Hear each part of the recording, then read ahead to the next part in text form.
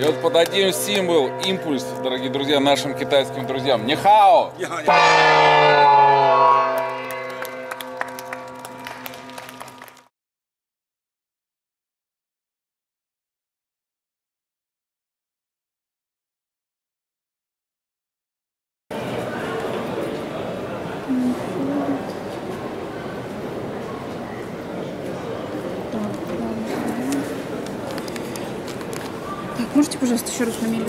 Старухин Ярослав Петрович. Первый международный форум «Пять континентов».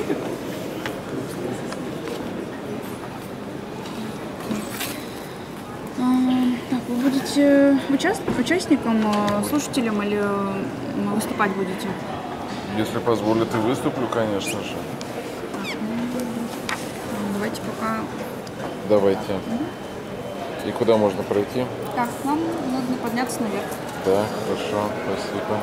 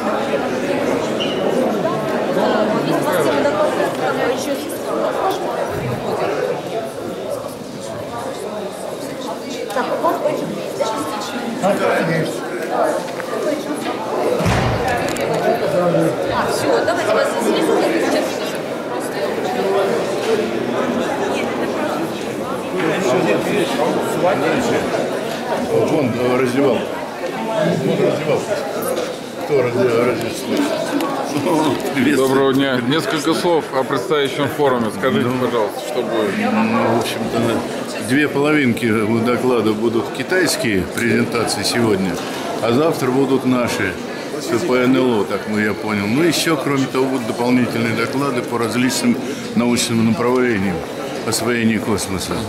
Ну, вот полная программа еще пока не представлена. Есть только укрупненные программы, а подробной программы нет.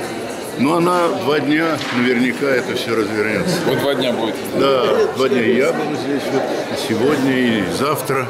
Хорошо. Так что мы здесь будем проводить и выступать. Мы выступаем завтра, насколько мне известно, с Мельниковым по, с докладом. А вот как там дальше? Спасибо. Добро. Я очень рад, что ты приехал. Вот ваши ученики, не смотрите, я вам дам. Я дам Уже возраст почти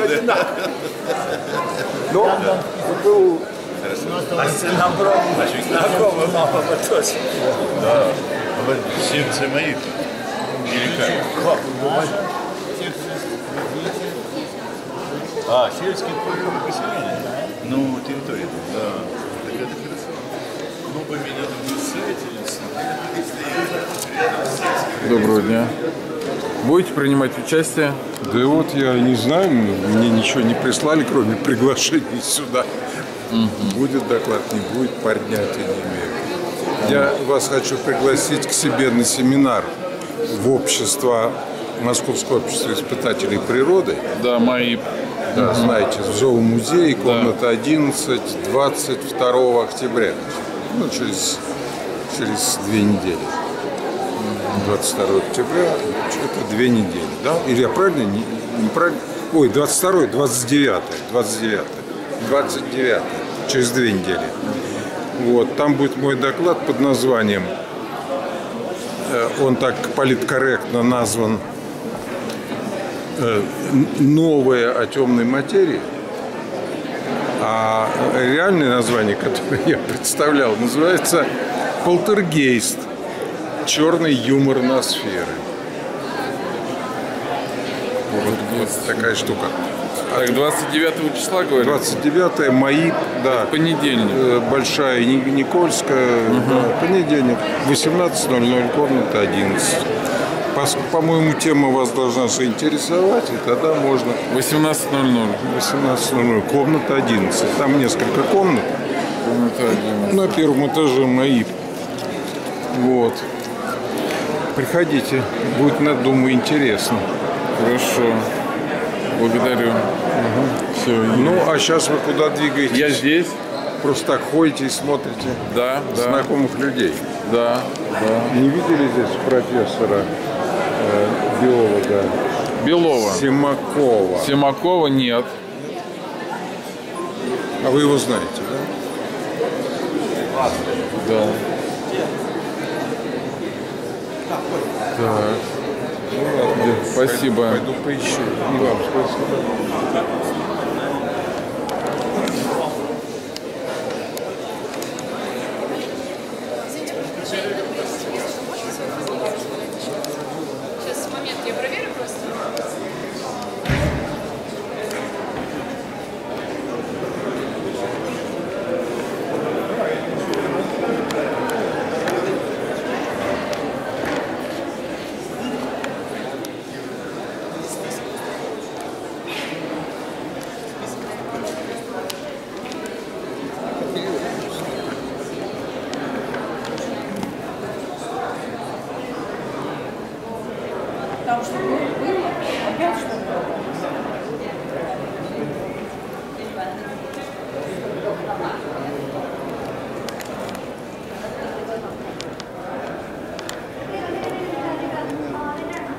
机会奖没去领。我找你呢，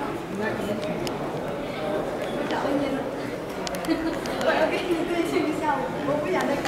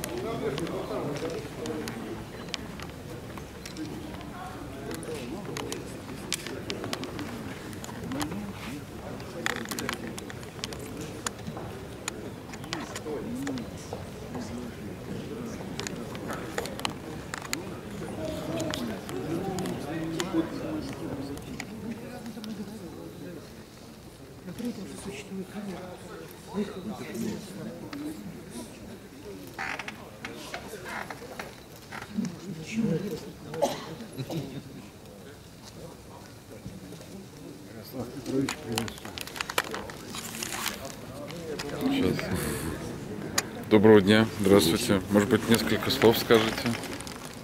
Ну, я удовлетворен тем, что такое мероприятие начинается. Дай бог, чтобы оно закончилось интересными результатами. Вас будет сопровождать по путешествию по этой конференции Ярослав Петрович Старухин, известный видеоблогер, наш друг. Спасибо, хорошо, есть. Не могу.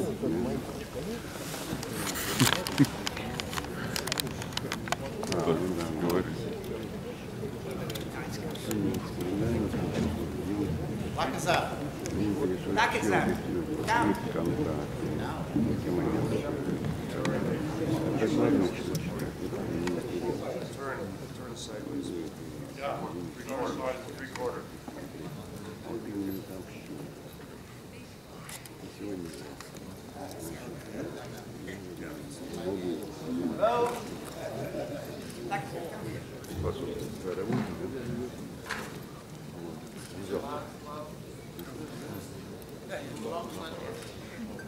в том пострадал, выложить туда, переслать.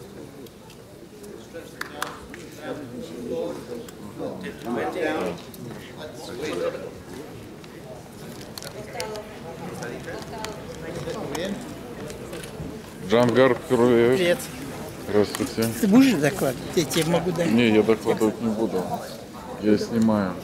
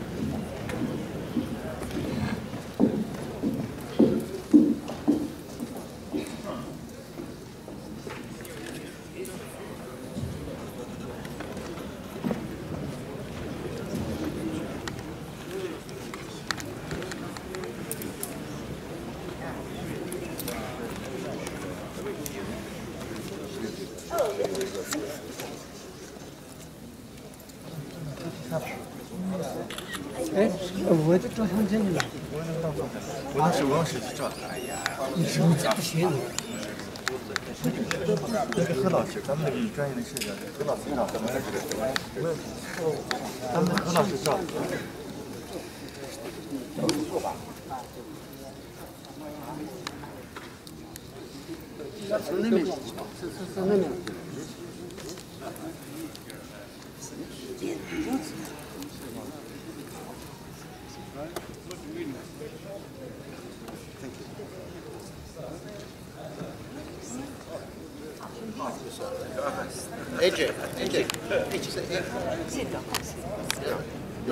something with edges, something was there.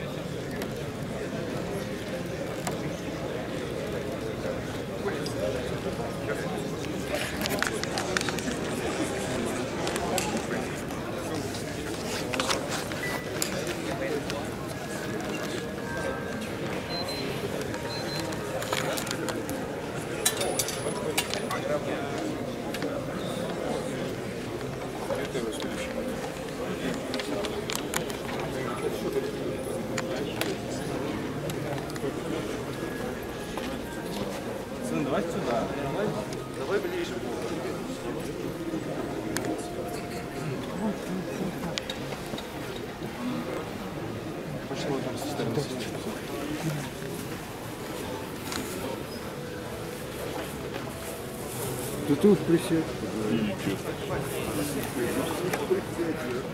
Съемка идет, я не прерываю.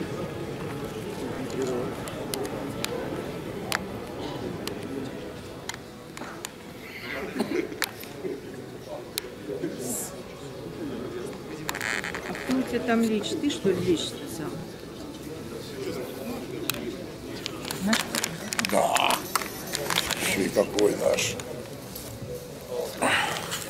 Давайте несколько слов в преддверии конференции. Такая, э, не- немножко не по теме, я думал, немножко другая тема. А здесь, ну, в принципе, достижения космические тоже, конечно, китайцы кое-что в этом плане делают. Да? Даже нас уже вот пытается обгонять, что мы топчемся на месте бесконечно. В этом плане, конечно, может быть, какие-то вот к декабрю запускают э, посадочную свою лу- лунную станцию посадочную на обратную сторону Луну, Луны. Это впервые, в общем-то, в мире. Да? Сейчас уже у них на в точке Лагранжа летает э, ретранслятор, ждет, покуда пролетит и в декабре. Да. То есть в этом плане китайцы это самое. Но сам форум, то я немножко думал, все-таки какая тема будет э, уфологии. Вот так, Мгм.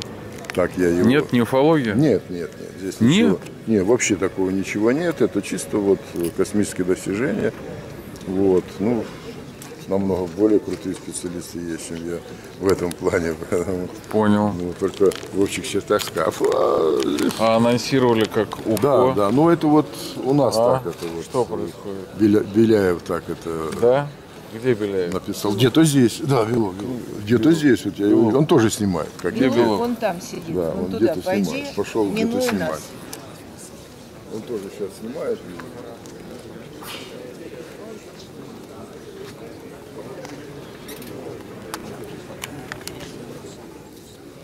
Хроникером желаю. Так. Ну что, никакого УФО, говорят, тут не будет. Ну вот, говорят, дости- достижения только, только достижения космонавтики. Ну так, сказал, что будет УФО.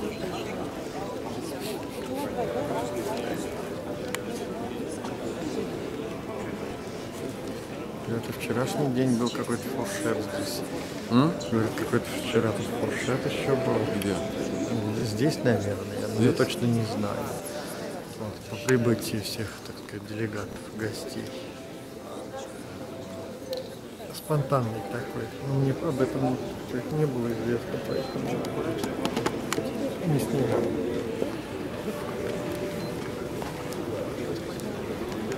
Непрерывно снимаешь таким образом. Да, да, да, да, да. На HD 4К. Не HD какой. 4К совсем большой размер. Да. Да, слушай. Так, вы подходите, хорошо, я сейчас подойду встречу.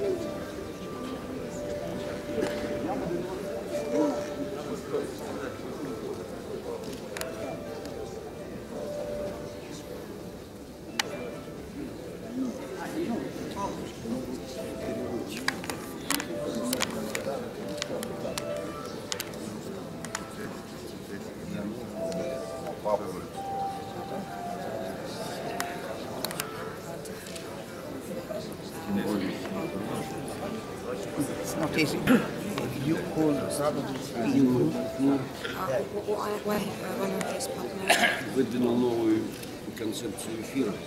uh, uh. Написал пять философских книг. Uh, five um, works в, в которых рассматривается вопрос божественный. uh, where uh, he um, worked with uh, uh, God's uh, deal. Он хотел бы получить благо- благоприятное мнение Папы Римского. Uh, Или uh, хотя бы его заместителя. uh, uh, uh, ask uh, uh, Vatican uh, questions. uh, Okay. Uh, I, I think. Or, or he's the secretary. Yeah, yeah. I think I could put him in, in touch with uh, uh, professor of uh, uh, history of science in uh, in the Vatican.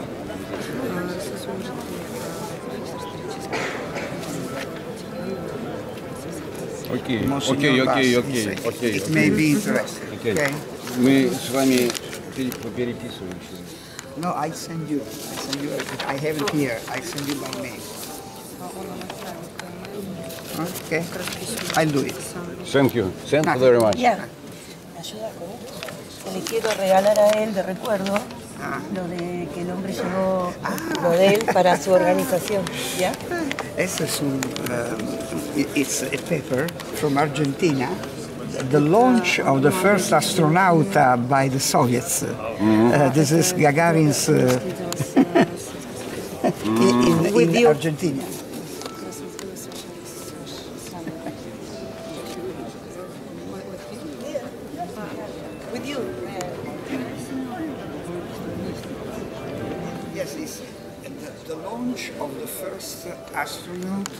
By the Soviets. It's uh, the, the, the launch of Gagarin.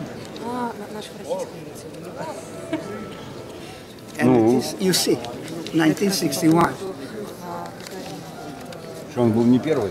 Нет, что он как раз Историка. первый, что он Историка. первый. Это а, первая историческая газета, есть, которую вот там издали. For you. ¿Ya? И это дарит вам. Сенка, Сенка, Сенка, No, Сенка. por favor. А, Грац. Gracias. Ok, gracias. Здравствуйте,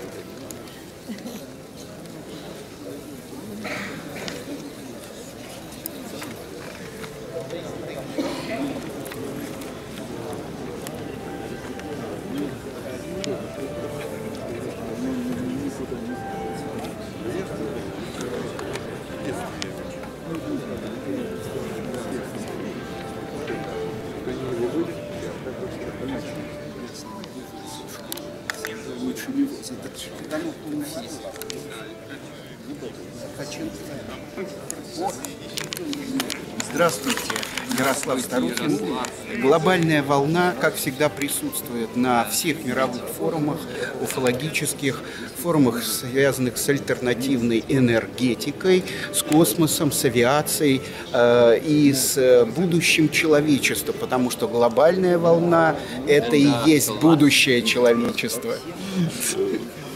Передаем слово. Ярослав. Приветствую вас. Здравствуйте. Несколько слов. Да, ну чудесно, что вы снимаете. В общем, мы будем с нашими дорогими товарищами из Китая дружить, и мы надеемся, что все-таки этот форум заключим договора, как говорится, и улетим на Альфа Центавр. Вот китайские товарищи. Надо сказать нихао. Нихао. Нихао. Пушкарев видел? Да вижу. Слушай, а Марго, я понял, приехала, что ли? Она что-то уже написала, что ли? Нет, ей хорошо в Камбодже. Привет. Несколько слов. Давай, несколько слов. Ну, ждем чего-то интересного. Чего Что ждем? будет интересно, Да. не знаем. Но, может быть, будет открытие по поводу НЛО. Может быть, будет связь с НЛО непосредственная в этом зале. Поэтому хотелось бы что-то новое увидеть. У вас какие творческие новости? Ну, потихоньку ищем, продвигаем и наблюдаем за торнадо, происходящим в данный момент именно в районе Бермудского треугольника. Торнадо? Да, этот, эта осень была спокойной, плавной, как говорится, и погодные условия были довольно-таки хорошими. И в результате, как говорится, можно сказать, даже и район Бермудского треугольника избежал э, больших потрясений в мире. Мгм. Вот в этом плане. Да, нас всех очень волнует Бермудский треугольник. Как он нас волнует прям. Да, раз все друг друга снимают, все с камерами, дорогие друзья. Прогресс идет вперед. Соната я и не приметил. С бородой не признать. Так. Все снимают, все снимают. Количество съемочной техники на квадратный метр поражает воображение, дорогие друзья. Все снимают. Можно посчитать количество камер в этом зале. По-моему, камер больше, чем участников.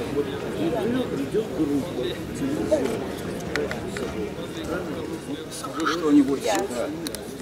Что сказать? Ну что, дорогие друзья, пользуясь случаем, хочется сказать, что речь нужно вести о новой научной парадигме. Именно в среде китайских товарищей, которые прекрасно понимают идеи социализма, гуманности, прогресса, величия, духовности, нравственности. Конечно же, в этой аудитории надо вести на благо всех существ на планете. Спасибо. Добрый день. По, поводу, э, по просьбе организаторов форума, гостей, сидящих на задних рядах, э, прошу пересесть поближе к сцене. 大家好，请来到的宾客，呃，从前排，呃，从后排到前排，谢谢。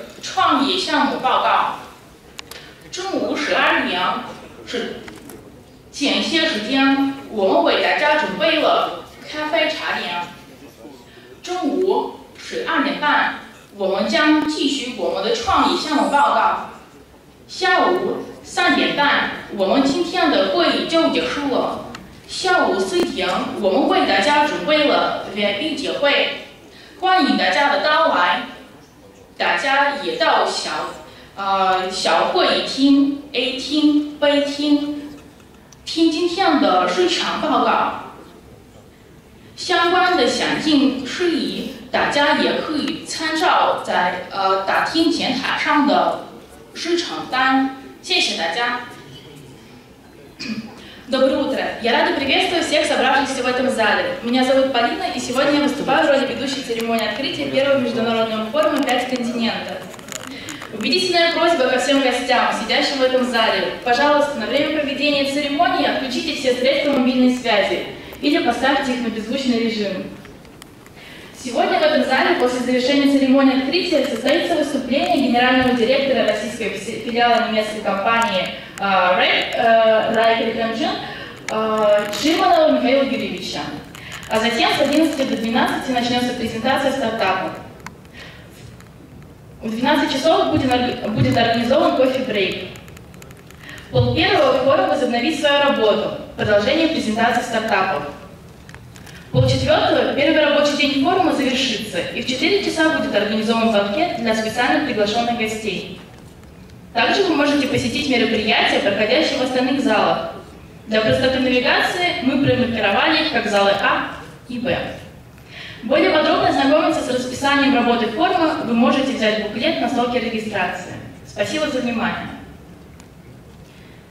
Good morning. I have the honor to welcome all the guests gathered in this hall in the Moscow Hotel Cosmos. My name is Paulina and today I'm the host of the opening ceremony of the first international forum Five Continents. We kindly request all the guests, please during the ceremony, turn off all your mobile devices or put them on a silent mode. Today, in this hall, after the opening ceremony is completed, the General Director of the Russian branch of the German company REC, Replicating Shirmanov Mikhail Yurievich, will give his speech. At 12 o'clock, we organize a coffee break. At half past noon, the forum will continue with presentation of startups. At half past three, the first working day of the forum will come to the end, and at four o'clock, uh, an VIP banquet will be organized. You can also visit events held in other venues. For making navigation easier, we mark them as Hall A and Hall B. For more information about the schedule of the forum, please take a booklet at the reception desk. Thank you for your attention.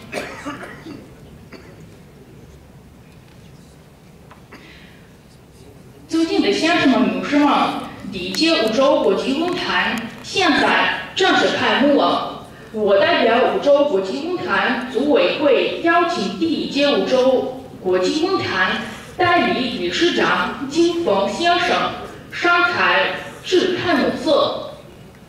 Уважаемые дамы и господа, я объявляю первый международный форум «Пять континентов» официально открытым. От имени Организационного комитета Международного форума «Пять континентов» я приглашаю на сцену временно исполняющего обязанности председателя Первого Международного форума «Пять континентов» господина Дин Фэня выступить с вступительной речью. Dear ladies and gentlemen, now I have the honor to declare the first International Forum by Continents officially open. On behalf of the organizing committee of the first International Forum by Continents, I would like to invite acting chairman, temporarily performing the duties of chairman of this forum, Mr. Jin Feng, to come to the stage and give his opening speech.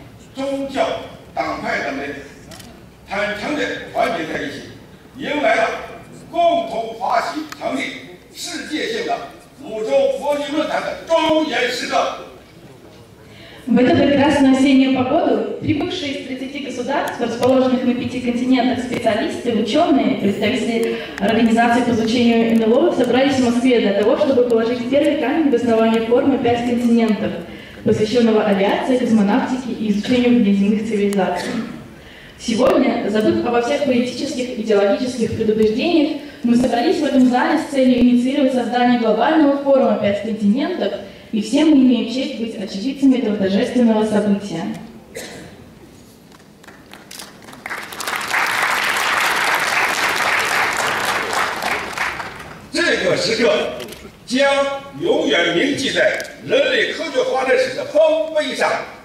女士们、先生们，我们所从事的是超越地球人类所认知的新科技、新科学，它必将会带动人类科学技术水平飞跃性的发展，它必将使人类社会发生翻天覆地的变化。 Этот момент навечно будет запечатлен в наших сердцах и войдет в историю развития науки. Дамы и господа, то, чем мы занимаемся, поиск новых технологий, научные изыскания, входит за границы знаний, ранее обладаемых человечеством. Стремительное развитие научно-технологического прогресса принесет человечеству невиден- невиданные перемены. 在这里，我高兴地向大家宣布，经过三十多个国家和地区代表的共同努力下，一致通过了论坛的章程，选举产生了理事会、 理事长。五洲国际论坛自即日起正式成立了。 При участии представителей 30 стран был учрежден состав форума, избран его исполнительный комитет, председатель, секретарь. А сейчас я с радостью объявляю первый международный форум «Пять континентов» официально открытым.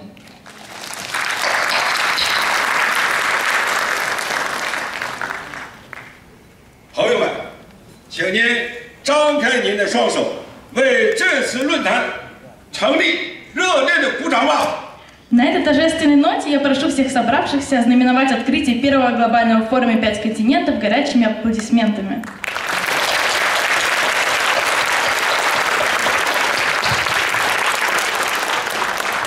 下面，请各成员国的代表上台。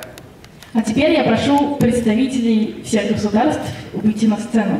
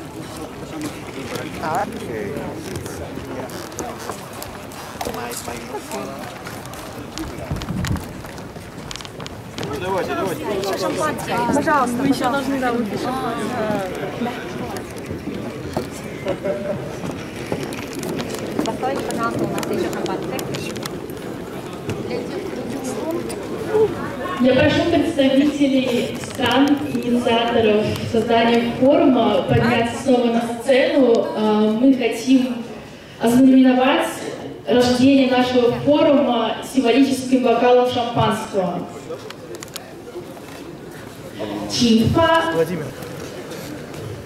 请发起国代表者，发发起国呃，本次五谈代表者商谈再次商谈。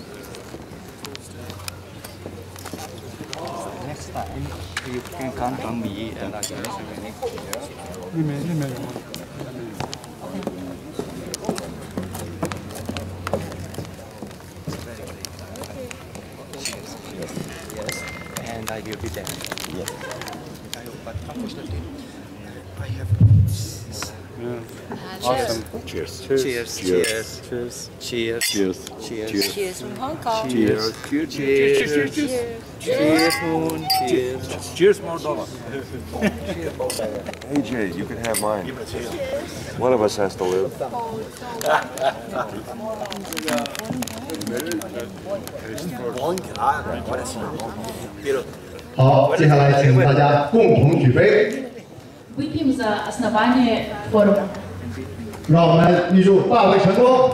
干杯！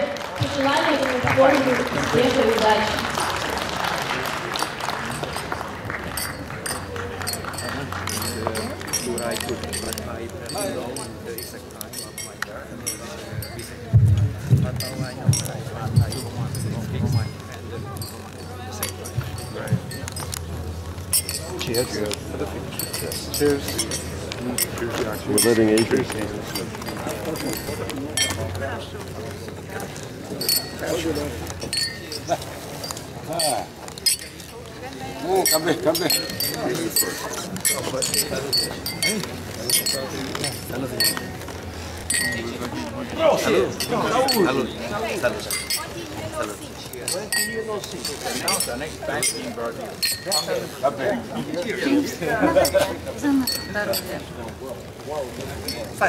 Cheers. After that, cheers. 那继续对照照下来。はい。じゃあ继续对照下来。カップにただ照照照对照下来。这样这样，告诉我照好照好，整齐点。Mr. Greenfield. It. I remember. Maybe we will do a half minute interview. One minute. So like in there. Is there any oh. more surprises? Oh, I better stay. stay, stay, stay. Okay, hang on. I wouldn't want it. How you feeling? А теперь я прошу наших дорогих участников, причастных к созданию этого форума, присесть на свои места, и мы продолжим церемонию.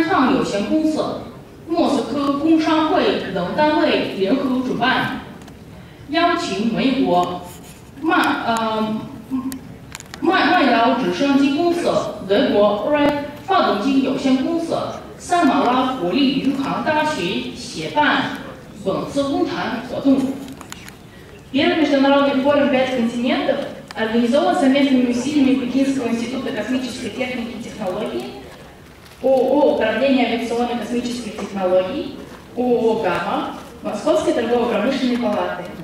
Также в, организации форума приняли участие американская верто- вертолетостроительная компания MG Helicopters, немецкий производитель авиадвигателей Rheinland Engine Limited и Самарский государственный аэрокосмический университет имени академика Королева. The first international forum Five Continents was organized by the joint efforts of Beijing Institute of Technology, Aeronautics and Space Science and Technology, mm, LLC, uh, Aviation and Space Technologies Management based in Moscow, LLC Gamma, and Moscow Chamber of Commerce and Industry. More, moreover, American Helicopters Building Company, MG Helicopters, German aircraft engine manufacturer Reichling Engine Limited, and Samara State Aerospace University were also involved in the organization of the forum. 本届活动是第一届国际论坛，并在俄罗斯莫斯科首都召开，邀邀请到三十个国家单位与机构代表出席。论坛主旨：新科学发展观，从更多科学领域视角，认知我们未来科学技术的发展，太空科学探索，未知事物探索。是人类，嗯，人类文明，呃文文明必须要跨越的方向。论坛有幸邀请到论坛常设顾问专家、前苏联宇航员、至论坛探索邀请阿基巴斯先生发言。Сегодняшнее мероприятие – это форум, проходящий в столице России, Москве. В нем принимают участие представители различных организаций, прибывшие из 30 стран. Тематика форума – концепция развития новой науки, взгляд на развитие науки и техники в будущем. И космические исследования являются неотъемлемой составляющей этого развития. Today's event is a forum held in Moscow, the capital of Russia. Representatives of different companies and organizations from 30 countries were invited to participate. The main theme of the forum is the concept of development of new science. And the key role of space research in this development should be recognized. Организаторам форума посчастливилось пригласить бывшего советского космонавта, совершавшего полеты в составе экипажа орбитального комплекса МИР, космических кораблей «Союз-ТМ-10» и «Союз-ТМ-12», Героя Советского Союза, общественного научного деятеля Российской Федерации, произнести вступительную речь на церемонии открытия. Итак, я имею честь пригласить к микрофону Анатолия Павловича Арцебарского.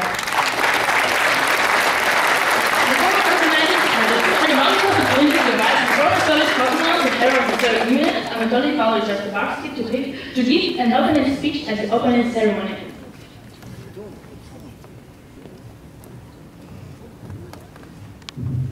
Здравствуйте, уважаемые коллеги, уважаемый председатель форума ИФАН, уважаемые зарубежные гости, студенты, школьники. Мне очень приятно, правда, я вас не вижу, но поздравить вас с открытием форума, который называется «Пять континентов». Вы знаете из истории, что уже очень много организаций создавалось с начала прошлого столетия для того, чтобы понять, что же происходит с нашей планетой вокруг нашей планеты.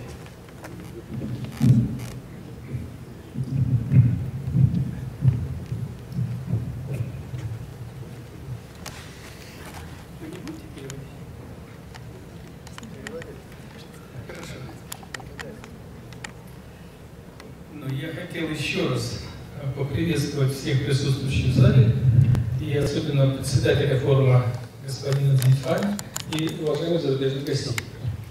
我想表示我的欢迎，呃，为大家为呃为金宝先生， Мне посчастливилось быть участником космических полетов и посмотреть на нашу Землю со стороны. 呃，我有幸运参加各种各样的宇航项目。 Наша планета Земля очень маленькая, и мы должны ее беречь.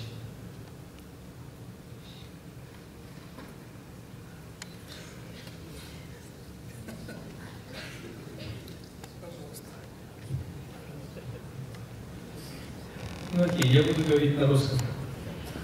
А если Полина посчитает, она переведет на китайский. Смотрите, мы из истории знаем, что уже очень-очень много компаний создавалось с начала прошлого столетия. Создавались компании для того, чтобы понять, что происходит вокруг нашей планеты.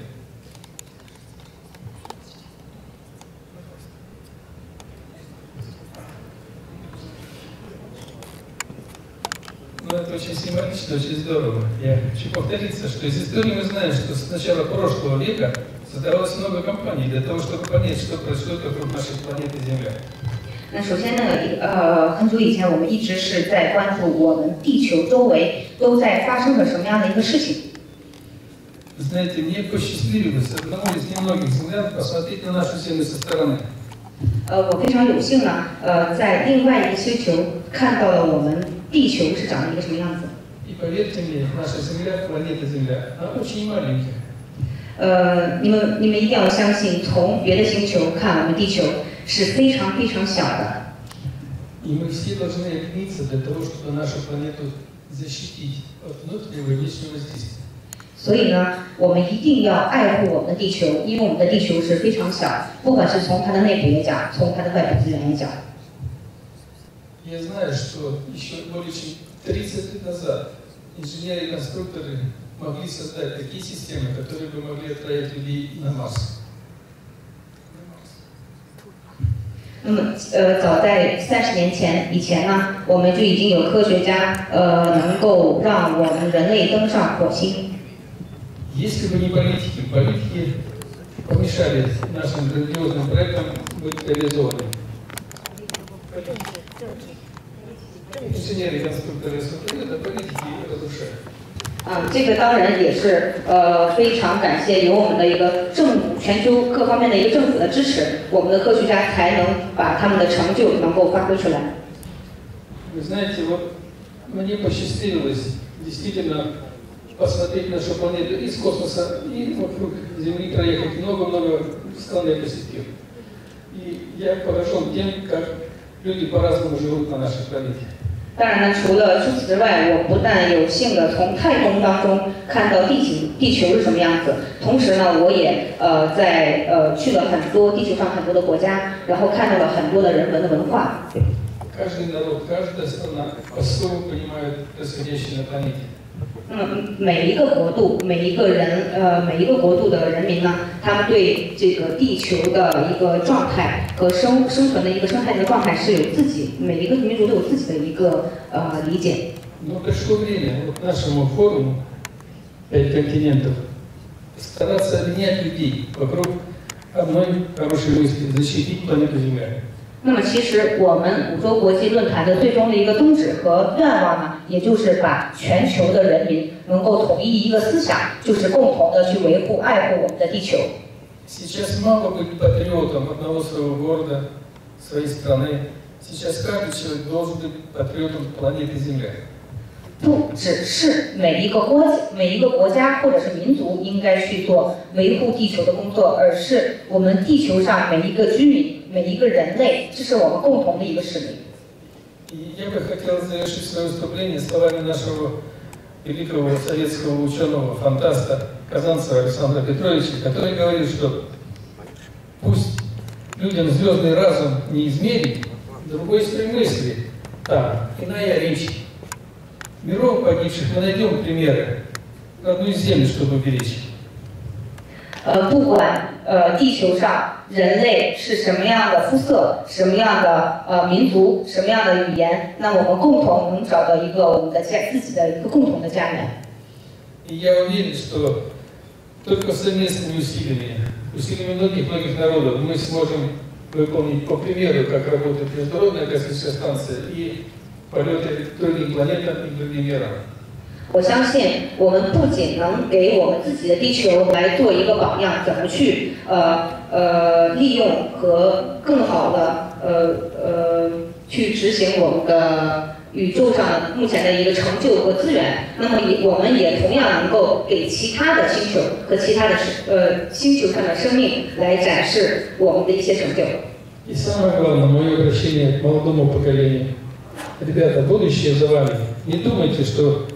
это там кто-то что-то делает за вас. Каждый на своем месте должен стремиться в будущее.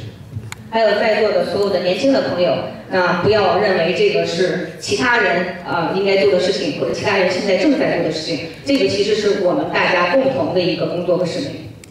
Тем более, что сейчас времена такие, что интернет-технологии не дают нормально человеку осмыслить, что происходит. Люди не успевают понять, что происходит на Земле. 那么，其实现在的一个工作结构和我们的生活环境呢，让大部分的人群没有更多的呃时间或者更多的一个心态去想呃我们现在的世界是什么样子，大家都很忙，都停不下来。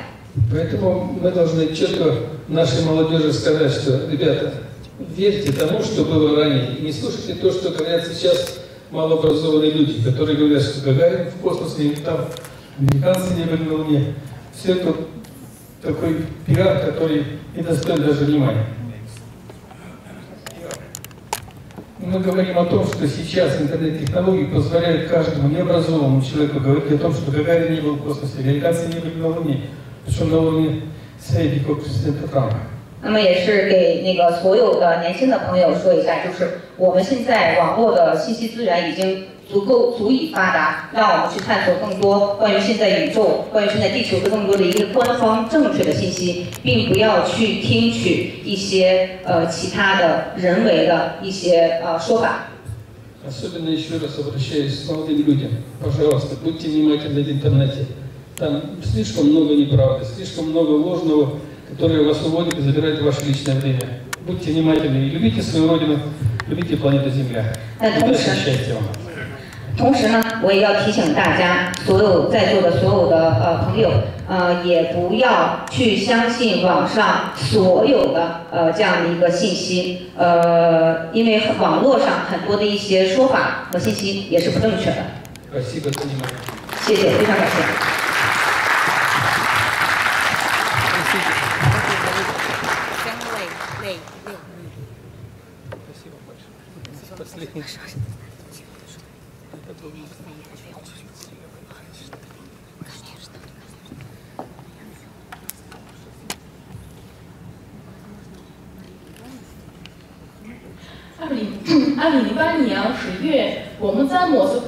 科宇宙酒店召开第一届论坛国际会会议。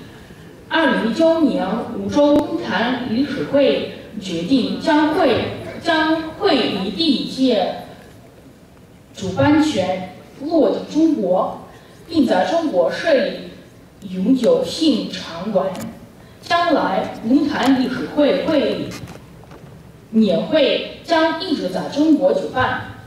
五洲国际论坛将会成为城市举办地的国际间交流、共同合作的窗口。本届论坛，我们邀请到中国山东省菏泽市市长王卫东先生。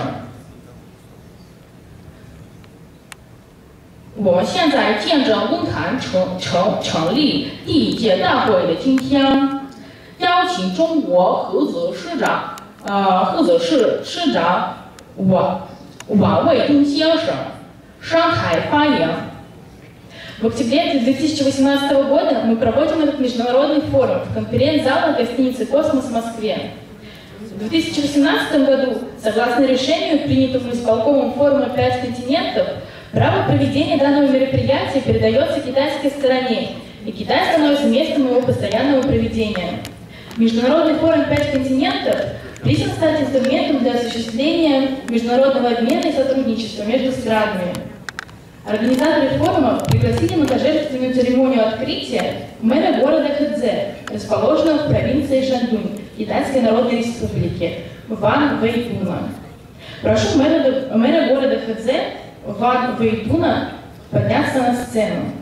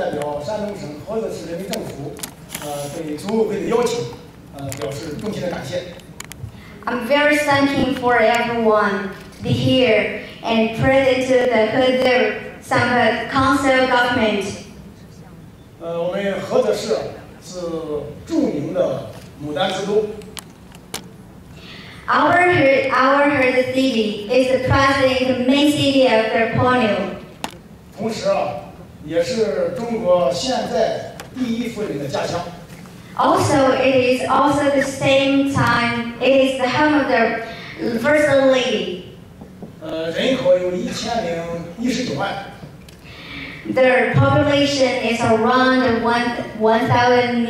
Is around one thousand million. 菏泽历史悠久，环境优美，人杰地灵。 The culture of the history of Huzhou is very wonderful, and the culture and the environment is also beautiful.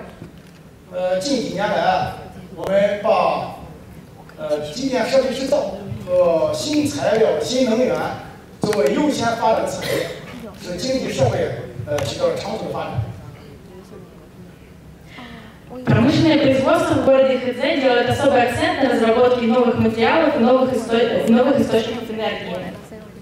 Industrial production in the city of Хэцзэ, uh, Хэцзэ places special emphasis on the development of new materials and new energy sources.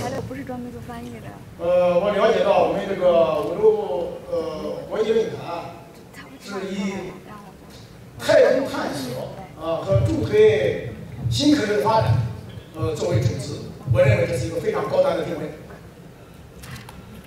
Эти отрасли должны быть подкреплены развитой новой наукой и новыми технологиями. Я считаю, что этому форуму суждено внести большой вклад в проведение космических исследований и продвижение новой науки.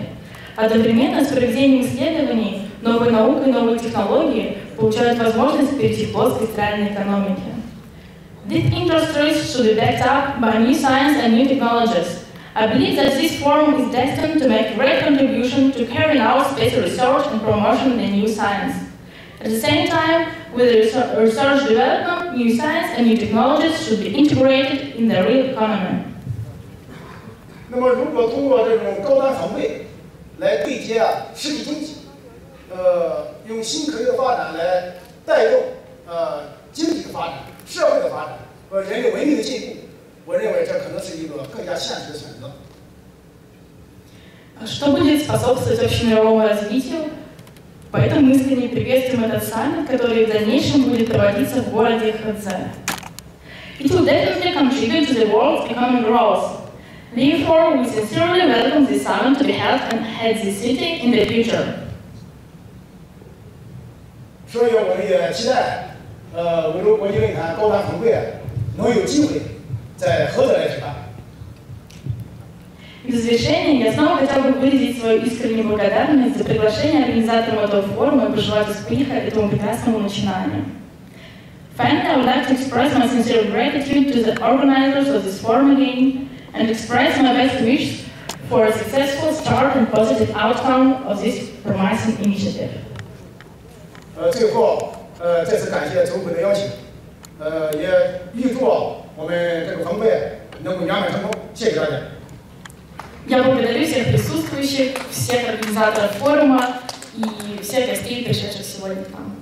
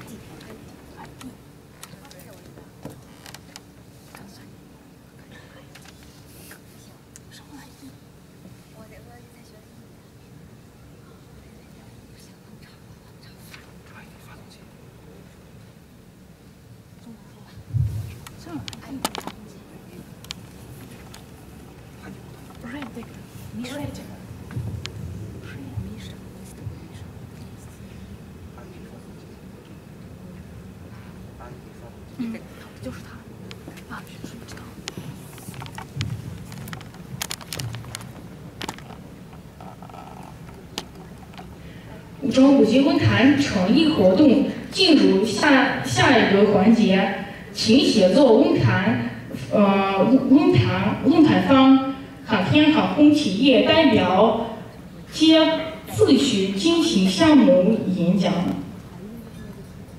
首先，德国 Red 发动机公司俄罗斯厂设总经理，嗯。Шиманов Михаил Юрьевич 先生上台演讲，德国 Wright 啊、呃、航空活塞发动机是一款高性能通用航空工业发动机，已取得美国 FAA、欧洲 EASA、俄罗斯等国际航站。该发动机用于雅克。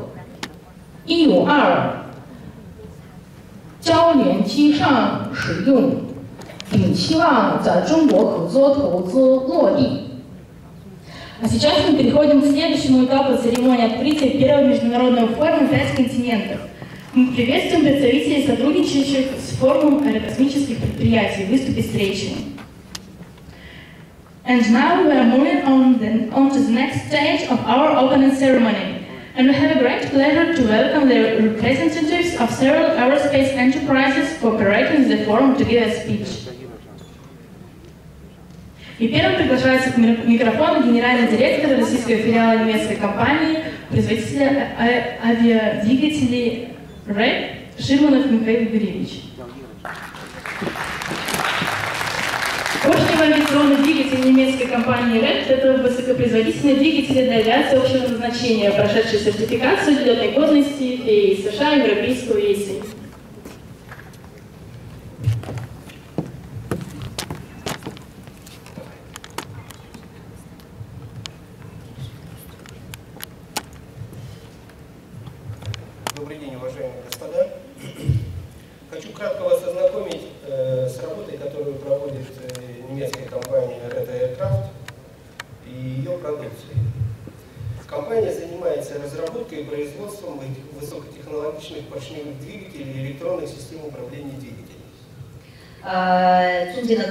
宾、女士、先生们，大家好。那么，首先我想来给大家大致的介绍一下德国 Red 直升机公呃制造公司它大概做的一些业务和产品。那么，首先，呃，Red 公司呢主要是做呃飞机发动机呃制造的一个公司。 Инженерно-производственный центр Red Aircraft располагается в Германии в городе Аденау, вблизи автомобильной гоночной трассы Нюрнбург.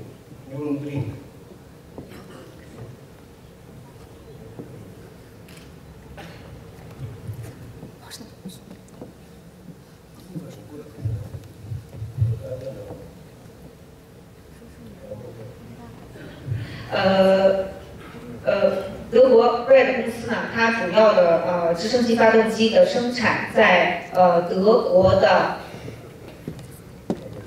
艾金纳。 Red Aircraft имеет сертификат разработчика авиадвигателей, выданный Европейским агентством авиационной безопасности ИАСА. 呃，发动机的呃资质认证是由 э, 欧洲呃，欧洲 EASA 公司来进行呃授权发放的。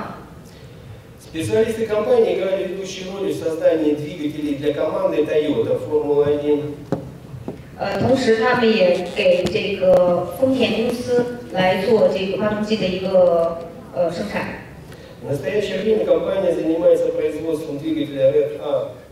03В12, который имеет э, сертификаты типа, выданные в Европе. Европейский сертификат типа.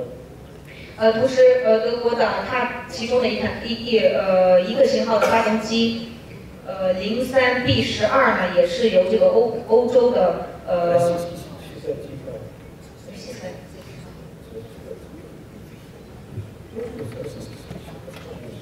呃，也是呃获得了这个俄罗斯的呃资质认证，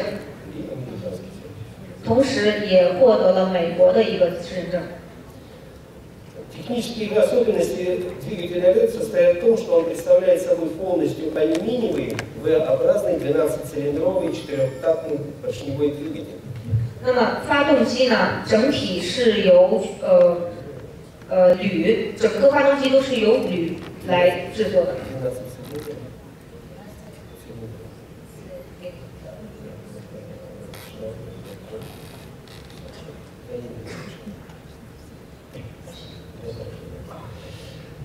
Жид- Жидкостная система охлаждения оснащен системой непосредственного впрыска топлива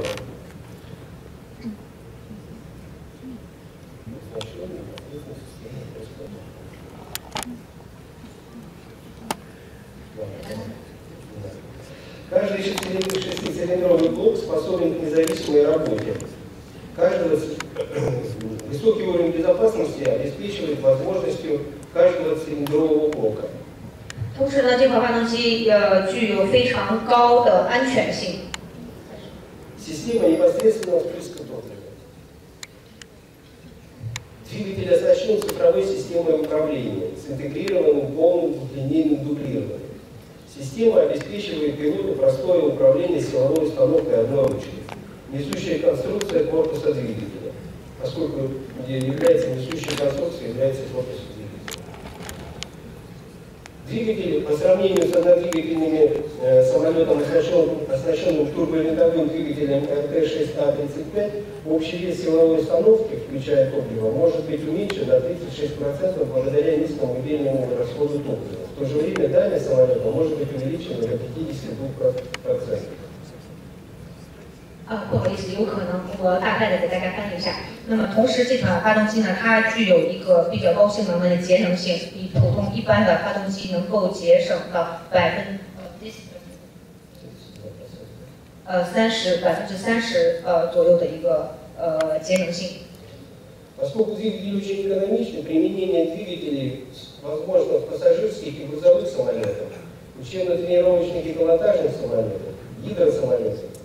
Поскольку двигатель очень экономичный, применение двигателей возможно в пассажирских и грузовых самолетах, учебно-тренировочных и пилотажных самолетах, гидросамолетах, многоцелевых вертолетах, беспилотных летательных аппаратах, 同时，这款发动机也能运用到呃民航飞机、货运飞机、大型飞机和其他各种的小型直升机、直升飞机。 грузовые и пассажирские наблюдательные дирижабли, э, самолеты с осущ- для осуществления сельскохозяйственных работ, 同时也可以运用到这个农业的直升飞机。 и перспективные гибридные силовые установки.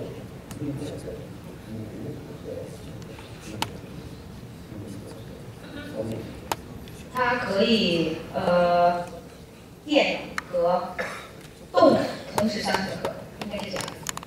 Кроме того, двигатели во- возможно применять в наземной и водной технике. Это в судах на воздушной подушке, в катерах, яхтах и ином водном транспорте.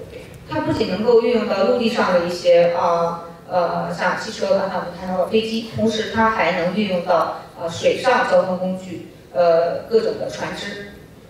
Благодаря своей, благодаря своей конструкции Red, Red A03V12 это платформа для линейки мно- многих двигателей, в том числе авиатехника, наземные двигатели, наземная техника, водная техника. В настоящее время локализация по производству двигателей находится в аэродроме Большое Грызлово э, в Серпуховском районе, где э, созданы все условия для производства порядка 30, от 30 до 100 двигателей в год.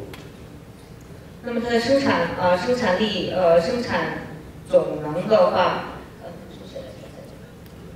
э, от 30 до 100 двигателей в год.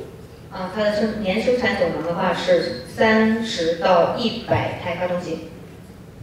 В настоящее время двигатель устанавливается на э, самолет первоначальной подготовки летчиков Як-152, производимый кор- кор- корпорацией Иркут. 呃，首先呢，在呃发动机生产出出厂之前，要放到呃雅 Як-152. так, э, 呃雅克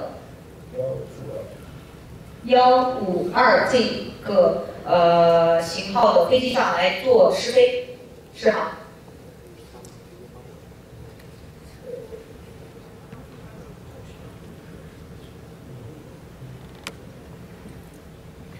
Все оборудование для э, цеха локализации произведено в Германии и э, стапели для сборки двигателей, специализированная универсальная оснастка, слесарный инструмент э, позволяет э, производить работы в соответствии с требованиями, которые предъявляются для подобного типа двигателя.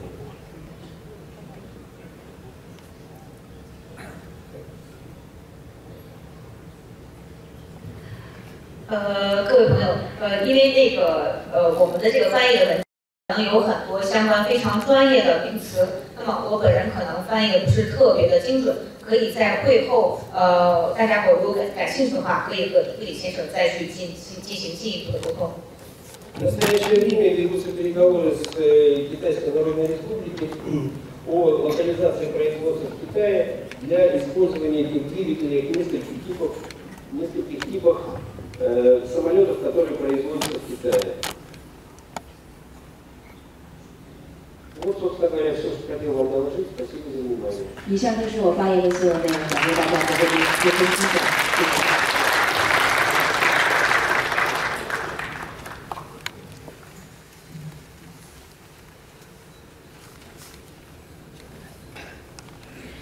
现在邀请美国曼岛直升机直升机公司俄罗斯大区总经理。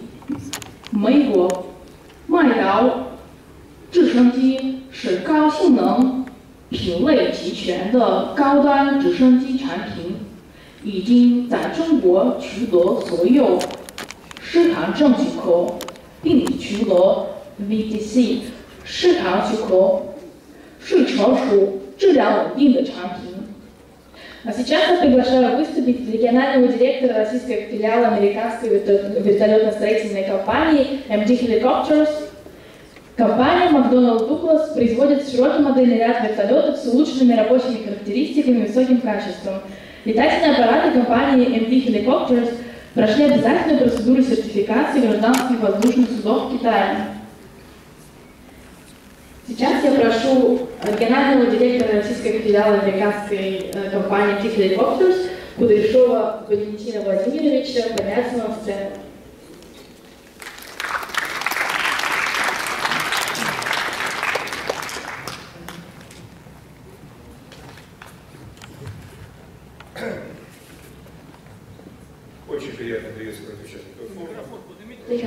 够参加这次国际五洲国际论坛。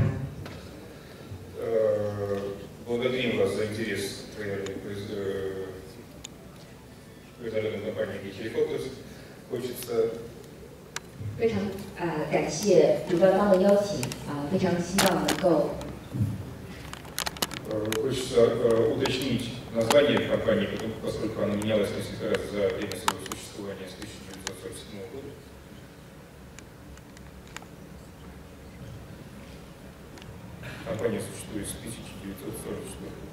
呃，我们公司呢是从一九九一九四四年开始成立的这么一个公司。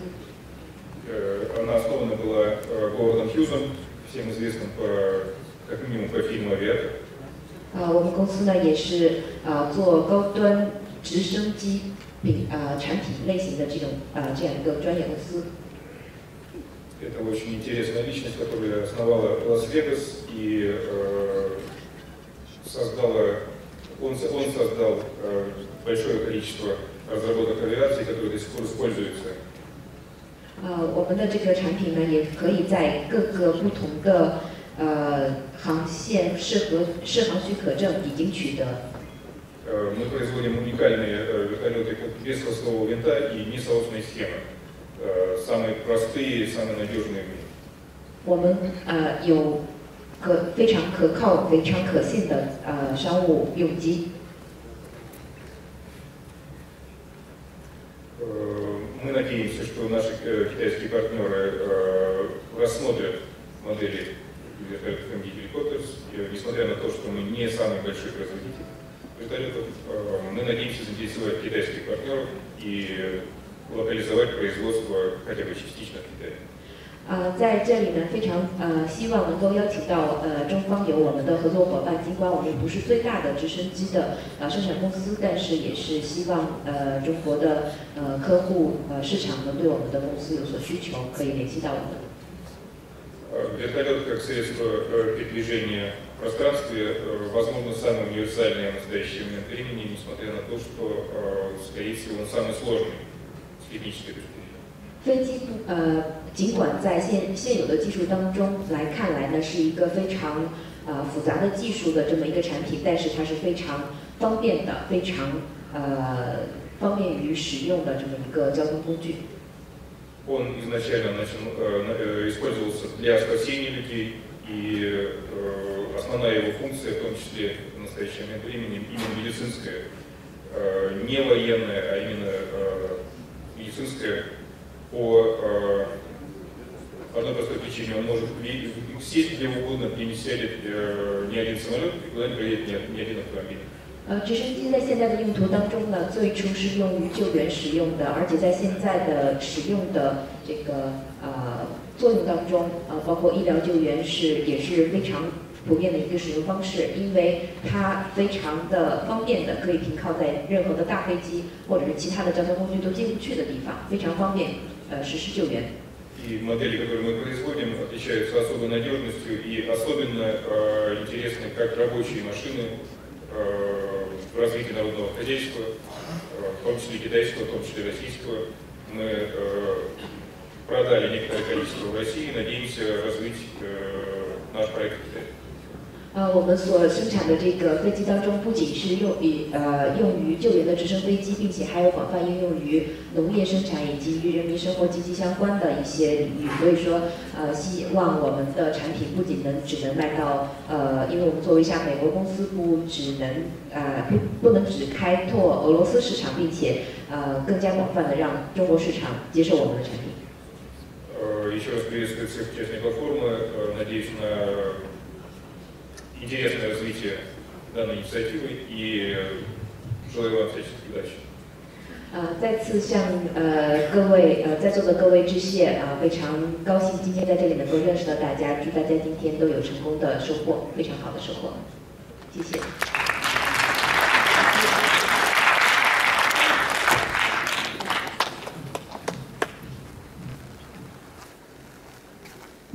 А сейчас перед вами выступит представитель молодежной гильдии предпринимателей Казаков Владимир. 现在我邀请年轻企业家协会代表者上台。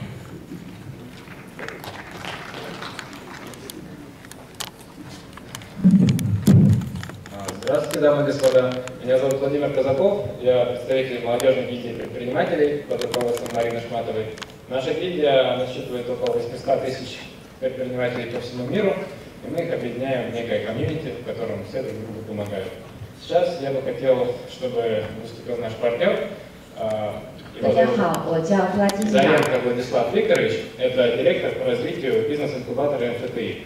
Он представит ряд своих проектов и проектов членов гильдии, а, которые могут быть вам интересны. А, и сейчас, наверное, на английском это все скажу. Sorry, I have a question. Uh, Who can speak English? Who can understand English? 谁可以听得懂英 Okay, 文？ maybe, uh, sorry, who can understand Russian, but maybe I can, I should speak Russian. Я думаю, ты можешь говорить по-русски или... Да, давайте. Может быть, переводчик? Хорошо. Э, Да. Э, Всем добрый день. 大家今天好， Так, 白天好。 Я основатель и директор акселератора в МФТИ. Для наших китайских коллектов это лучший технический вуз в России. 我是 МФТИ, MFT. Moscow State Technical University. 啊，我是这个呃莫斯科科技学院的呃 Physical. Да. И, соответственно, мы уже как год открыли акселератор и развиваем э, технологические проекты. 然后我们现在在呃很积极的发展一些项目。 Вот, у нас э, д- достаточно высокие показатели. 80% всех наших проектов, которые к нам попадают, они выходят на первые продажи и увеличивают свою выручку по минимум в три раза. 在我们的这个项目呃项目下，投资者呢，呃，他和他可以得到很高的这个收益率。 Вот. Сейчас мы уже вместе с FREE, это фонд развития интернет-инициатив, самый крупный венчурный фонд Восточной Европы, мы вместе создаем э, корпоративный акселератор, который будет самый большой, куда мы приглашаем всех заинтересованных, в том числе здесь э, русских партнеров потенциальных, 呃，然后我们现在是跟欧洲最最大的一个呃基金公司来进行合作，叫做 Free。然后呢，呃，也可以非常希望能够 呃邀请到结识到不仅是来自其他各大洲，包括中国在内，而且包括俄罗斯的有兴趣、感兴趣的这个客户，可以跟我们啊、结成合作。 И вообще тема Китая нам очень близка, потому что мы уже два года работаем с Китаем, и через полгода мы открываем наш первый акселератор в Китае. 呃，我们跟中国市场的合作已经非常的久了，已经两年了。再过半年的话呢，我们就要在中国的市场，呃，打开进更进下一步的合作了。 Вот, соответственно, мы ищем тоже и китайских партнеров, то есть у нас уже достаточно большой пул, с кем мы работаем по Китаю, но также мы ищем новых партнеров э, с китайской стороны. 呃，尽管我们跟中国市场的合作已经很亲很亲密了，但是我们不会拒绝更多的这个呃机会，也希望有更多的这个中国 企业啊、更多的机会可以跟我们合作。 Вот, и, соответственно, сейчас я хочу презентовать некоторые проекты потенциальные, которые мы будем там вывозить на китайский рынок. Я бы хотел их представить. 啊、我现在想介绍一下我的几个小的项目，给大家认识一下。 Э, Первый наш проект это ChatFirst, это чат-бот, который полностью автоматизирует HR-процессы. 呃，我们第一个项目是全自动化的生产线， 类似于这种的，然后是有添加现代科技的。 То есть он полностью на себя забирает все функции HR по поводу переписки с сотрудником, первые поиски сотрудников э, и адаптация новых сотрудников. 呃，这个呢是更多的用于人力资源方面的，包括呃员工之间的对话，以及呃在员工的挑选上面等等的作用使用的。 Э, Сейчас э, они уже сделали пилот э, в крупные такие фирмы, как Eroa, X5, Retail Group, вот, и идут дальше. И суть в том, то, что э, китайский язык именно для автоматизации он гораздо проще, чем русского, и они сейчас делают э, китайскую версию своего проекта. 啊、因为呃这个 这个产品呢，既然在中国呃它的这个受广，然后比在俄罗斯更容易去进行接受。呃，尽管在现在一些很大型的这个公司都已经实现了全部的呃，包括在啊、人力资源的这个呃寻求上面已经实现了很高程度上的自动化。啊、我们也希望把这个项目能够做得成功，然后让更多的企业受益。 Да, Следующий наш стартап – это Loyalty Lab. Они делают э, автоматич- автоматизацию, как это сказать, скидок умную для ритейла. А- Они делают, э, грубо говоря, находят новых лояльных клиентов автоматически для ритейла. 啊，然后呢，在下一步的这个呃作用呢，就是啊通过大数据分析去寻找新的可以对企业产生兴趣的这个客户。 跟他们产生联系。 Да. Банальный пример, как сейчас все происходит в ритейлах. Вы ходите, там, не знаю, каждую пятницу в магазин, вы всегда берете молоко, хлеб, масло и прочее. И часто именно вам предлагают, когда вы покупаете так одни и те же вещи, вам всегда предлагают скидку на молоко. И вы его покупаете, и вот на таких скидках, на тех продуктах, на которых люди и так бы их купили, сейчас, допустим, тот же X5 Retail Group теряет там, в месяц 200 миллионов рублей. 呃，比如说，呃，每个人有一个人，他在每个周五会在固定的时间、固定的地方，啊、去购买一些固定的产品，比如说牛奶，啊、然后呢，再通过大数据分析处理之后呢，就会主动的向这个人去啊、发送一些牛奶打折的这么一个广告，那么就会吸引这个客户他之后的这个继续的回购。И, соответственно, э, наш проект Loyalty Lab, они сделали нейросетку и создали алгоритмы, которые анализируют покупки, то есть у них большая база клиентская покупок, и они анализируют эти покупки и прогнозируют, на что нужно дать скидку клиенту на тот товар, который он бы так не купил, а с этой скидкой он купит. Соответственно, они не теряют деньги на тех процентах, на тех товарах, которые бы они и так купили, и получается у них дополнительная капитализация за счет тех новых товаров, которые покупают теперь люди. 所以说，我们的这个呃项目呢，不仅是会 根据大数据处理去进行呃对客户的分析，然后发送一些优惠的信息，并且呢，在此之后会做出预测，什么样的人会被他带来作为其他的更增加的客户群，或者说是他还有趋势去买到一些其他的别的什么样的东西。尽管发了这个优惠券出去，但是从另外一方面来讲，它是更加增加了这个自己的收益额的，所以说它是一个可以盈利的项目。Вот. Они тоже уже делают пилоты в X5 Retail Group, в Ашан, во многие крупные сети сейчас тоже уже делают пилоты, вот как раз они после нашего акселератора дошли в сети. И, и суть в том, что как раз мы очень сильно наш акселератор нацелен на Китай, и наши проекты ориентированы, они тоже могут очень сильно локализоваться как раз э, на китайских. И у них есть уже база данных по клиентам. 嗯，呃，一些大型的连锁商场，类似于说欧尚等等的一些商场啊，然后商店里面已经也都有意向去使用我们的这种类似的项目。呃，所以说中国呢，在一个飞速发展的这么一个国家，而且整个自动化的进程都很高的这么一个过程中呢，呃，有很多的客户找到我们，对我们的这种项目感兴趣。 Да, следующий проект это уже медицинский, хардверный 第二个项目呃已经是有关于医疗等相关方面的这么一个项目。 Это, грубо говоря, компьютерное зрение, э, технология компьютерного зрения для анализа движения людей, э, которые, у которых был сердечный приступ. 啊，这个类似于说是人的某一个器官或者是部位不能正常去使用了之后， 呃，通过人工智能来辅助于它实现更强化自己的这一部分的动作。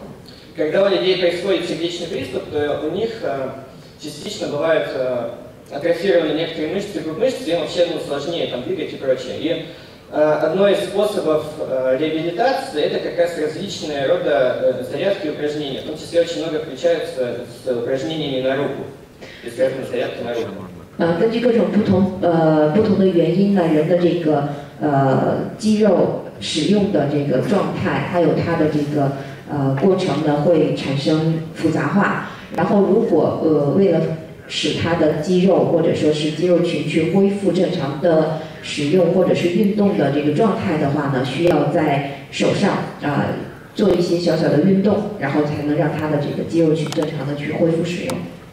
Вот. И при этом, ну, вот эти люди, которые перенесли э, сердечный приступ, они должны ходить какое-то время стационарно там, ну, в клинику, и, и где им показывают упражнения. А дальше они большую часть э, вот этой реабилитации должны проходить дома и правильно выполнять упражнения. Но чаще, часто очень люди делают это неправильно, и, соответственно, реабилитация, она очень сильно осложняется.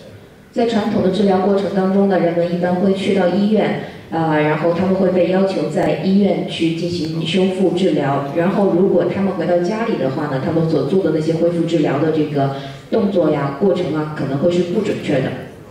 И, соответственно, что сделал наш э, стартап, наш проект? Они просто сделали камеру, э, и в, в которых включили программное обеспечение, которое тоже с помощью нейросети распознает все эти движения, и человек то есть, делает упражнения у себя дома, то есть, ну, как, как, как их учили. И вот эта камера она автоматически анализирует, правильно ли делает движение человека или нет. Сразу в режиме реального времени на компьютере ему выводят, как нужно делать правильно и как доводить. 在我们的这个项目当中呢，我们可以会使用通过摄像头或者是监控装置来监测这个人他所呃做的这个恢复动作呀，或者说是这个过程啊，是不是精确的，是不是准确的？如果不是这样的话呢，呃，会自动传到系统当中，对它去进行纠正。 И вот этот данный проект, он уже пилотирует, ну прям не то что пилотируется, он давно уже относительно запущен. Где-то в пяти или шести клиниках, то есть прям клиники их себе даже стационарно поставили, это государственные клиники, и, и, и люди уже покупают его тоже себе с этих клиник, они потом себе их покупают и дальше делают все упражнения еще и дома. 呃，已经有一些公呃国家的公立的医院呢开始使用我们的这项技术，啊、除此之外呢，还有一些患者呢会把这些把这项技术买回家，然后用于自己的这个恢复锻炼。 Вот, соответственно, клиники вообще, там, я не помню точные цифры, но в несколько раз за счет этого решения они смогли увеличить еще у себя поток э, людей, которых они могут реабилитировать. 啊，所以说这样的话呢，会给医院同样啊，或者是治疗中心提高更多的这个优质患者，而且呢，啊，通过这个医疗的，通过医院的系统的监测呢，呃，也可以引吸引来更多的患者，让呃，因为毕竟医院的这个地方有限嘛，那他们可以买回家自己去使用，那这样呢，也同时增加了这个医院的呃患者量。 Вот, и тут жалко то, что не могу показать презентацию, что здесь нет слайдов, там очень была бы крутая машина, потому что следующий э, наш проект это как раз, э, грубо говоря, self-driving system cars, как это по-русски, господи. С машины с автопилотом, то есть, да, беспилотные автомобили, э, ну, перейдем, потому что следующий наш проект это беспилотные автомобили. 呃，非常的遗憾，今天我们不能给大家在这里看到幻灯片，但是我们的下一个项目是非常有意思的一个无人驾驶的这么一个项目。 То есть сначала наша команда, вот, которая занимается этим проектом, она разработала электрокар, очень крутой, такой круче, чем Navид, там, чем на Lamborghini. И после того, как они разработали электро- электрокар, они пошли в узкую нишу и внедрили свой автопилот э, на строительных площадках. И сделали, мы уже делали пилоты, когда мы заменяли на строительных площадках эти большие КАМАЗы, которые перевозят грузы. Мы убрали пять водителей и оставили только одного оператора. И мы там сэкономили, по-моему, в месяц 200 тысяч рублей только на, на, на этом пилоте для э, строительной компании. 啊，我们这个项目呢是有怎么样的一个使用经验？呃，我们曾经尝试过在一个工业园当中把呃驾驶员去掉，然后只留一个业务操作员，然后去控制这些呃使用我们该项目该系统的无人驾驶系统的这么一个车辆， 那么给该公司对该企业呢所呃节省下来的这个呃支出呢，每个月达到近二十万卢布。 Вот сейчас э, они делают уже свой собственный, ну, на, на базе существующих э, таких КАМАЗов, с, э, КАМАЗы, ну не КАМАЗы, как это сказать, грузовые, грузовые автомобили э, с электродвигателем. И сейчас они уже, там у них большие тоже до- достаточно довольно, не могу говорить на какую сумму, но в Европе заказывают, то есть они уже запускают, запустились в Чехии и делают крупные проекты в Чехии. Тоже внутри как раз э, stроительных фирм, на, этих площадках. 呃，然后现在呢，我们呃下一步的这个发展方向呢，大概就是到一个呃也是类似于这种物流园，然后一个关闭的一个场地，呃把系统呃把项目连接到电动发电发发电机上面，然后呢，我不可以许诺给大家说这是一个非常大的呃节省开销，然后能节省多少多少钱，但是它是一个是一笔非常可观的数目，用于这个呃。乘呃叫做呃载货汽车上面。 Вот. Ну и, соответственно, этот проект мы точно тоже будем э, вывозить ну, э, в Китай, тоже для работы с Китаем. 啊、这个项目呢，我们也想要把它做到中国去，所以说一定要做到中国去。 Ну и последний э, проект для примера, э, который я сегодня хочу рассказать, это промышленные роботы для производства в, в индустрии, ну, индустрии 4.0. 然后最后一个项目想给大家介绍的就是在工业中的机器人应用。 Вот, грубо говоря, наш проект, он сделал, можно сказать, копию э, робо-руки Кука, но удешевил ее там раз в пять. И себестоимость ее, ну, э, время окупаемости ее там снизилось меньше, чем до, там, до года. 呃，然后我们使用的这个技术呢是仿真人手的这么一个技术，呃，尽管跟现在世界上排名第一的这个技术工业呃工这工业化在呃这什么自全自动在工业化中的这么一个技术呃不能所呃所达到齐平吧，但是我们的这个呃成本已经缩减了五倍以上，而且它的这个呃呃回本。周期也缩短到了一年。 Вот, но ее, одной из особенностей ее было в том еще, то, что она легко адаптируется под сложное производство, потому что она выполнена уже по-другому немного конструктивно, чем Кука, и, соответственно, у нее там гораздо больше и угол взаимодействия, и там различные нюансы, которые можно применить вот эту руку, там, действительно, там, в 90% случаев производство связано там, с, с конвейерами, там, сборкой и прочими вещами.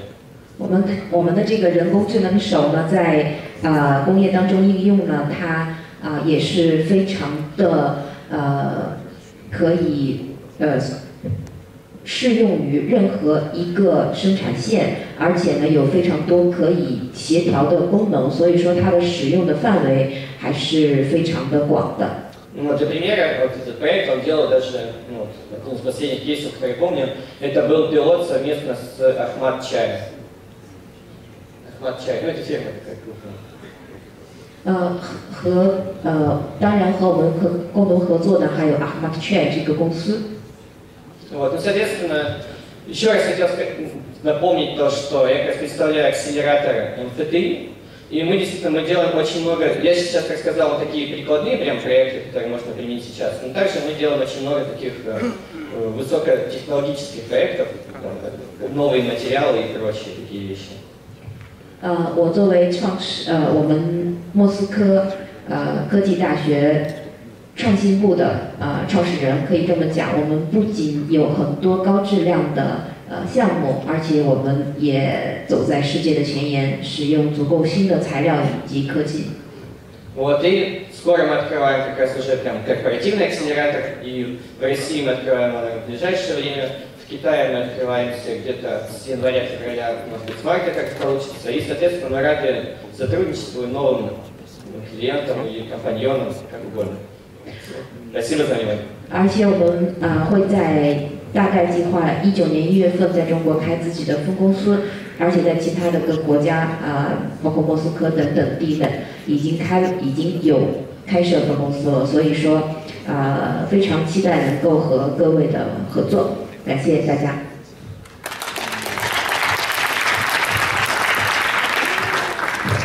Спасибо большое за внимание, спасибо, Владислав, за речь. Сейчас у нас будет небольшой кофе-брейк до 13 часов. Спасибо за внимание, и после 13 мы пригласим новых членов нашей гильдии, которые расскажут о своих проектах. Еще раз спасибо. 感谢各位的这个仔细听讲。 呃，一点之后，请各位返回会场继续我们的会议。谢谢。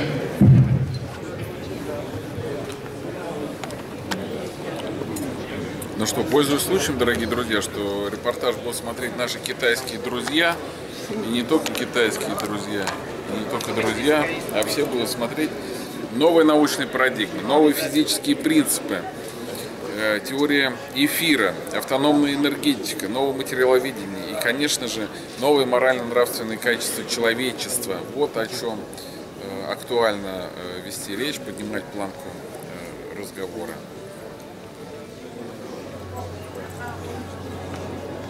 尹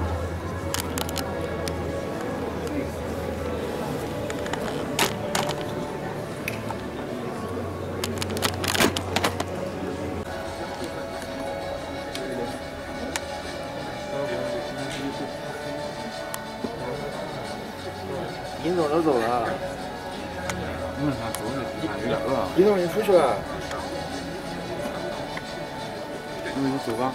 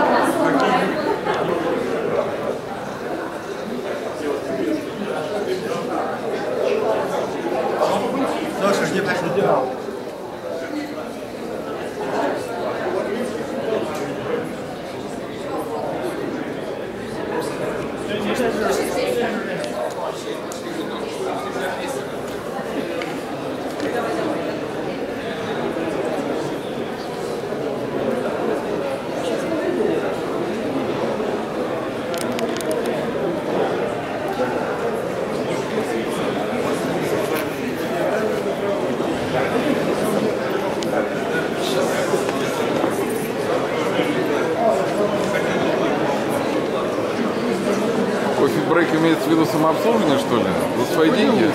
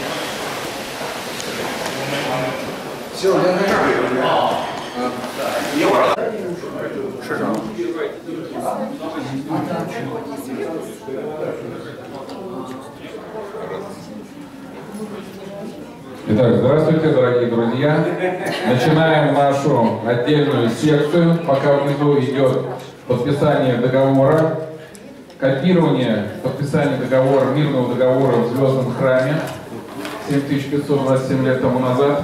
Наши китайские братья по единому космическому кораблю планеты Земля прибыли к нам и подписывают внизу договор. Предлагаю Александру Евгеньевичу Семенову избрать президиум и вести, э, значит, это небольшое наше мероприятие. Не будем затягивать, потому что китайские друзья оплатили э, данное помещение и передаем слово Александру Евгеньевичу. Спасибо, дорогой. Ну, Честно говоря, как-то странно немножко, да, простите меня за наше самое хулиганство. Вот. Я надеюсь, что мы пришли правильно.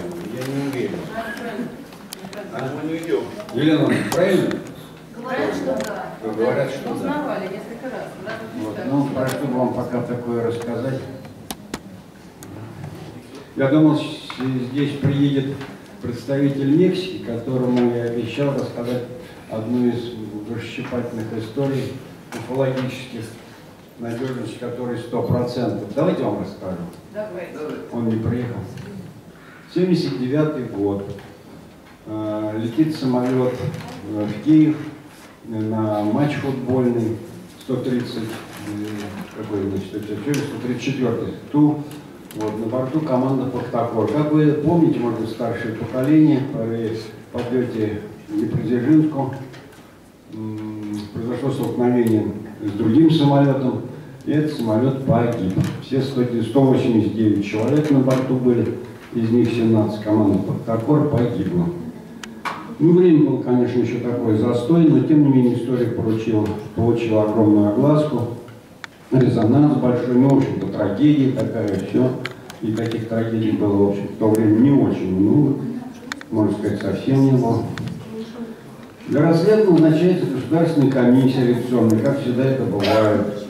То есть вылетает туда на место крушения представители завода-изготовителя, криминалисты, э, службы, значит, когда она называлась, тогда КГБ, там исследователи всякие, диспетчеры, ну, целая команда на этом борту 154-го ТУ, значит, прибывает на место и работает.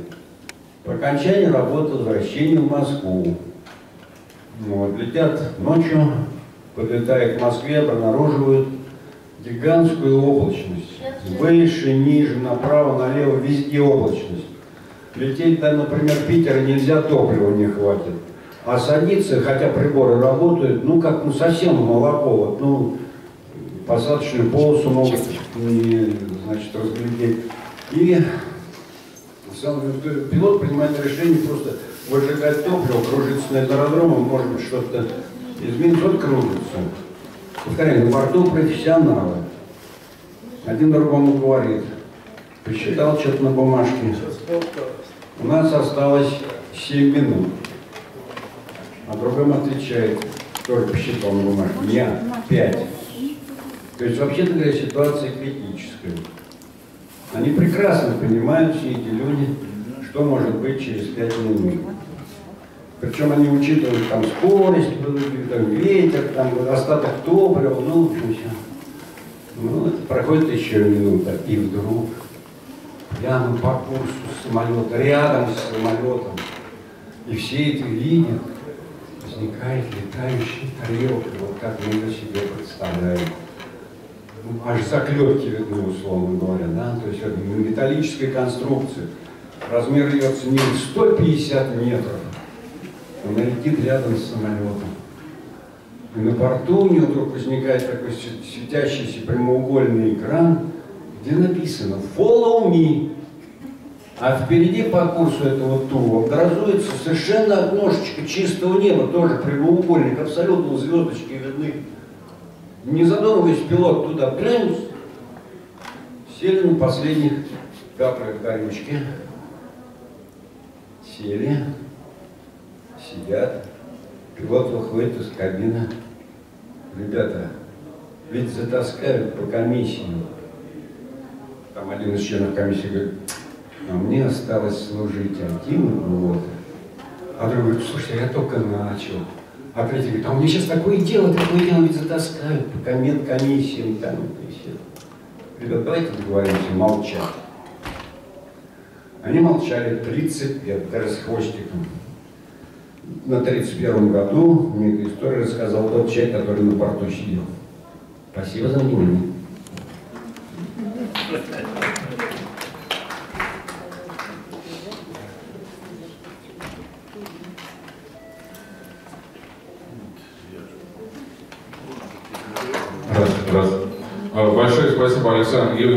За вступительное слово. Дорогие друзья, мы предоставлены сами себе на принципах самоорганизации и предлагаю, предлагаю выдвинуть для следующего выступления делегата, делегата Мельника. Мельникова. Владимир Павлович. Владимира Павловича, дорогие друзья. Но, тем не менее, мы просим выступить с докладом о достижениях отечественной науки и перспективах развития земной цивилизации. Ну, дело в том, что тот доклад, который мы представили, а я не один, мы вдвоем с Виталием Михайловичем Мельниковым, профессором, он сейчас профессор УДН, а на самом деле он с Маша. Это тоже специалист, выпускник Московского авиационного института. Ну, знаете, я работаю тоже мои. Вот он сидит, Виталий Михайлович, как раз здесь. И мы вообще-то представили другой доклад, он более такой широкий доклад, связанный, который привязан. Не камильфо. Не камильфо. Просто расстегни ему, расстегни, все нормально. Неправильно, что Расстегни вообще, наоборот. Не понял. Это открытость. Это Какое это имеет значение? Важно другое, важна передача информации. Вот в этом плане.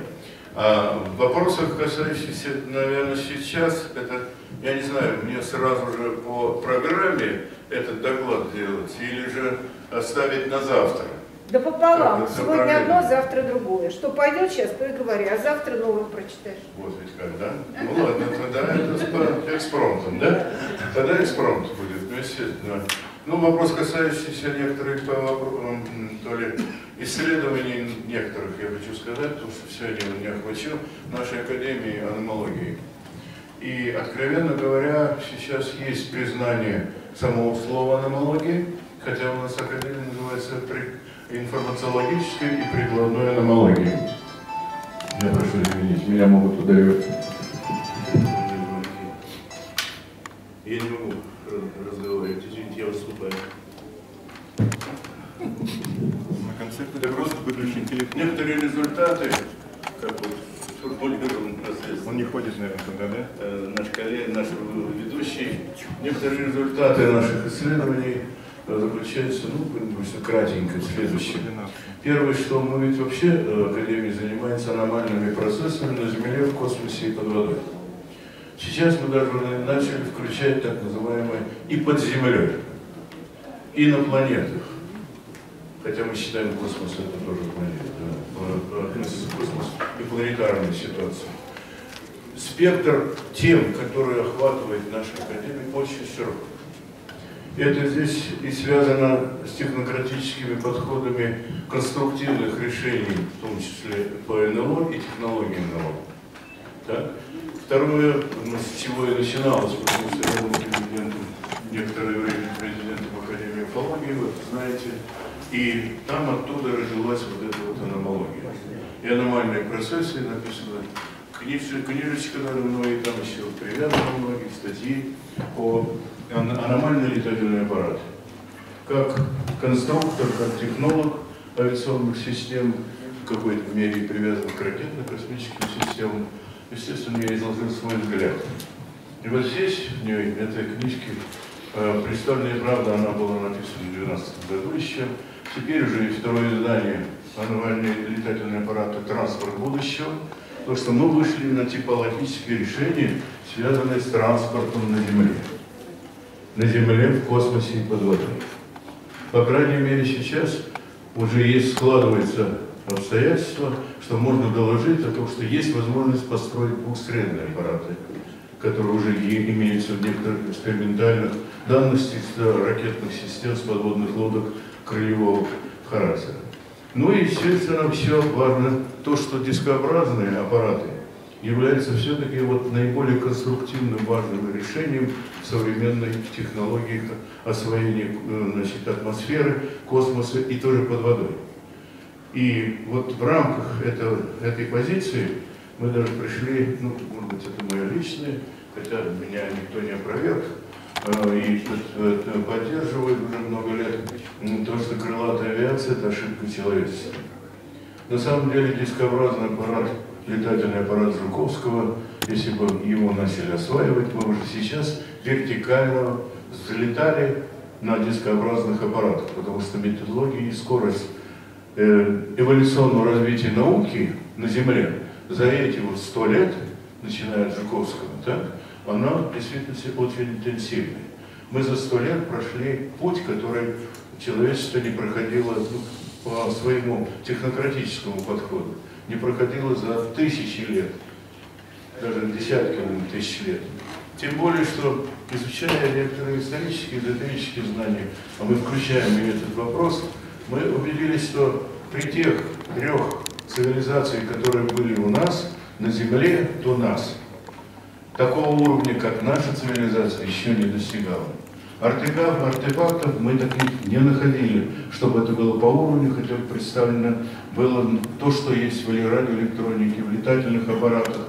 Хотя и повторения были. И мы некоторые повторения, типа Виманы, там повторения осуществляем.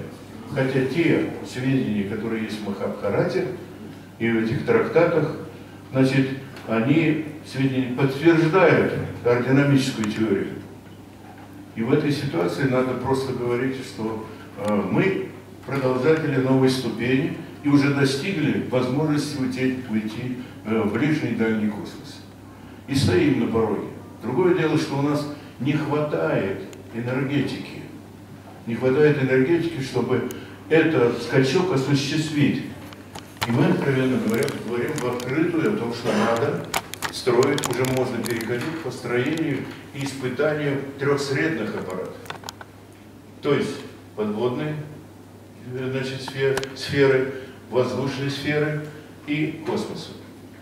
Изучив даже те сведения, которые были и у немцев э, когда они строили э, дискообразный аппарат.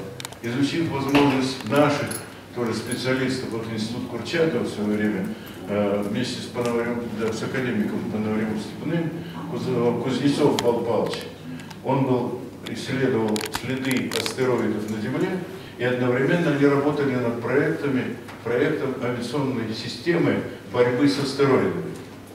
И вот здесь, опять-таки, они наткнулись на то, что энергетики не хватает даже догнать астероид. Потому что мы летаем со скоростями, ну что такое 10, э, максимально 10 гиперзвуков. Это, собственно говоря, те самые 12 тысяч километров в час. И мы, если перевести, то на самом деле то те же самые примерно 12 тысяч километров в секунду. То есть э, это не тысяча, а 1200 километров в секунду. Значит, вопрос состоит в том, что мы не имеем такой возможности пока. Значит, нужны поиски новых энергетических систем. Эти поиски вроде бы ведутся. И американцы ведут, ведут, и, и у нас уже ведутся. Есть направления, в которых это можно вроде бы применить. Но на самом деле результаты после выше, чем 8-10 гиперзвуков мы достигать не осуществляем, не можем. Вот это вот первый конструктивный вариант. Теперь еще какие выводы в нашей академии мы в анализе, аналитическом анализе за системами и возможностями связи с инопланетным разумом.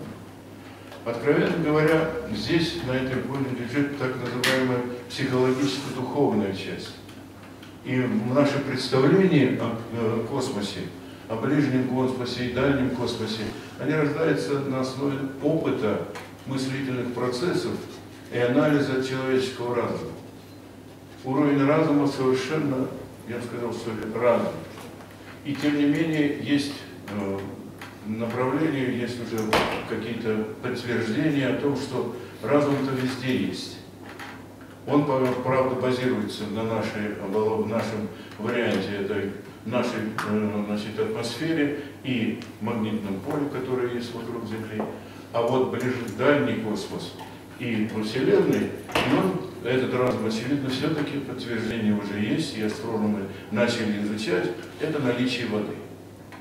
То есть наличие соединений водорода с кислородом, то есть наличие воды, оно, оказывается, везде есть. И в космосе оно есть, и в дальнем космосе. Поэтому экзопланеты мы тоже подтверждаем, что именно по этим причинам, э, факторам э, исследуют экзопланеты э, астрономы и находят их. Находят и подтверждают, что есть.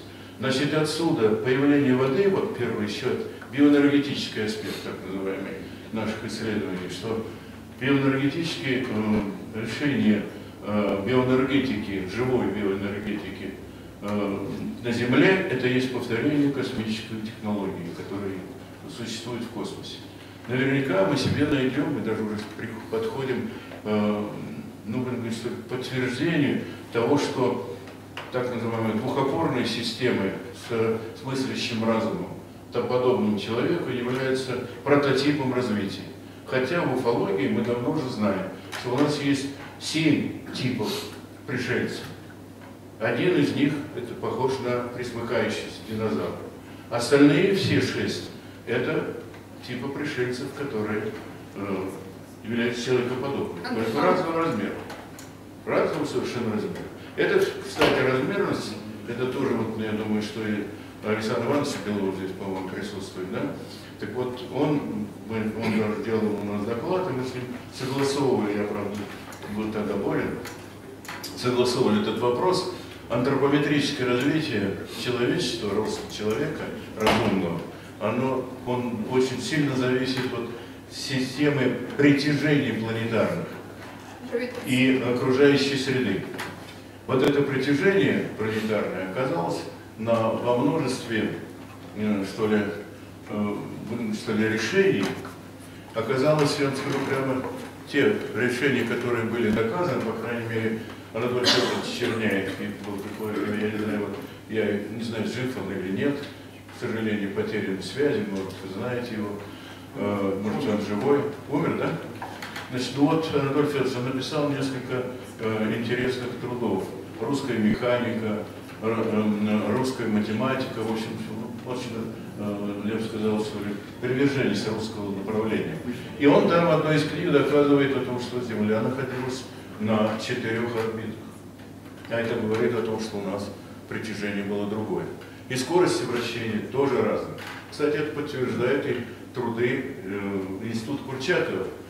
Когда Анатолий Павлович Кузнецов, когда написал нашу, свою статью у нас, ее опубликовал, а мы потом эти материалы поместили в книжку в планетарная безопасность человечества. Есть такая книжка, она часто у нас продается, которой значит, доказывается о том, что следы астероидов но очень часто меняли скорость вращения Земли. И был даже такой случай, когда останавливался вращение, вращение от удара астероида на какой-то момент, а почему-то после этого через неделю прилетал другой астероид и заворачивал опять Землю, землю на новую скорость. Таким образом, изменения чисто планетарные, которые изменяют нашу окружающую обстановку, и в том числе наибольшая опасность для тебя, надо считать это э, опасность астероидную или кометную. Кстати, и кометная система, и кометная опасность, она представляет собой угрозу ну, чисто бактериологического характера. Вот в рамках изменений, э, исследований бактериологических и в том числе э, различных вирусных что ли, заболеваний, очень даже есть работы уже, когда соответствуют информационные вирусы и биологические вирусы имеют одну и ту же, говорят, структуру и алгоритм воздействия. И даже зарождение доказывается. Это тоже один из элементов, которые нужно, очевидно, учитывать. Вот этот аспект приведет к тому, что если взять биоэнергетическое, то здесь вот теми способностями, которые обладают экстрасенсы, и те самые явления, которые мы до сих пор не можем открыть, их физическую основу сформулировать, это, собственно говоря, присуще не прошлым нашим, а это проявление прошлого нашего. Но на самом деле это, очевидно, особенность нашего биоэнергетической, нашей биоэнергетики мозга. И здесь вот та самая телепортация, вот тот же самый гипноз. Мы же не знаем до сих пор, что это такое. Телекинез это тоже не знаю, как, что, за счет чего, за счет, за счет почему биоэнергетика человека, некоторых людей, позволяет двигать немагнитные структуры. Ну а уж говорить о притяжении этого, различия между магнитными и немагнитными вообще нет. И мы так в космосе так и получается, что летаем. Мы нашли 12 э, аномальных свойств воды. То есть, вот, в частности, анализируя состояние воды и эти аномальные свойства, когда я разговаривал с Зениным, он говорит, я и не знал, он, э, они же создали кластерные системы а, для описания снежинок при изучении воды. Так вот, он говорит, я и не знал, что есть аномальные свойства, но мы их объединили, и в этом как раз и выставили. Еще один аспект. Мы нашли более 30 сейчас аномальных процессов на, в нашей Солнечной системе. И вообще вызвали гипотезу, которую вот я понял, уже находит подтверждение, об искусственном создании, ну, я уж говорю так, создании, но на самом деле, ну, или, можно сказать, воспроизведении Земли, Солнечной системы и Луны. Уж об искусственности Луны гипотезы ходили испокон веков. А вот о Земле-то особенно-то не говорили. Но тем не менее, все равно, это я называю так в экологии, в 96 году, в 95 году я пришел с Хохмой. А, и там два так называемых положения об искусственном создании Земли и Солнечной системы я выдвинул просто-напросто в своем докладе. Тогда Ажага Владимир Георгиевич э, проводил конференцию. А может и человек создан искусством? Вот. Теперь, если перейти к этому, Значит, давайте я тогда перейду, раз вы подсказали, Ольга Георгиевна. Значит, в действительности э, создание искусственного человека мы недаром сейчас пошли в МАИП, Московское общество испытателей природы. Это наука, научное сообщество, которое при МГУ, которому 215 лет, зародился оно еще с времен Александра I.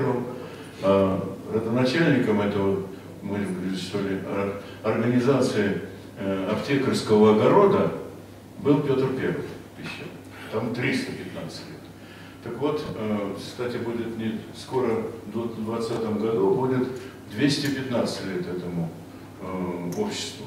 И будем праздновать это. Так вот, об искусственности создания смысл состоит в чем? Правда, мы пришли к заключению, что все-таки жизнь на Земле – это вселенский характер. Я уже высказал частично. Значит, и человек, присутствует здесь, тоже самое носит так называемый вселенский характер. Значит, его модификация и его распространение, формы человека, они зависят от условий и управля... может, могут управляться. Только разумом, который мы пока еще с вами просто не осознаем.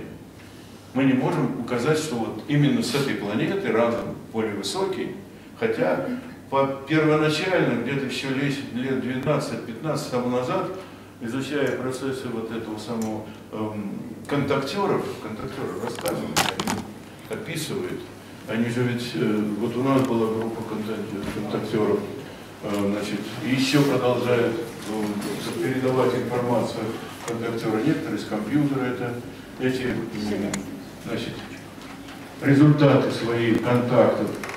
Даже, честно говоря, группа одна у меня все время говорил, дайте нам бензин, мы будем встречаться с инопланетянами. Да, это было так. Так это было. И я группу Венгеров, группу Венгеров, Венгеров, она, кстати, стихи пишет. Ну вот она имеет контакт через компьютер, ее вызывается и, естественно, описывает интересные случаи, если вы хотите, вот в рамках того, что Александр Евгеньевич рассказал вам, тоже самый интересный вариант встречи. А тут э, они выдвинули идею о том, чтобы мы обратились, когда э, значит, э, я руководил Академией экологии, обратились к МВД Москвы для предупреждения об авариях на пересечении дорог, которые у нас ведь сеть дорог в Москву объединяет. И вот на аварии пересечения дорог там происходят ну, то есть будут аварийные случаи. Это было сделано за два месяца до тех самого, того самого периода, который в действительности обозначился им. Что аварийность на пересечении дорог в въезде в Москву будут искусственно завышена воздействием НЛО. То есть летательными аппаратами специально завышены. А мы об этом знаем, конечно. У нас там были исследования, связанные вместе с Файдышем. Мы ездили даже записываться на телевидении на два места, которые более-менее вот эти вот самые биоэнергетические сгустки, которые изменяют сознание людей. И даже есть алгоритмы, программы у Файдыша, в частности, для того, чтобы воспроизвести. Так вот, э, ситуация была такая. Они потом уже раскрыли схему воздействия, хотя мне ее показали, что прилетало НЛО на пересечении дорог, и ну, при въезде в Москву, и воздействие, причем два НЛО висели, воздействовали в определенный период, там несколько часов, и в это время очень большое количество аварий. Я не пошел в МВД Москвы, потому что меня вы признали за сумасшедшего, что вот прогнозируется, что через полтора месяца будет на пересечении дорог будет вот повышенный месяц повышенных аварий. Но самое удивительное другое. Потом они мне позвонили, сказали, Владимир Павлович, вот мы получили данные, что в два раза увеличилась аварийность на этих пересечениях, где мы рассказывали. Но я все-таки какой-то депешу звонок отправил. И попросил, чтобы кто-то из представителей МВД все-таки приехал, и хотя бы со мной встретился, а я бы потом и Венгерову то же самое, и это самое вытащил. Но не получилось. Вот эти вещи, видите, здесь вот оказывается поле исследований, оказывается, еще нами не освоено. То есть мы не можем физическую картину, так же, как и в гипнозе, так же, как и в телепортации. Хотя существуют эти явления, они постоянно вот где-то высматриваются, высматриваются проявление их. И вот то, что в рамках сейчас, даже то, что мы завтра будем докладывать, даже удалось по данному фона создать ломаную линию, начиная с 1935 года, и обнаружить вот это 9,5 лет. Ну, я считаю, что это примерно плавающие цифры, может не совсем точные данные, между 9 и 10 лет прилета, активности прилета, взяты по среднем значении, по среднеквадратическим обработанным способом наименьших квадратов прямыми линиями. Вот это вот 9 циклов с 1935 года по 2013 год, активность, она имеет так называемый колебательный систем, характер. Сейчас мы находимся с вами то же самое на подъеме активности. Еще будет примерно ну, лет 6-7. А потом опять наверняка кривая будет ломаная линия спадать. Вот эти вопросы тоже интересны с точки зрения научного характера. То есть обоснования были, малому фону были эти данные взяты от, э, будем говорить, что ли, проанализированные от, ну, путем методом исключений. Все наиболее грубые погрешности это по результатам э, наблюдений. То есть наблюдательная уфология, она остается как восприимчивая для обывателя, для жизни людей на Земле, и эпизодически она будет нам все равно проявляться. Это вот самый важный аспект – это сознание и представление человеческого разума и отражение его вселенскому характеру. Вот эта вот ситуация. Теперь я хочу остановиться на чистой энергетике, биоэнергетике человека. Да, в действительности, вот, э, изучая биоэнергетику человека, э, все-таки мы давно уже знаем, что мы знаем человека вообще по его физическим, как и мозгу, где-то на 5%. То есть мы, наша медицина, есть у нас и нетрадиционная медицина, есть и, и традиционная медицина. Мы еще находимся в злосчастном состоянии по э, деятельности функций э, человека. Функции человека очень сильно сравнимы с функцией всей биологических систем. И о том, что разум есть и у биологических, и э, растительных, и вообще системах окружающего мира, что есть разум, разные только уровни, он существует. Это такое четкое совершенно доказательство есть. Вплоть до того, что бактерии, космические бактерии, а панспермии нельзя отказаться от нее. Это развитие жизни через космос. Именно через астероидное, кометное и в том числе присутствие в космосе. Значит, это является вселенский характер, по крайней мере, наш галактический, нашей Солнечной системы и галактики. И вот здесь появляется множество вопросов. Китайцы открыли акупунктуру уже тысячу лет, свыше тысячи лет занимаются процессами восстановления. Но до сих пор, оказывается, всего лишь, не знаю, есть ли у китайцев, но я слышал о том, что акупунктура есть не только наружного покрова человека, она есть и, у животных, и у собак есть, и у других, и даже акупунктура есть и у растений. Потому что растения тоже имеют разум. И вот здесь только уровень совершенно разный. Вот внутреннюю акупунктуру внутренних органов человека, которые бы дали возможность прямое, напрямую построение, по крайней мере, говорили, что две таких схемы, пространственные схемы акупунктуры есть всего в двух экземплярах. Одна в Китае, я не знаю у кого, и одна вроде бы в Америку, один из китайских специалистов увез. Но это означает что? Что мы вот с вами говорим, дозированно доставим э, медицинский препарат в орган для того, чтобы его подправить и воздействовать на него, изменить. Значит, значит есть каналы, которые связаны. Вот это изучение тоже является аномальным пока. Потому что мы не знаем картину и откуда. Единственное, чего мы достигли в последние данные, то, что у человека, откровенно говоря, 15 мозгов. Не два мозга, как мы раньше считали, а уже 15. Правда, два постпроцессора, это головной и спинной, а остальные все микропроцессоры, это вот говорить с точки зрения информатики управления. Каждый орган позволяет нам, имея свою микропроцессорное управление, и в памяти, все остальное, он генетическое, кстати, э, это самое свойство, он позволяет нам имплантироваться, заменять сердца, печень, почки, все остальное. То есть это один из моментов, который позволяет нам дальше развивать.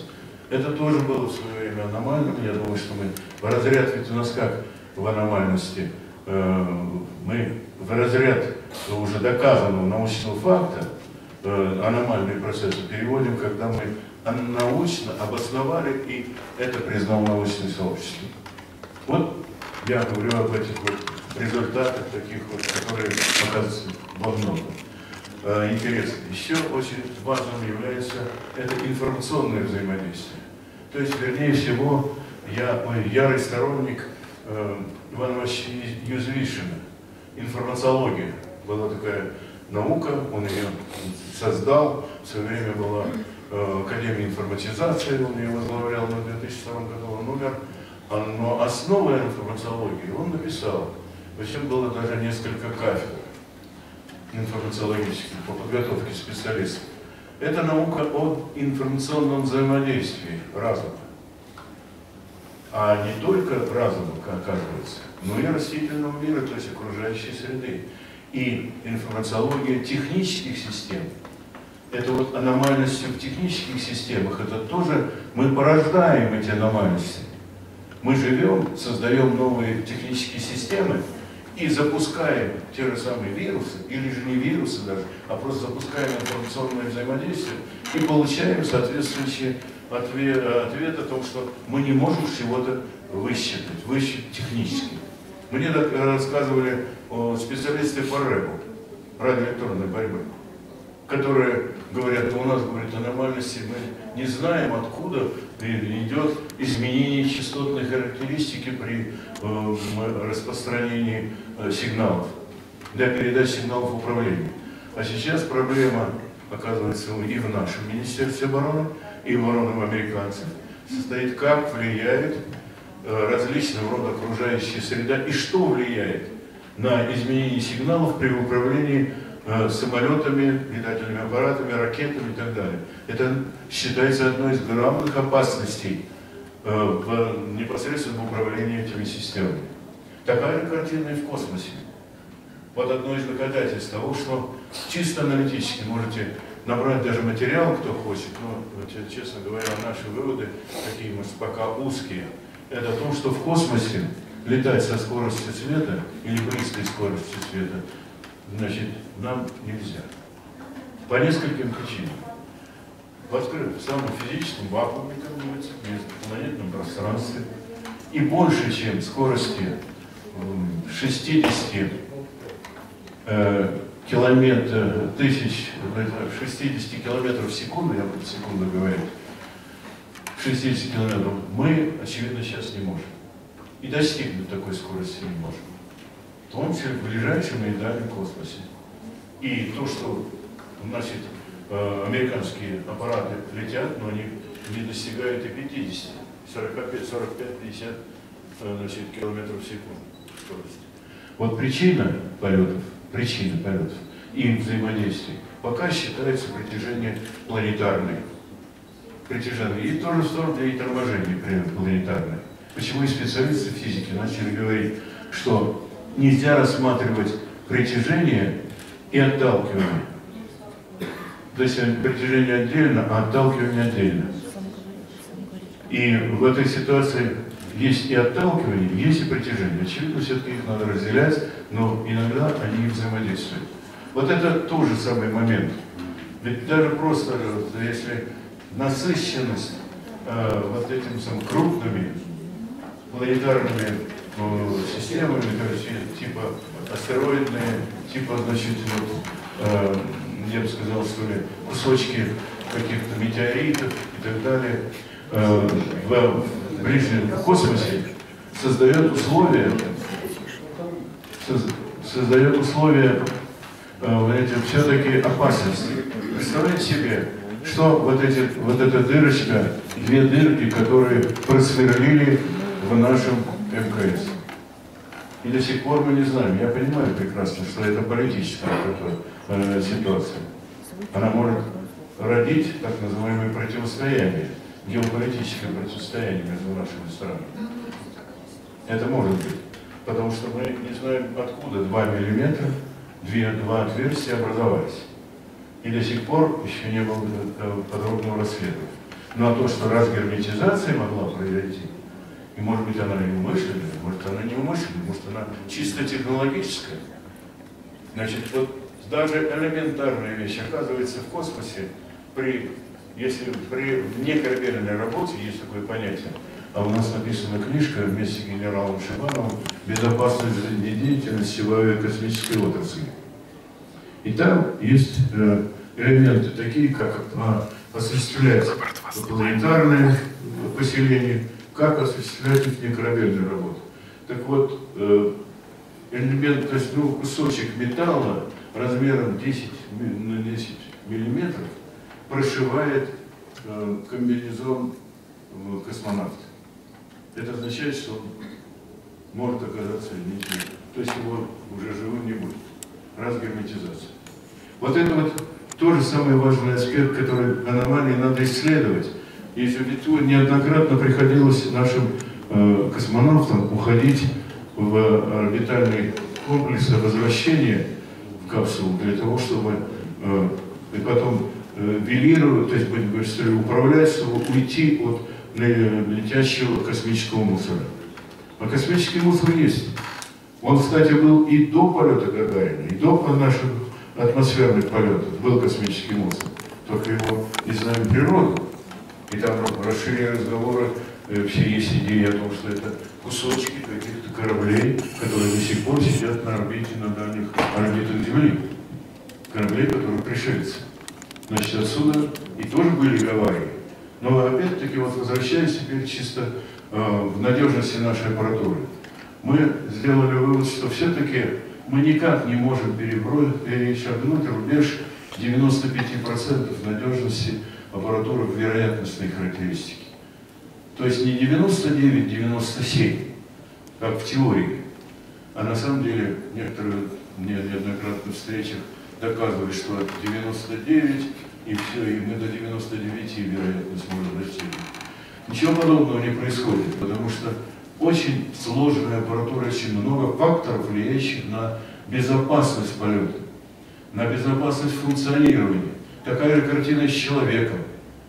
Мы относим к биологической системе, что это не стопроцентная надежность. Стопроцентного у нас с вами даже движений нет. Такая же картина вот происходит и в техническом освоении космоса.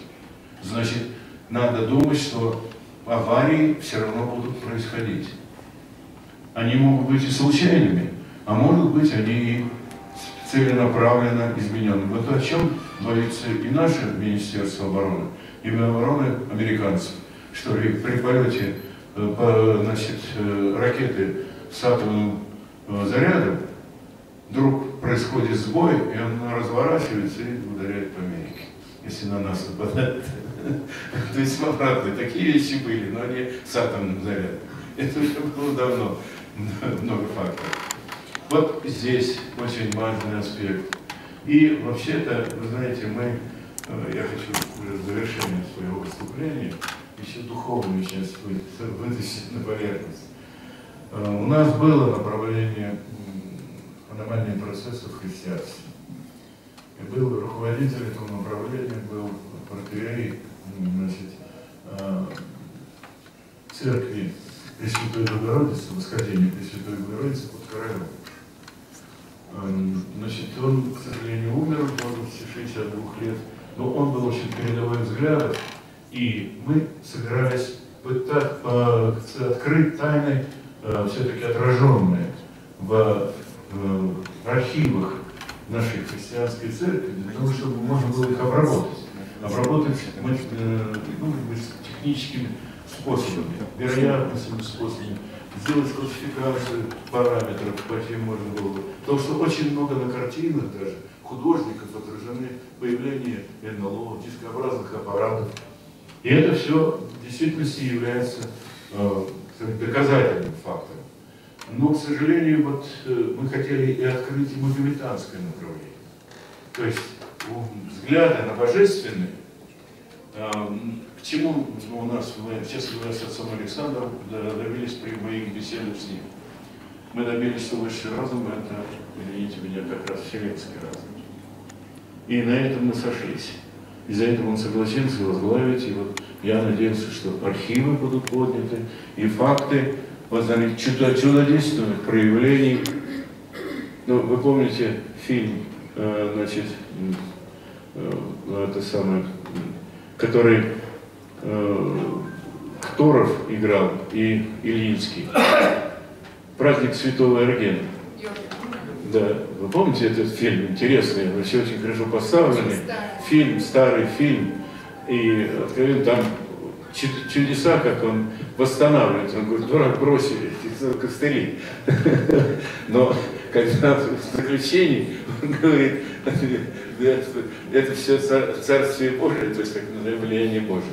Но целительское искусство, а я вот даже, правда, отказался я выступать на недавно совершенно на конференции комплементарной и традиционной медицины, так она называется.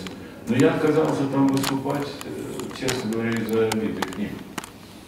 По, простой причине, что вот как бы путаница какая-то произошла, и у нас есть что сказать по этому поводу. Почему? Потому что э, нетрадиционная медицина целительская, ее надо тоже самое, очевидно, считать в число аномальных.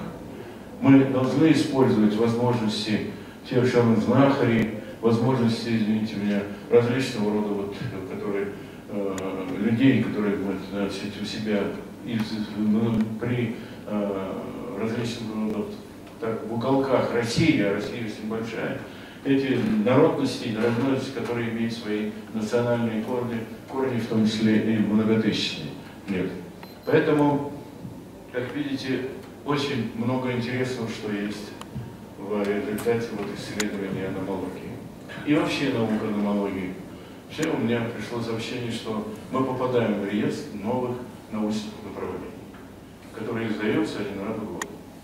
Ну вот только там надо свидетельство оформить, и знак даже какой-то есть, э, значит, это самое, это, этой науки.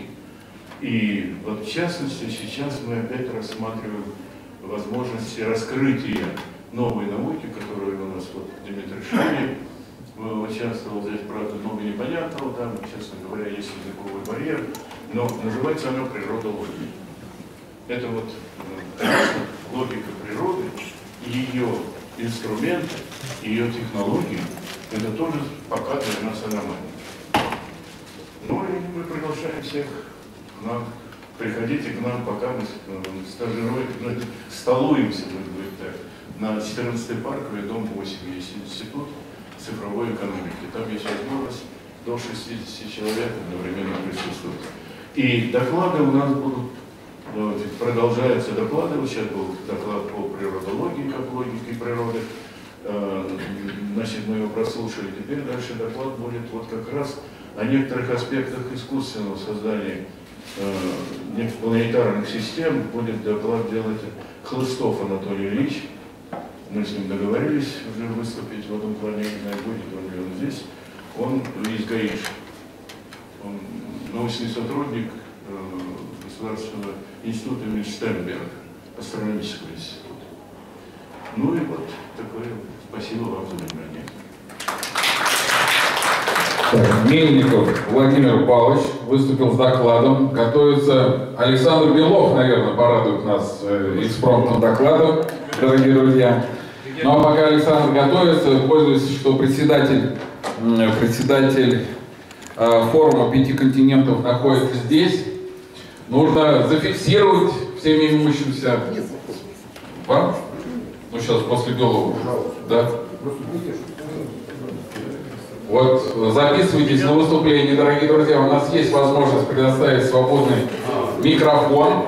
Но поскольку здесь собралось, собрались представители старшего поколения, которые хорошо помнят э, достижения Советского, э, Советского Союза, что в первую очередь это была идеология, идеология созидания, развития, гармонии. Именно то, что сейчас продолжает и поднял на флаг э, Китайская Народная Республика о благоденствии во всем мире. Это единая судьба, один путь. И сделаю небольшую, э, небольшую вводную, как сегодня развивается наука. У нас есть э, научный разработчик Алла Корнилова, которая занимается утилизацией радиоактивных отходов путем бактерий. И мы знаем, большая проблематика в Японии, есть радиоактивные заражения. И на предложение японской стороне купить технологию у России Японские специалисты заявили о том, что покупать мы не будем. Мы просим вас проконсультировать нас, дать консультации, а технологии мы разработаем сами. Для чего это делается?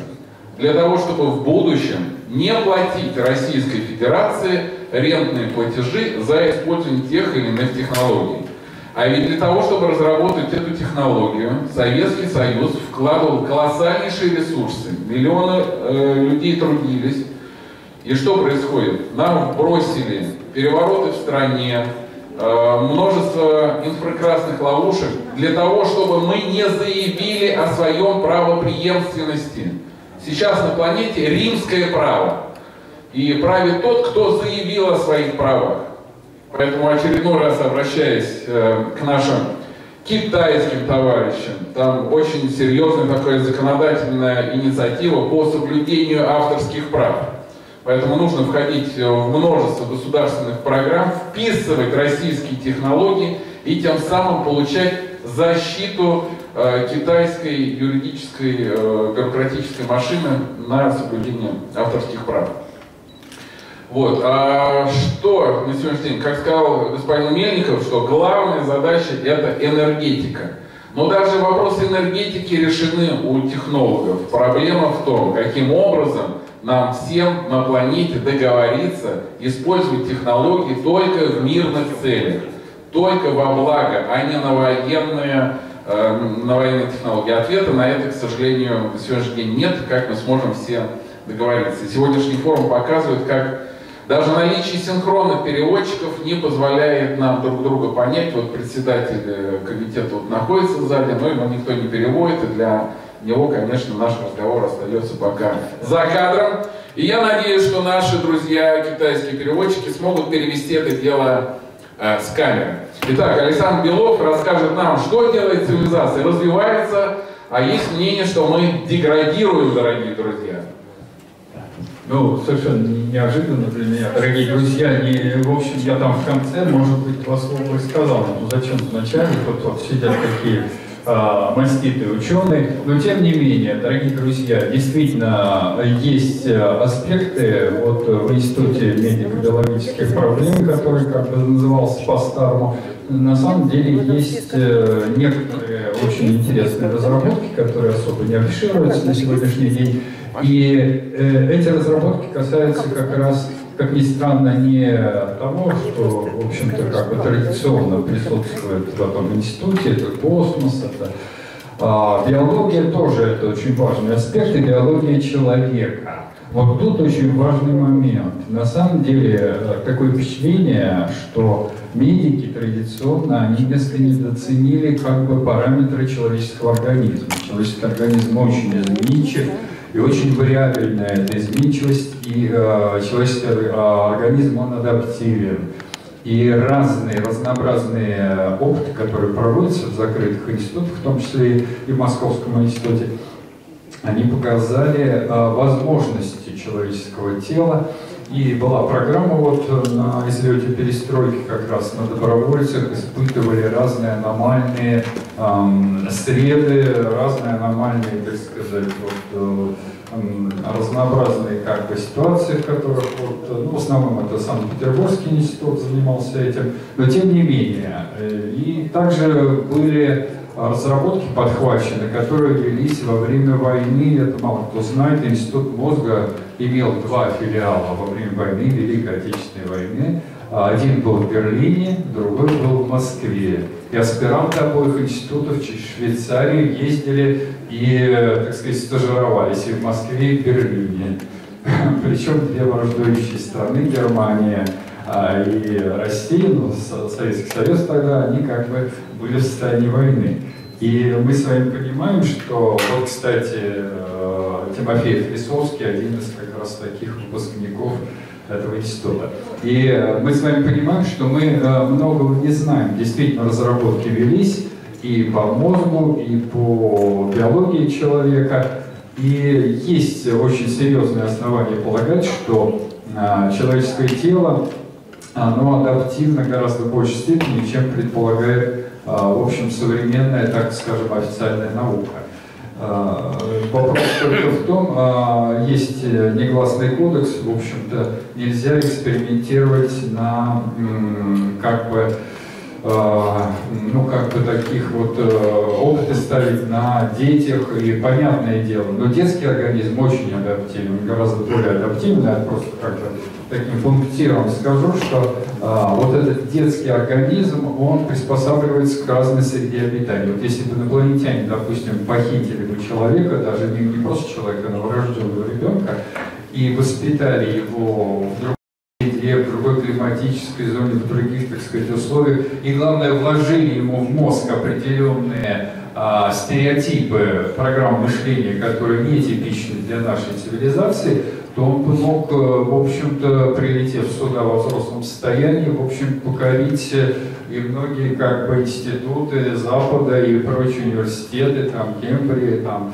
Стэнфорд и так далее, они бы удивились, откуда, в общем-то, такие программы. Мы-то как бы считаем, что мозг это система, которая, ну, как бы априори, вот есть такие данные. На самом деле мозг это очень пластичная система. Им можно управлять и можно воспитать гения, суперчеловека, сверхчеловека. И такие, в общем-то, эксперименты ведутся, опять-таки, в основном в западных закрытых а, лабораториях. И хочу сказать, что вот эти эксперименты это наиболее как бы прогрессивный такой, как бы считается, ну, они ноу-хау является, и существует даже гонка, гонка, гонка не вооружения, а гонка вот этих биологических программ.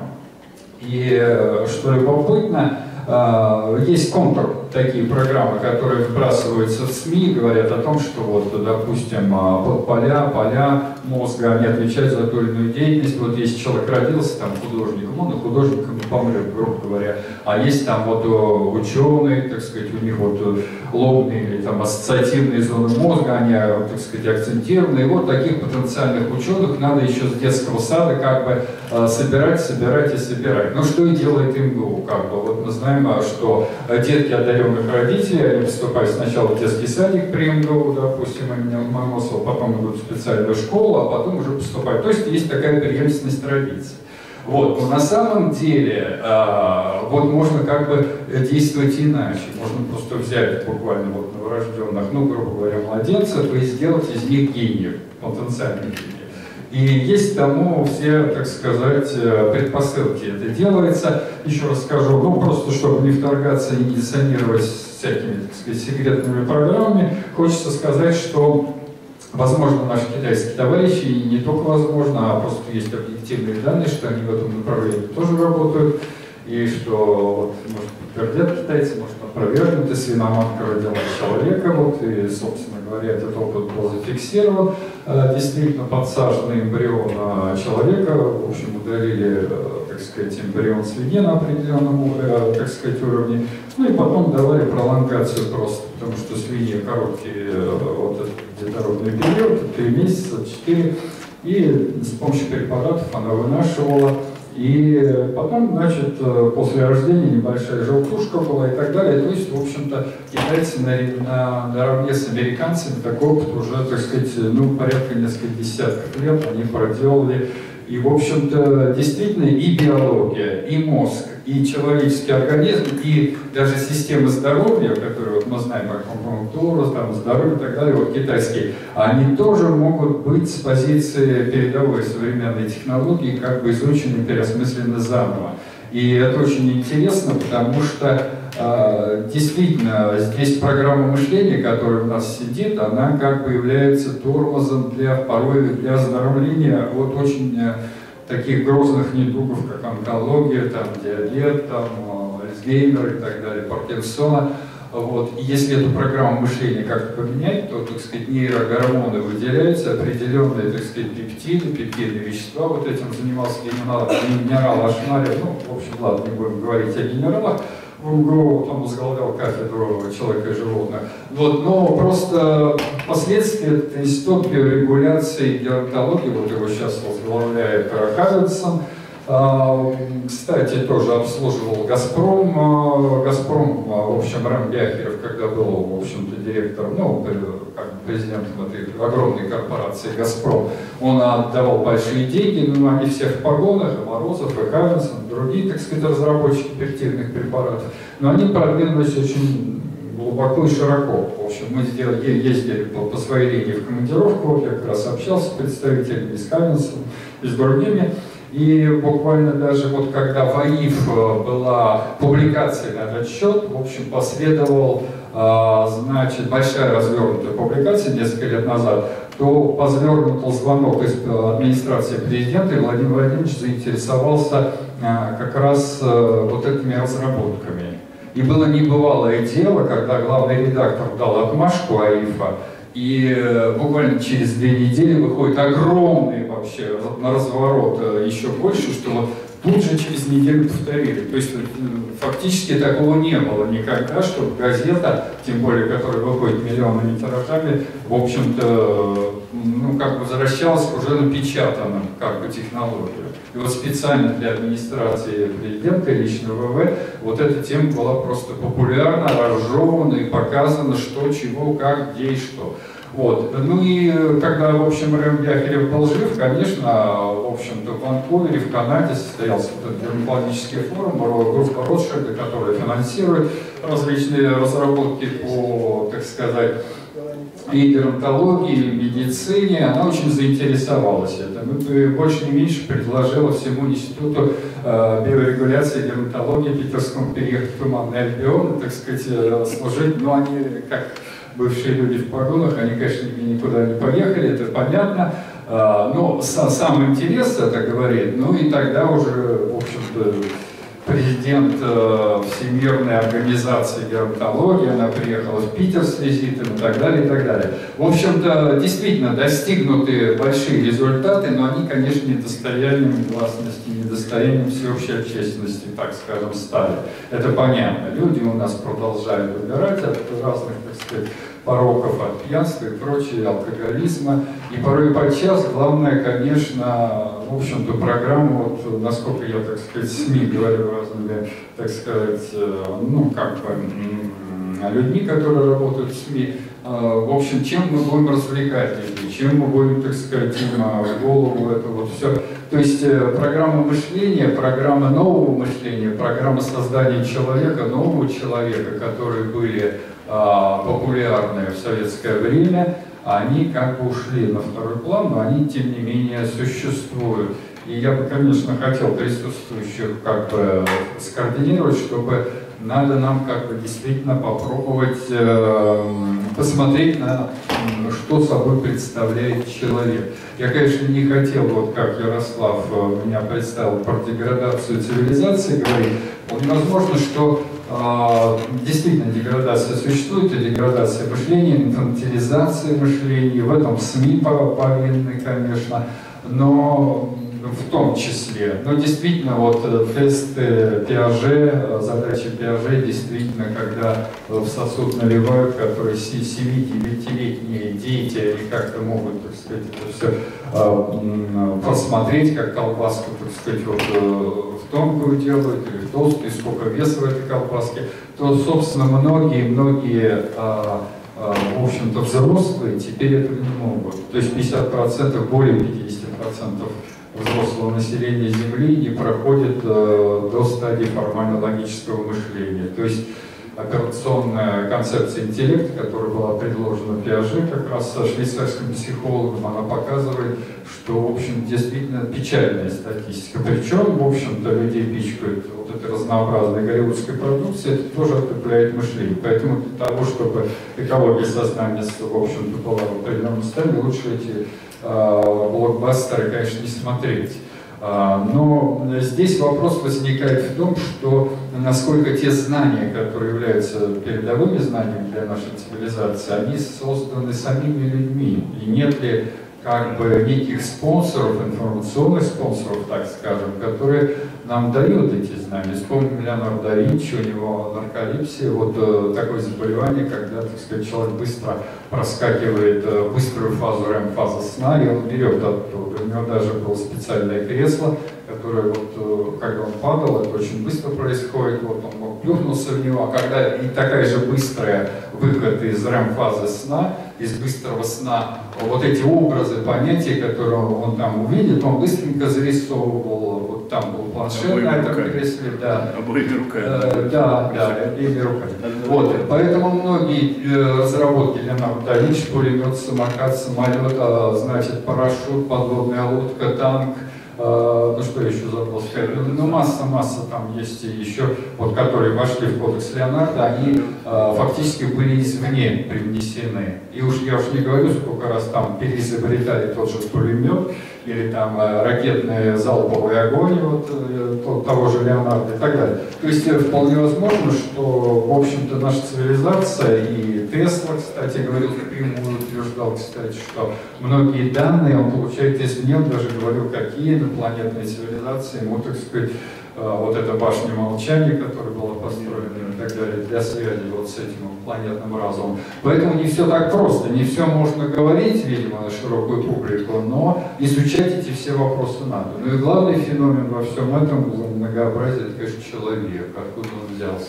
Если мы с вами не думаем, что человек это дитя обезьяны, это совершенно не так, я могу ну, вы можете мне поверить, мне нет возможности сейчас это доказывать. В общем, мы не потомки обезьян, то откуда и как в часе быка Ефремова, значит, мы откуда-то появились, вот, и нас ждет встреча, встреча, да, с, с нашими кураторами. Да. ваш взгляд. А, насчет гигантизма, а, Значит, акселерация. да, действительно, вот эти флуктуации, уменьшение роста, увеличение, кстати, был там огромный скандал, вот Армен Петросян снял фильм на культуре про гигантов, а Мельникову, дочку известного биолога Мельникова, ну, а, значит, предложил, значит, ей выступить, она выступила, потом скандал, она ему то сказала про гигантов и так далее, и так далее. На самом деле, в общем, скандал двоединого яйца не стоит. На самом деле уже найдены в Юго-Восточной Азии, вот, кстати, в китайских провинциях многих а, зубы гиганта Питека, который, в общем-то, а, родоначальник этой всей версии комикс-файт, который в 1939 году вел там раскопки, он назвал а, гиганта антроп, то есть гигантский человек. И уже позднее, так как зубов накопилось полторы тысячи, их, в общем-то, волевым усилием подключил к этому Ван дер Райх, а, в общем-то, такой исследователь, который написал книжку в Чикаго, она вышла, значит, она называлась примерно так, «Гиганты, обезьяны, гиганты, люди». И, в общем-то, он себе испортил всю карьеру вот своей гигантоидной теории. Вот просто его перестали, перестал он быть рукопожатным. Вот. На самом деле все эти остатки, они найдены, и мало того, и найдены останки ка- карликов. Вот флоресский человек в 2003 году, когда это появилось, у нас отечественные, так сказать, антрополог Зубов говорил, что это было глупости, это фейк, этого не может быть. Прошло несколько лет, и вот эти, так сказать, метровые коротышки с объемом мозга с грейпфрут 380 кубических сантиметров, а, они стали достоянием, никто не удивляется. Поэтому древние мифы были совершенно правы о том, что, значит, э, наша цивилизация были карлики и были гиганты. Почитайте Коран, значит, мы такие высокие, нам потоп не сделал, в общем, они ничего говорили гиганты Ною, но потоп разразился, и, значит, гиганты погибли. Единственного, эм, как бы, гиганта Ога, он спас в своем ковчеге и сделал такую решеточку для него и так далее. Ну, вот по, по вавилонским, так сказать, и прочим разным, так сказать, апокрифическим мифам и так далее. То есть даже э, сама вот эта вот э, позиция гигантский потоп, ведь э, знают биологи, что это, в общем, плейстоценовая голоценовая катастрофа рубежа 12,5 тысяч лет назад. Она была. И только из, из материалистического, так сказать, мировоззрения мы не говорим это как катастрофе. А на самом деле эта катастрофа была, и это э, в мифах разных народов она и называлась, в общем-то, как великий потоп. Погибла масса животных, шестистые носороги, шестистые блюда, мамонты, э, в обеих Америках лошади и так далее, и так далее. Вот, э, поэтому надо признавать то, что, в общем-то, не щи хлебали наши предки лаптем, и что, собственно, были умнейшие, так сказать, и были развитые цивилизации в виде Атлантиды, и так далее. Вот э, просто, видимо, надо переосмысливать э, парадигму, парадигму, в которой мы живем. Да, спасибо. Представьте Спасибо. еще, еще раз. А, Александр Белов, палеонтрополог, историк, писатель. Все, спасибо. Руководитель клуба. Да, спасибо. Программа, озвучьте программу на сегодня. На Программа у нас, дорогие друзья, свободная. Китайские друзья бросили нас на произвол судьбы. Они занимаются своими номенклатурно-бюрократическими процессами, подписание договора о дружбе, сотрудничестве и так далее. Мельников, вот он выступить, но ему надо обязательно. Как профессор Профессор Мельников, дорогие друзья. Поприветствуем. Валерий, Валерий Ефимович. Да. Коллеги, очень интересное сообщение. Поближе микрофон, микрофон ближе. Валерий Мельников, Валерий Ефимович, Московский авиационный институт, академик, э, академия иммунологии. Амонологии. Значит, хочу обратить кафедра навигационных систем. Хочу, хочу обратить внимание на важные, на мой взгляд, факторы. Мы много говорим о технических достижениях. Мы много говорим о сознании человека. Мы много говорим о проблемах, которые стоят перед нами для того, чтобы постичь и освоить космическое пространство. Обсуждаем НЛО, обсуждаем инопланетян, а между тем мы не знаем ничего, что такое Земля, что такое космическое пространство, что такое человек. Мы ничего о себе не знаем. Если мы не введем какие-то ясные понятия и ясные, основанные на фактах уточнения, то бессмысленны все разговоры, которые мы ведем. Что будет, что происходило. И если даже обратимся к прошлому, Экклесиаст говорит, что было, то и будет, что делалось, то и будет делаться, что ничто не меняется под солнцем. Неправда. Все меняется под солнцем. И вот эта неизменяемость условий, но они основаны на том, что вот тысячи лет прошло, а человек не меняется. Своя рубашка как ближе к телу была, так она и является ближе к телу.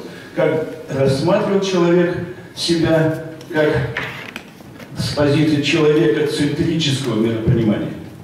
Заметьте, человекоцентрическое миропонимание было в прошлом, и это доминирует сегодня. Когда человек присвоил себе не свою роль. Роль центра мироздания, роль гегемона, которому все дозволено, а он ни на что не отвечает. А теперь давайте посмотрим, попытаемся разобраться, узнать правду о мире, правду о человеке, правду о Боге, я могу это сказать, и правду о космосе. Вот любое из этих понятий возьмем, начнем с Земли. Что объединяет людей на Земле? Объединяет людей на Земле то, что Земля – наш общий дом для всех без исключения. Другого дома нет и не будет. Что представляет собой Земля, если мы посмотрим, природа? Мы видим на Земле технологии жизни в исполнении каких-то природных сил. Что это означает, технология? Это самовоспроизводящиеся процессы, безотходное производство, утилизируемые продукты производства, технологии, увеличивающие ресурсный потенциал Земли, потому что Земля – это открытая система, не консервативная никак. И тогда получается, что если мы так рассматриваем, то фактически получается, что она, как и все, что на Земле, связана неразрывными узами с космическим пространством. Теперь мы говорим дальше. Что еще общее? Земля – это наш общий космический естественный аппарат. Космический аппарат, разительно отличающийся от тех аппаратов, которые мы с вами создаем. Если Земля – это открытая система, то мы должны учесть, что в составе Солнечной системы она летит в космическом пространстве со скоростью около 25 км в секунду относительно центра галактики. Причем относительно центра галактики она совершила уже около 30 оборотов периодом 30 миллионов, 300 миллионов лет каждый. И что, как вы думаете, космический аппарат с открытой системой, значит, он, условия космического пространства на траектории движения одинаковые, космическое пространство аморфное, и не зависит от расстояния, которое проходит вокруг этой центра галактики, значит, аномальные явления обязательно встречаются. И эти аномальные явления прогнозируемы, потому что траектория относительно стационарная. Земля обязана на это реагировать. Она обязана адаптировать. Мало того, что этот космический аппарат с жестко регламентированными условиями жизни, поддерживаемые для своих людей, для нас с вами, космонавтов, солдатов, в жестком коридоре значений, независимо от внешних условий. Вернее, зависимо, но не в той степени, в которой меняются внешние условия. Поэтому за время даже одного оборота настолько разительно меняются эти условия, а Земля настолько тонко адаптируется к этим вещам, имея ресурсные, информационные и прочие ресурсы, она реагирует и перестраивается, и информирует землян и все, что на небе, о предстоящих заранее изменениях. И что делают э, космонавты, братья меньшие, все живое? Они тоже адаптируются к этим условиям. У них тоже есть адаптационные механизмы. И получается, что когда мы сегодня смотрим события, которые происходят, допустим, в преддверии цунами, вот было в Таиланде, недавно было э, еще цунами, и что делают братья меньшие? Слоны толпами уходят от берегов заранее. То есть выходит, есть информационное поле, информационное поле в космическом пространстве, информационное поле, которое, видимо, организовано чем-то похожим образом над тем, какое информационное поле телекоммуникационной системы создало человечество, и создало только потому, что ему позволили человечеству создать его, так как он при этом может смотреть на космическое пространство с позиции своего земного опыта. И что там существует более совершенная система, более совершенный вселенский компьютер, а у людей, будем говорить о мире, имеется свой индивидуальный доступ в этот космический аппарат, космическую вселенскую систему, потому что каждый человек на Земле индивидуален. Нет ни одного похожего. И каждый человек имеет свой собственный индивидуальный вход. Но вход открывается тогда, когда человек ищет. И ищет и находит не потому, что у него такой разум, а потому что он готов к восприятию информации вселенской, которая копилась за все прошлое, за все настоящее и так далее. И когда мы это имеем дело, то тогда яблоко Ньютона падает на Ньютона, он готов эту информацию воспринимать. Таблица Менделеева падает на, Менделеева, и это не его собственность, это не собственность ученого, это собственность и системы. А мы что делаем? Мы сразу говорим, запатентую, внедрю, и как только он сказал, закрывается вход в эту систему. Если же, зачем тогда эти открытия? Вот тот, кому довелось сделать открытие, открытие сделалось, потому что ему позволили войти в этот параметр, в этот компьютер, и он должен ученый сказать, а что я должен делать, как вот это новое должно входить в жизнь, чтобы это вхождение было совместной технологией. Вот мы не ставим себе никаких таких вопросов. Так вот мы немножко уходим дальше. Снова Земля. Земля – наш общий дом. Как относиться к общему дому, мы понимаем. Но мы не знаем, что такое Земля, но мы знаем, что внутри Земли раскаленное ядро. Это своеобразный энергетический реактор. И мы знаем, что у нас есть тоже подобная конструкция, ядерные реакторы. И что надо для этого? Надо сделать сложную систему терморегулирования и термораспределения. И Земля тоже должна это иметь. И эта система терморегуляции содержит пористые породы, проницаемые для нефти, проницаемые для газа, проницаемая для воды и, возможно, на более глубинных вещах, проницаемая для раскаленных теплоносителей, как вы делаете в реакторах. И тогда мы должны понимать, что тогда при высокой температуре внизу есть терморегуляция по объему и есть терморегуляция поверхностного слоя. И когда мы занимаемся добыванием энергоорганических энергоносителей, извлекая вот эти теплораспределительные рабочие тела, то у нас тундра изнутри тает. Мы уже это знаем. И вся наша климатическая система, с одной стороны, она зависит от того, насколько мы внедряемся и мешаем, и уничтожаем Земле производить естественные функции, по которым мы миллион лет существуем. И вся история археологических находок, когда мы в Земле находим ископаемые останки прошлых цивилизаций, и находим останки каких-то животных, динозавров, это как раз та наша история, которая существовала на очередном витке вращения вокруг центра галактики. Галактики. И мы к этому должны относиться. И не пытаться сделать что-то, чтобы... Вот сегодня был доклад на пленарном заседании, когда выступал космонавт, он говорил, я посмотрел сверху на Землю, какая она маленькая и какая она красивая. И надо помогать ей выжить. Надо не помогать ей выжить, а не мешать естественным процессам. Надо подстраиваться под них и что-то менять принципиально. Вот что касается осознания. Сознание греет человека. Человека греет его осознание о величии человеческого разума. Но какое же это величие, если он не знает последствий даже ближайших достижений своих? Чем больше достижений, тем больше побочных эффектов, тем больше всевозможных вещей, которые уничтожают Землю, уничтожают само человечество. А что значит уничтожает само человечество? Мы еще об одной, об одной стороне Земли не учли.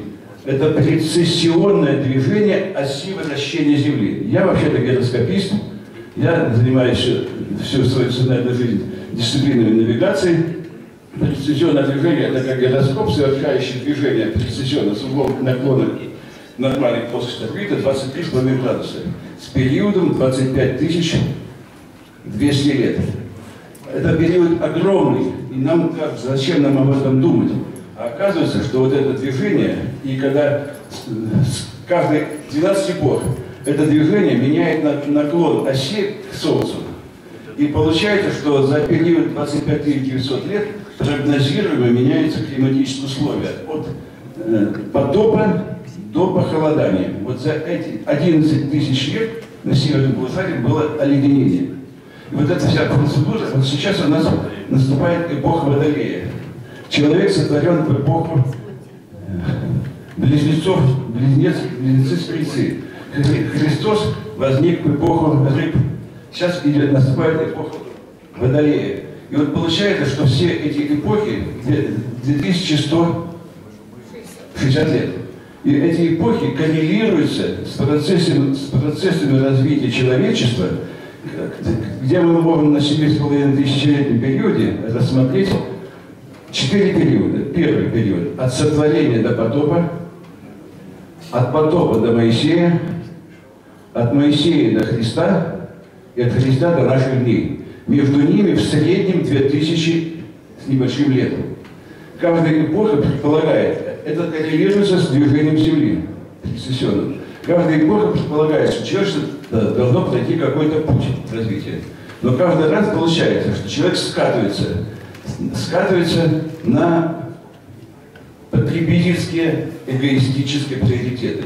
И когда от получилось так, что началось вырождение, получились нечистые, а нечистые получились от смешения, от нарушения сексуальных связей скотоложество, внутрисемейные связи и так далее, когда появились люди нормальные и люди больные, которые имеют признаки вырождения, ну, случился потоп, синхронизированный с какими-то вещами. Потом коррекция прошла, прошло еще 2000 лет, опять земные отклонения и признаки вырождения опять появились.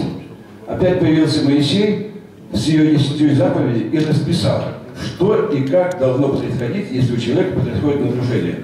Если человек мужчина с мужчиной, смерть обоим. Так написано белым почетным в Левите, третьей книге Моисея.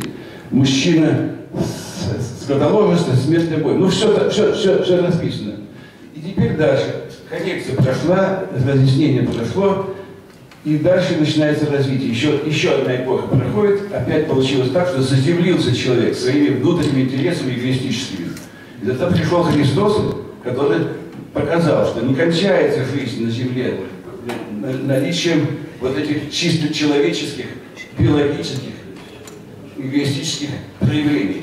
Значит, понятно, показал эти вещи, и тоже какая-то коррекция прошла. Долго ли она существовала или нет, еще 2000 лет прошло, мы наблюдаем сегодня что? Кто нами правит? Амери... Европейские руководители всевозможных систем, служб, стран, ну, на 80% это геи, явные и неявные. Я поднял список, кто есть кто, и вот это получается. Короче говоря, мы сегодня переживаем ситуацию, когда человечество требует опять какого-то внешнего вмешательства, если мы сами не в состоянии разобраться, кто есть кто и чем надо заниматься. Цель моего выступления только одна, что когда мы начинаем заниматься вещами, касающимися, что делать, как быть делать, как относиться к тому, что нам, нам происходит, мы должны все-таки взять на вооружение вот это целостное понимание, что мир это живое, непрерывно функционирующее, непрерывно развивающееся образование, и мы его элементы. И у нас получается задача, связанная с тем, чтобы использовать тот потенциал, который получили изначально, чтобы приобрести земной опыт и направить его на благие цели. А благие цели – это направить его на развитие Земли и построить систему отношений, взаимосвязанную с теми законами, которые объективно существуют и которые мы напрочь игнорируем. Спасибо. Спасибо большое за интереснейший доклад. Николай Титов готовится Некрасов Владимир Алексеевич. Николай Титов, время, пожалуйста. Да. Постараюсь, конечно. Да, не очень долго затягивайте, соблюдайте, пожалуйста, рекламу. Значит, э, то, что я буду вот э, сейчас говорить, вот это практические исследования. Вот здесь не будет ни слова теоретических вещей. И любой человек, который захочет, это все может проверить. Э, значит, э, так получилось, что в 1973 году вот я столкнулся с такой вот жизненной ситуацией, э, когда я увидел, вот, ну, как говорится, перед глазами жизнь прошла, да, а потом после удара я увидел вот сзади, ну, сверху вот разрушенное здание и тело стоящее. Вот после этого у меня, естественно, сразу исчезло вот материалистический вот этот подход, что я это тело. Ну, в то время, это был 73 год, понимаете, Советский Союз, серьезно говорить об э, таких исследованиях не, не, приходилось, но тем не менее, я поставил вот такую цель, да, разобраться, что это было. Потому как правильное восприятие основано на трех способностях духовного существа. Знать, что я знаю, это то, что вы можете сделать конкретно сами. Знать, что я не знаю, да, и четко при этом э, отделять энциклопедические знания, потому что они могут быть как правильными, так и неправильными. Да? И самое главное, третье, которое практически сегодня неизвестно, знать, знать, что существует области, о существовании которых я не знаю. Вот я с такой областью столкнулся и не стал ее переводить вот в эту дихотомию «знаю, не знаю», да? а начал это дело исследовать. И вот безусловно, я прямо скажу, что если бы не было современных вот э, информационных э, вот этой сети, то вряд ли куда бы они меня эти знания приведут. Вот. Но все это уже появилось. Таким образом, я стал искать людей, которые также именно в этом направлении проводят исследования. Ну и вот я сейчас вам скажу вкратце, а, а, чем все это дело закончилось. Ну, последнюю жирную точку в этих исследованиях поставил э, Усачев. Андрей Викторович, к сожалению, уже сейчас умер, вот поэтому приходится, так сказать, э, автора последнего жирную точку, которую поставил, ну, представить уже невозможно. Вот, что получилось? Э, что э, можно сегодня сказать, что практически мы имеем методики, как работать с духовным аспектом человека. Вот то, что с тела вылетело, это был духовный аспект. Это не тело. И вот разум – это и есть, э, в общем-то, э, свойство духовного аспекта. К мозгу эта штука практически никакого отношения не имеет. Можно сказать, что мозг – это некий транспондер, да, который обеспечивает связь между телом и духовным аспектом. Зачем духовному аспекту нужно тело, да, если он как бы может без тела существовать? Э, оказалось, что э, вот э, духовные существа в этой вселенной – это их игровая площадка. И что здесь есть, так это игры духовных существ. Но э, то, где мы с вами сейчас находимся, и то, в каком состоянии мы с вами здесь находимся, э, мы находимся в играх проигрыш-проигрыш. То бишь это практически предельная деградация духовного существа, которая вот эти игры затеяла. Э, почему так произошло, здесь в двух словах не расскажешь. Я просто вам скажу, что вы можете каждый это все проверить. Э, значит, на, на чем все это базируется? Практически вещи же нужно, да? Э, человек, любой человек, да, при рождении имеет врожденную способность. Он может видеть вот собственный духовный вот мир, собственную вселенную. Э, и как верификация этого, любого человека, ребенка, да, до 12 лет, вот у меня не было еще ни одного случая, чтобы я не смог его научить, можем научить видеть закрытыми глазами. Это сто процентов. То есть это верификация того, что человек обладает врожденной способностью. Он может видеть вот этот свой внутренний мир. Таким образом, нам нужно для того, чтобы что-то изменить, это работать с этим внутренним миром и работать с прошлым. Вся проблема человека – это его прошлое. Нужно совсем немного времени поработать для того, чтобы э, начали, э, получилась возможность, э, человек получил возможность просматривать свои прошлые жизни. И вот в них-то и лежит все наши проблемы, с которыми мы сегодня сталкиваемся. Оказалось, что э, э, ну вот, войдя в игры проигрыш-проигрыш, практически все мы сегодня работаем на фиксированных идеях. Вот идеи, которые мы э, здесь озвучим, ну, например, самая вот такая, ну, самая поглотила нас всех эта идея, это э, э, эволюция, да? Ничем не доказано, что человек, э, жизнь возникла с неживого, а биогенез абсолютно не доказан. Вот. Тем не менее, мы предполагаем, что где-то когда-то вот из неживого получилось живое. Ничего подобного. Жизнь создана именно духовным существом. Э, почему мы тела имеем, я уже сказал, да, это условие. Согласно игре мы должны иметь вот эти тела. И здесь э, общаться, в смысле выступать с формой существования, которая является телом. Вот, если вы начнете в своей жизни просматривать, вы увидите, что были другие планеты, были другие тела, тела делятся на две большие группы, да, то есть такие, как у нас, которые вот вынуждены есть что-то, и тела, которые, в принципе, э, питаются э, энергией и не э, нуждаются в том, чтобы кого-то там чего-то есть, да, и вот такие тела живут довольно долго, до нескольких сотен тысяч лет, да. Вот. Поэтому, естественно, за такое время э, можно было чего-то придумать. Но видите, что получилось? Вместо того, чтобы придумать что-то, мы оказались с вами здесь, на этой планете, где тело живет уже вообще, смешно даже говорят, по, по сравнению с тысячами летами, да? То есть всего около сотни лет. Так Ник- вот. Николай, прошу да. прощения, формат не позволяет расширенную лекцию да, читать. Да, Если да, можно, выводы из следующего докладчика, чтобы да, многие успели вот Выводы, значит, практически вот э, вся методика, как с этим работать, есть, и любой желающий человек вот сегодня это может проверить. Таким образом, у нас есть практически научный инструментарий для исследования духовного аспекта человека. То, чего сегодня до сих, до сих пор не было. Да? Мы исследовали только тело, ну, вдоль поперек это вопрос такой, а вот духовный аспект до сих пор практически вообще не было чем исследовать. И в результате мы пришли к материалистической позиции, раз его нечем исследовать, значит его не существует.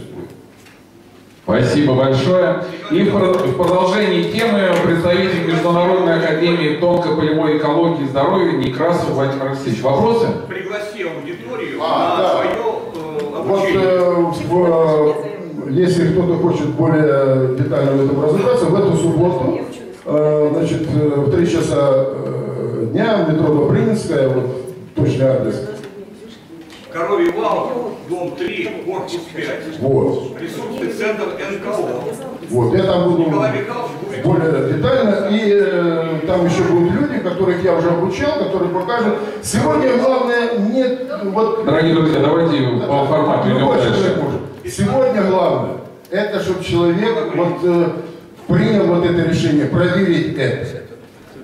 Э, Я вначале думал, что достаточно сказать, и сразу все люди будут проверять. Нет, ничего подобного. Сегодня оказалось, что нужно найти еще человека, который бы захотел это сделать, проверить. Вот эти вещи, о которых я говорю. Вот в этом сегодня проблема, и только в этом. Технология или методики есть. Нет желающих. Вот. Но, тем не менее, я вот э, с Александром Белом в его там э, клубе несколько лет занимаюсь, и все-таки люди подошли, вот я их э, обучил, поднял, так что сегодня уже есть э, практически люди, которые пришли, не зная меня, и вот получили соответствующий результат. То есть проверили, убедились, что это действительно есть и работает. Вот так сегодня обстоят дела. Итак, ученый-секретарь Международной академии тонко-полевой экологии и здоровья Мира Алексеевна Мир Леонардо Маркишкевич. Мир Леонардо. Да, я хочу, добрый день, а, немножко вернуть нас всех все-таки к теме, ради которой мы собрались, на мое удивление и, возможно, НЛО. А, Бывает, вот тут в начале мероприятия говорили, что бывает, что какое-то открытие в науке имеет очень долгий путь. Сначала должны накопиться а, и когда уже достаточно большой объем, может пройти 100-200 лет, и происходит такой перелом научной парадигмы, и новые знания завоевывают наконец-то свое право на жизнь. И бывает и другой путь, когда происходит достаточно серьезное научное открытие, очень важное для людей. Но так как человечество, возможно, не готово еще просто принять эти знания, бывает, проходит и сотни лет, оно так и не приходит в нашу жизнь. Я сейчас буду короче. А, Более чем полтора века назад, почти 170 лет, Луи Пастером было открыто явление молекулярной диссиметрии. Это свойство, которое отличает живые системы, вообще отличает биосферу от любого другого вещества. Это некая особая оболочка нашей планеты, живая, мы просто ее клеточки, и мы все обладаем этим свойством. А диссиметрично, то есть неравное по составу левой и правой формы молекулы это, а, или это особенности строения вещества уже на более глубоких уровнях, но это проявляется на всех уровнях а, в нашей биосфере. И вот эта диссиметрия, которую Вернадский потом выделил как самый главный маркер, отличающий живые системы от костного вещества, это единственное отличие. Что такое, что мы живые? И как появилось, без диссиметрии живое не может существовать. Это как у Пригожина неравновесность. Необходимо, чтобы была какая-то вот двуполярность, должно быть смещение, чтобы было движение. А, так вот, открытие явления диссиметрии в живом веществе поставило вопрос перед учеными, где причина этой диссиметрии, почему а, организмы обладают такой левосторонностью и правосторонностью на любом уровне строения. Вопросы остались открытыми достаточно долго. Сейчас а, я хочу рассказать об открытиях э, президента нашей академии МАТЭС Некрасова Владимира Алексеевича, потому что достаточно четко уже исследовано и открыта э, стабильная геометрическая структура из энергии левизны провизны. То есть это где доминируют левые процессы, левосторонние или правосторонние процессы. Эта структура как клеточная структура на поверхности биосферы. А, Ее может наблюдать любой человек, если обратить внимание на даже на поведение воды в разных ячейках биосферы, мы назовем ячейки. Эти, э, вот эту структуру энергии провизны а, Владимир Алексеевич значит, дал название «Закон поля формы Земли». Дальше самое интересное то, что мы все устроены в соответствии с пропорциями золотого сечения. Все, живое не может существовать в других пропорциях, оно угнетенное, оно заболевает. Отступление от этой пропорции всегда было бедой. А, так вот, в строении биосферы есть гармоничная структура, подчиняющаяся пропорциям золотого сечения. Есть места, где нарушена а, эта структура, это такие вертикальные каналы, вихревые, в которых зарождаются ураганы, тайфуны, в которых э, проявляются а, значит, ну, ну, выходы лав на поверхность образуются вулканы. Это совершенно стабильный рельеф, образующий структуру в литосфере Земли, а, биос- ну, названные биосферные патогенные зоны по особому свойству влияния на организм человека. Зон два типа, ну, мало того, что они левые и правые по своему направлению вращения, это четкие, совершенно парные, парно существующие структуры, каналы сужения, сжатия и разрежения. Сжатие ну, вызывает определенный ряд заболеваний. Я не буду на этом сейчас заострять внимание. Это онкологический тип заболеваний, уплотнение. А разрежение э, вызывает тоже ряд тяжелых болезней, там болезнь Крона, туберкулез, э, неспецифический язвенный колит, ну, в общем, множество нехороших недугов.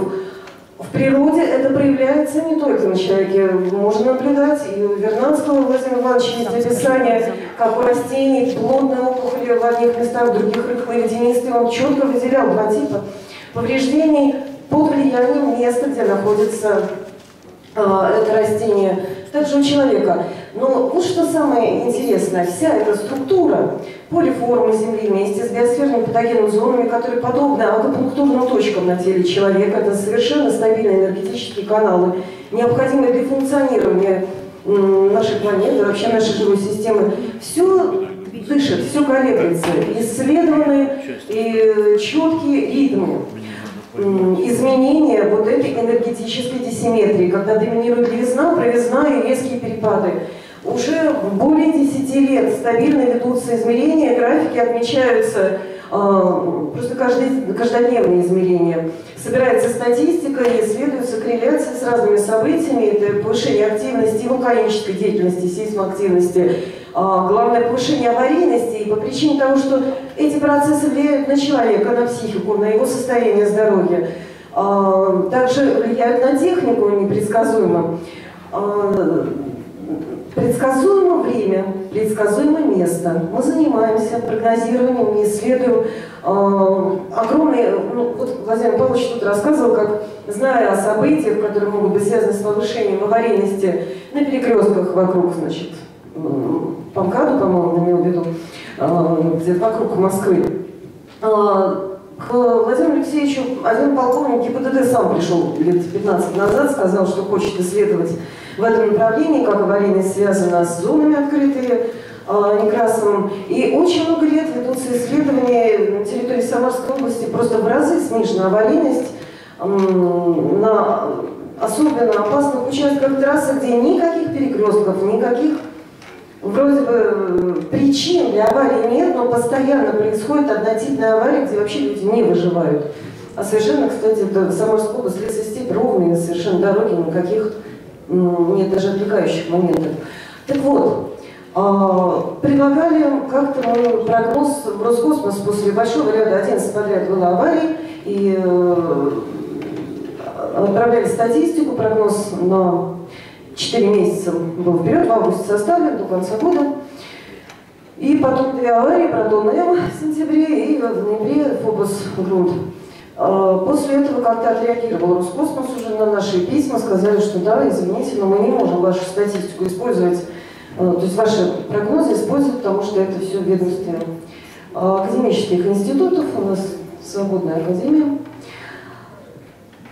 Так что предлагаю следователям аномальных явлений, связанных с МГУ, с появлением шрамовых молний, обратить внимание на наши исследования, обратить внимание, возможно, на дни, а, когда вы наблюдали, чтобы исследовать корреляции, чтобы исключить прежде всего из вашей научной исследовательской статистики случаи, которые связаны с регулярными, стабильными процессами в биосфере, которые могут быть предсказуемы и места их время. И приглашаем к совместному исследованию. Спасибо большое. Спасибо большое. Итак, аудитория просит выступить Вячеслава Климова. Вячеслав Климов, пожалуйста, вам слово. Добрый день. Э, я вообще не очень часто люблю выступать э, перед аудиториями. Э, хочу так сказать. Меня зовут Вячеслав Климов. Я больше занимаюсь поисковыми исследованиями спелеолог со стажем, археологические исследования древних культур. Частично сотрудничаем и работаем с РЕН-ТВ по составлению сценариев и сам участвую в качестве эксперта. Но э, сейчас я представляю больше такую ассоциацию, как протоистория. У нас руководитель э, Субботин Николай, Я являюсь научным э, руководителем исторического такого подразделения. И э, мы еще ведем с Андреем Жуковым, Николаем Николаевичем Непомнящим, Алексеем Колмогорцевым курс «Истоки цивилизации», который по пятницам проходит э, на сельскохозяйственной улице 13, это ботанический сад. А, вот немножко предвосхищая завтрашнее появление Андрея Жукова, он недавно приехал буквально на днях из Мексики, из района Акамбара, известный холм Эль-Тора, Бык, на котором э, с 1944 года началась история тех самых удивительных находок. Э, началась она история с того, что местные торговец с кабинными изделиями Вальдемара Джульсруда, а, прогуливаясь рядом, это Мексика, центральная Мексика, прогуливаясь рядом с холмом Эль-Торо, обнаружил э, какие-то куски глины необработанные. Он начал копаться, и с этого началась история вот того самого удивительного холма. Э, он, э, скажем так, на протяжении многих лет, э, изучая эти находки, он нанял крестьян буквально за два, там, за одну, за два песа, они копали ему, приносили эти находки, и, значит, набралось их где-то у него около 20 тысяч. Это такая знаменитая сейчас коллекция Акамбара, которая включает в себя не только находки динозавров, находки ископаемого мамонта, э, лошади доисторического периода. Э, я просто подхожу немножко к теме наших аномальных таких дел. О том, что древние мешики, ну, кстати, Мехико названа по имени народности мешики, ацтеки и майя, жившие на этой территории, контактировали, как, как оказывается, в те времена. В общем, у них были какие-то знания о древних животных, о динозаврах, о птеродактилях, э, огромное количество каких-то змееподобных существ. Но более того, дальше на этом холме находят э, камни с изображением э, так называемых иных. Э, это я мог бы немножко показать вам, может быть, если кто-то... Сейчас, минуточку. Это существа, коренным образом отличающиеся от нас с вами. Э, то, что вот сейчас принято называть там э, зеттерицикули, серые, э, сейчас, секунда, э, существа, которые э, немножко заключила,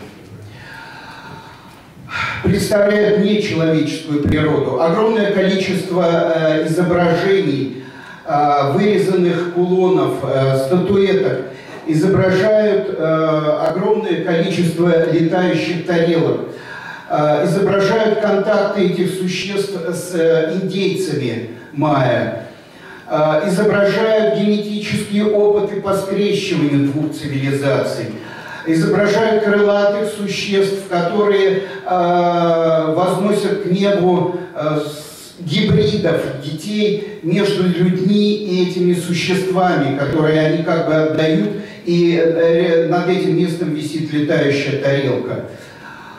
Э, есть много изображений, где происходят церемонии жертвоприношения, вырезание сердца из груди э, индейцами э, вот этих существ и наоборот. Э, то есть там э, непонятная вообще история. Э, огром... Удивительные каменные книги, которые встречаются на холме Торы, испещрены какими-то неземными значениями, знаками. Они, скажем так, предназначались, скорее всего, древним жрецам как какие-то инструкции. Языка этого никто не знает. Э, я вот хочу сказать о чем, что мы сейчас изучаем, я как уфолог долгое время изучал эти явления, аномальные зоны, э, погружал людей в пещеры. Э, хочу сказать, что все истоки вот новых технологий, вот этого форума, о том, что сейчас э, говорится о каких-то перспективных двигателях, энергиях, которые, источниках энергии, когда-то были в древности. А подобные вещи э, люди, наши древние люди контактировали с такими же существами, которые обладали этими технологиями. Возможно, это более ранняя цивилизация. А, потому что вот этих серых существ, что удивительно, там никто не называет инопланетяне, а, их иными называют просто, они отличаются от нас, но как бы их инопланетянами там не зовут. А, так вот, э, хочу сказать, что вот очень многое, изучая нашу древнюю историю, можно подчеркнуть в древних культурах, где еще это сохранилось. Более того, даже Андрей Жуков, когда приехал, рассказал, что современные крестьяне в отдаленных районах Мексики до сих пор контактируют с этими существами. Когда крестьянин вышел с сыном, он увидел эти два существа небольшого роста стоящие, а сзади стояла жена с дочерью, они их не видели. Видели только два человека, вот мужчины. А, когда, э, скажем, э, была экспедиция на плато Наска, и там люди ходили, э, эти объекты над ними зависали, освещали их.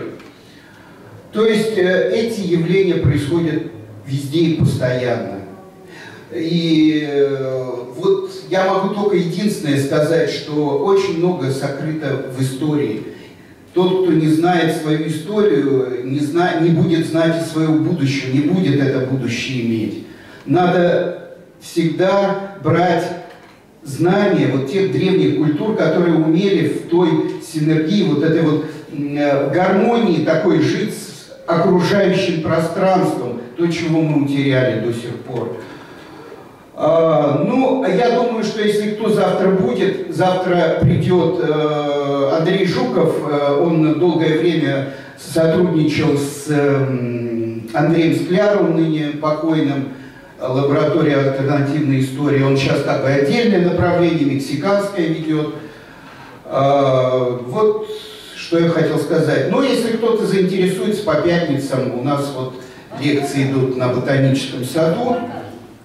Что? В 7 часов вечера. Вот. И э, завтра Андрей, может быть, вы попросим его, он более подробно расскажет и покажет, я ему позвоню, те артефакты, которые вы можете их пощупать. То есть э, он привез, второй раз он уже ездил, коллекция удивительная. Э, в общем-то, все. Спасибо. Вячеслав Климов и попросим Ермакову Ирину Владимировну, дорогие друзья. Многие говорят о том, что мы, земляне, есть э, следствие каких-то биологических экспериментов. Ирина Владимировна, вы выступите? Пожалуйста, просим вас. Ирина Владимировна, вас просим, конечно же.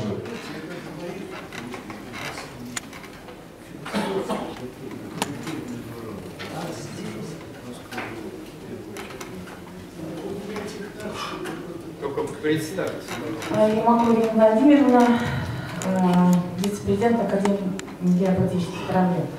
Дело в том, что я занимаюсь проблемой генетически организмов, проблема сложная, но э, занимаясь этой проблемой, я столкнулась э, с очень интересными, необычными вещами. На самом деле на меня вот напали мои оппоненты из-за двух моих фраз. Одна была фраза, что при создании ГНО было допущено столько ошибок, что их либо создавали первокурсники, либо инопланетяне. И вот инопланетяне кому-то не понравилось. А вторая была фраза, я выступала на зрительских чтениях и сказала, что если есть инопланетяне, то ГМУ создали злые инопланетяне, цель которых уничтожить землян. И это тоже кому-то не понравилось. Почему? Не потому, что я сказала инопланетяне, потому что я назвала их злыми. На самом деле, конечно, занимаясь этой проблемой, я столкнулась с... Я вас очень прошу, очень тяжело говорить. А, столкнулась, э, то есть две силы. Одна сила, которая, в общем, конечно, нас там поддерживает, там защищает. А другая э, огромная тоже сила, которая никакие факты, никакие данные, никакие аргументы на них не действуют. Цель одна, э, чтобы эти продукты ели значит, э, люди, и на самом деле, поскольку они приводят к заболеваниям и бесплодию, вымирали. И только я пыталась понять, как как найти вот способ и, в общем, вырваться из этой такой вот ситуации, потому что если мы не будем бороться, мы просто действительно все выйдем. И э, разбираясь в этом вопросе, я начала уже нашла некий путь. Я сказала, что на самом деле коммунизм не только людей уничтожает, разрушает биосферу планеты, и планета погибнет. Это как-то подействовало на эту вторую силу, и они фактически э, как бы у меня была возможность дальше говорить и убеждать. Ну, э, много информации, конечно, в интернете об инопланетянах. И сегодня, сейчас я хотела бы рассказать о двух случаях, которые, с которыми я столкнулась. Я думаю, что каждый из вас тоже сталкивался с какими-то странными вещами. В частности, например, бывает, что предмет, там что-то ищешь и никак не можешь найти, и все там перерыл, этого нет, а потом вдруг это лежит там перед вашими глазами.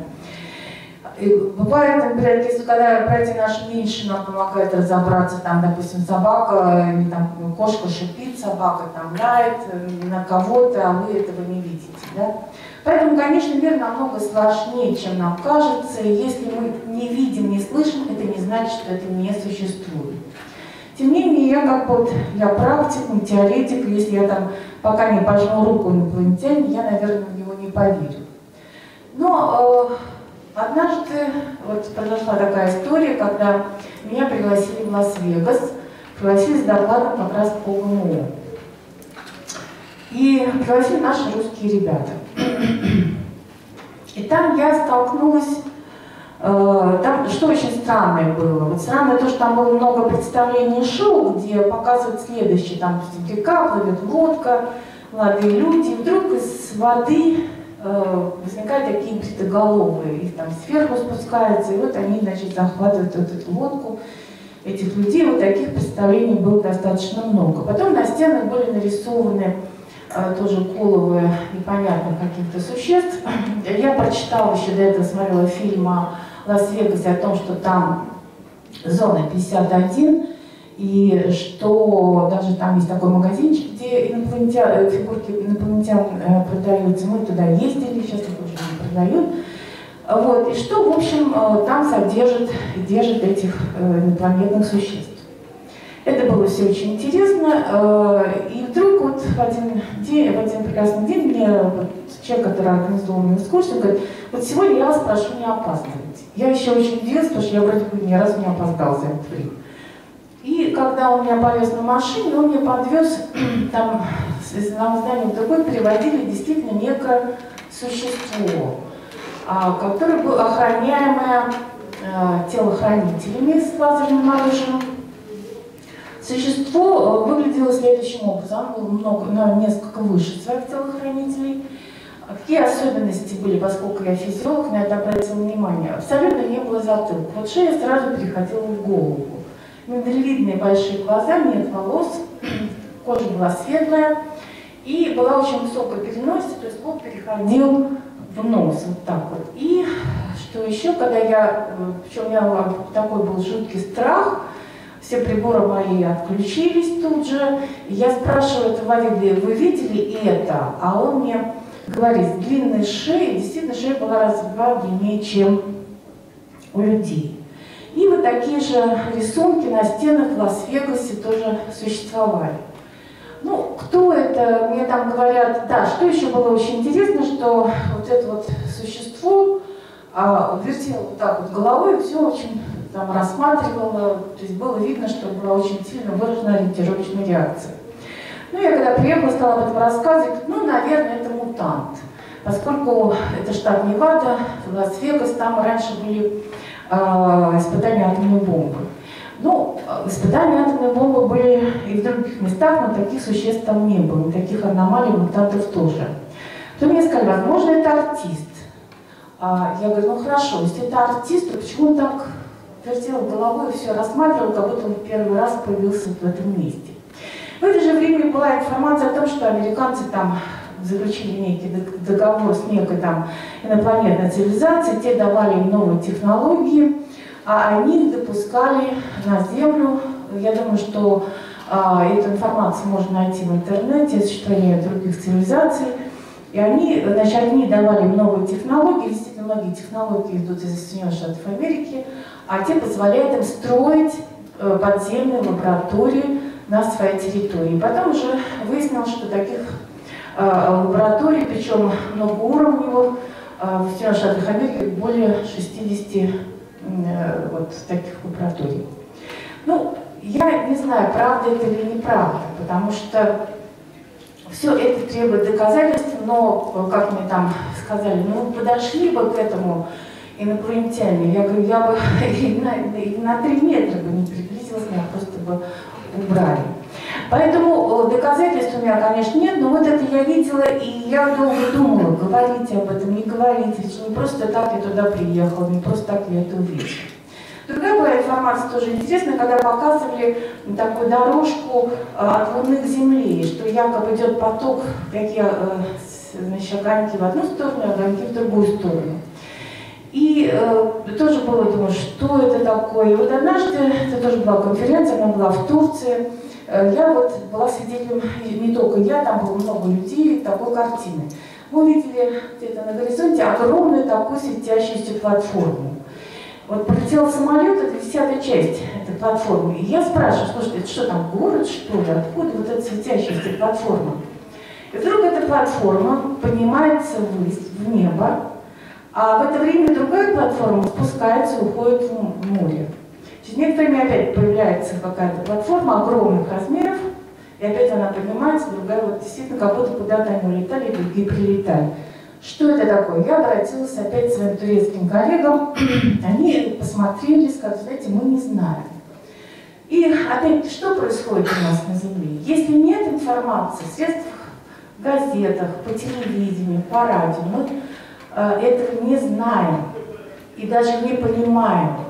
Нас не допускают к определенной информации. Есть смелые люди, э, которые э, анализируют, добывают факты, и нам доносят эту информацию. Я поэтому, вот я сегодня сидела и думала, говорить об этом, не говорить, верить в это, не верить. Ну, и это я видела своими глазами, поэтому я до вас это доношу. Поскольку ну, у меня нет доказательств того, э, что это такое было и что я видела. Вот. Но э, продолжая вот эту вот тему, э, я говорю, опять-таки, это все было связано с тем, что я стала заниматься достаточно серьезной проблемой генетически ценных организмов, которые на самом деле э, действительно направлены на сокращение, скорее всего, человечества на нашей планете. И до тех пор, пока мы не стали объяснять, что эти ГМО созданы с ошибками в технологиях и могут уничтожить всю биосферу, то нам просто затыкали рот, и были достаточно печальные случаи, трагические, когда активные вот, э, специалисты погибали внезапно. Вот, что это такое, почему это происходит, тоже, ну, общем, можно только предполагать. Но э, напоследок хочу сказать, что нам на самом деле очень повезло. Мы живем на уникальной планете, э, на очень хорошей планете, зеленой. И э, наша действительно задача как бы защитить ее. Но для того, чтобы защитить, мы не должны бояться, и мы должны быть активными. Потому что страх, он убивает нас, и убивает все вокруг. И пока мы боимся, мы ничего сделать не сможем. И поэтому я сегодня согласилась выступить и рассказать о том, с чем я столкнулась, что я увидела, и можно предположить, что действительно у нас на Земле э, идет некая борьба с другой цивилизацией. Возможно.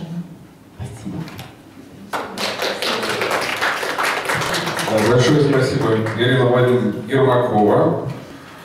Так, и попросили выступить Калягинцева Виталия Гавриловича, исследователя.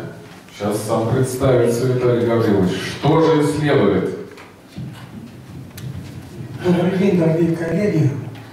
Я Виталий Гаврилович, как вы поняли. Э, У меня два направления основных исследовательской работе. Одно направление э, с весны до осени изучение э, на планете Земля энергоинформационных потоков. Я занимаюсь этим 15 лет. Это очень тесно связано с изысканиями космопоиска. Я член космопоиска, очень дружу с Вадимом, Царство ему небесное, его нельзя не вспомнить сегодня. И второе направление – это э, энергоинформационная коррекция человека. Я член Международной ассоциации э, альтернативной комплементарной народной медицины и целительства, о чем Владимир Павлович говорил, и меня тут э, избрали в прошлом году членом президентства, членом ученого совета этой ассоциации. Это направление, которое я развил после того, как Владимир мне подарил практически так называемую машину времени, которую я семь раз реконструировал, и работая с ней, э, очень интересные результаты получаются. В коррекции э, человека, его инертное состояние, его болезни, его всевозможных неприятностей, его э, психики, ну, в общем, очень-очень много. Будет там 960 пунктов диагностики, но это, это сегодня не будет входить в сферу моего доклада. Сегодня у нас тема эм, э, э, межпланетные путешествия, инопланетные цивилизации и так далее. Так вот, тогда, когда я впервые начал заниматься этим вопросом, информационный поток, это было совершенно случайно. Мне подарили э, книжку такую, «Атлас Земли», там, Дайда Джейс, американский, вот, и где я по образованию, первому образованию я историк, и очень интересовался древними цивилизациями. Вы знаете, что э, в индийских ведах есть такая фраза, что центр Земли, ее пуп по-русски, находится на крайнем севере, в Молочном океане, на горе. Ну что такое Молочный океан? Можно трактовать его как занесенный снегами и льдами поверхность. Э, Все понятно. На океане какой-то остров, вот считался центром Земли. Но странная фраза дальше, что рядом с, этим, с этой горой находится священное озеро. Как это? В озере, но в океане еще и озеро. Странно. И тогда, когда я изучал этот атлас, я увидел, американцы очень четко проставляют зелеными точечками природные аномалии, черными точечками свои ракетные базы, красными точечками какие-то вообще непонятные совершенно явления. И я нашел в Якутии красную точку, под которой написано единственное в мире аномальное явление озеро Лохан-Кир. В этом озере зимой при температуре до минус 70 градусов, там больше, меньше, вернее, температуры никто не замерял, вода не замерзает. Всего два места находятся на территории планеты таких, это вот озеро Лохан-Киёль и э, ручей Шаманка, где тоже по температуре минусовой вода не замерзает. И что интересно, в 40 километрах, вернее 36 километрах от этого озера находится гора, которая э, с 45 -го года называется Пик Победы. Впервые геологи залезли туда, 3017 метров, самая высокая гора э, в Сибири, не считая э, э, гор на, на, на Камчатке и не считая гор на Памире. Самая высокая точка. Это, она называется Пик Победы в настоящее время, а раньше ее называли гора Шаман, потому что туда был категорически запрещен доступ любых людей, кроме шаманов, и то не, не высоко, высоко таких поставленных шаманов, куда они приходили и умирали. И на вопросы потом, пожалуйста. И э, э, в 36 километрах находится точка. Ну, я по образованию по первому истории, как, как говорил, и я так интуитивно как-то вот сюда приходит информация, начал проводить линию по этим листам. Горе, всем известной, которая сейчас называется Эльбрус. А в древнеславянской мифологии, в ведах древнеславянских, это место кавказское называлось, э, называлось Бел горючий камень Алатырь. Это нынешняя гора Эльбрус. Что такое Белгород? Да, понятно, Эльбрус 6 тысяч э, с лишним метров, э, покрытый вечными снегами. Горюч, да, это вулкан. Э, все- славяне назывались камнем все горы. А что такое Алатырь? Ну, я лингвист немножко тоже. Вот. Алый – это алый, божественный цвет. Тырь – это спрятанный. Стырить есть такое слово, да? Вот. Тайно спрятанный божественный свет. Я начал проводить линию и с удивлением увидел, что эта линия проходит через самые высокие точки любого городового массива, который она пересекает. Эта точка проходит через Малевский треугольник, эта точка проходит через гору Багдо, которая с Карлынского называется Святая. Это озеро э, проходит через озеро Баскучак. Вот я там был, совершал экспедицию и, э, извините, не прихватил, а пригласил в эту экспедицию Вадима Черноброва. Мы вместе были на Багдо. Эта точка проходит через э, Ставропольские, Калмыцкие степи, через курганы, которые у них находятся. Это, эта линия, вернее, проходит через город э, Минводы. Эта линия проходит под горой Минводы гора, э, Змейка, на которой в прошлом году я был, там два озерца небольшие, метров 5 диаметром, рядом, находящиеся примерно метров 6-8 между ними. В одном вода зеленая, в другом красная. А своим прибором, который я изобрел в свое время, на базе биорама, кстати говоря, вот у меня проблема с инструментарием, таким сертифицированным. Вот. В одном вода зеленая, в другом красная. Очень просто. Просто-напросто эти озерца находятся по обоим сторонам этого навигационного потока. Э, Правая сторона потока, если знать направление, имеет плюсовую энергетику, левая минусовую энергетику. Далее эта гора проходит через саму, э, э, э, саму э, э, гору Эльбрус, через вулкан Эльбрус. И на противоположной стороне она проходит четко через э, источники Боржоми. Дальше она проходит через дельту Рикауриони, где, как вы знаете, из греческую историю герой Есот украл золотую руно. Руно это не шкурки, э, с помощью которых золото бывали в речках горных. Руно это руны. Есть узелковая письменность, существует она до сих пор в Иране существует. Мула сидит, поет суры Корана, и женщины на основании этих сур рисуют узоры. Это, это узелковая письменность, и у нас была. Вот э, вышиванки на Украине, в России изображения коней, там всяких таких. Это узелковая письменность.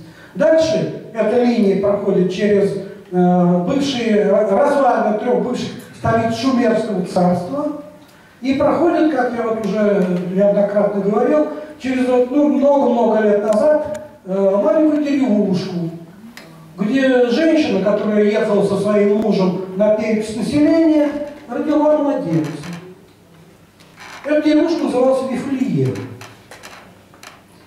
И эта линия проходит в 50 метрах от этого энергоинформационного потока на правой его стороне.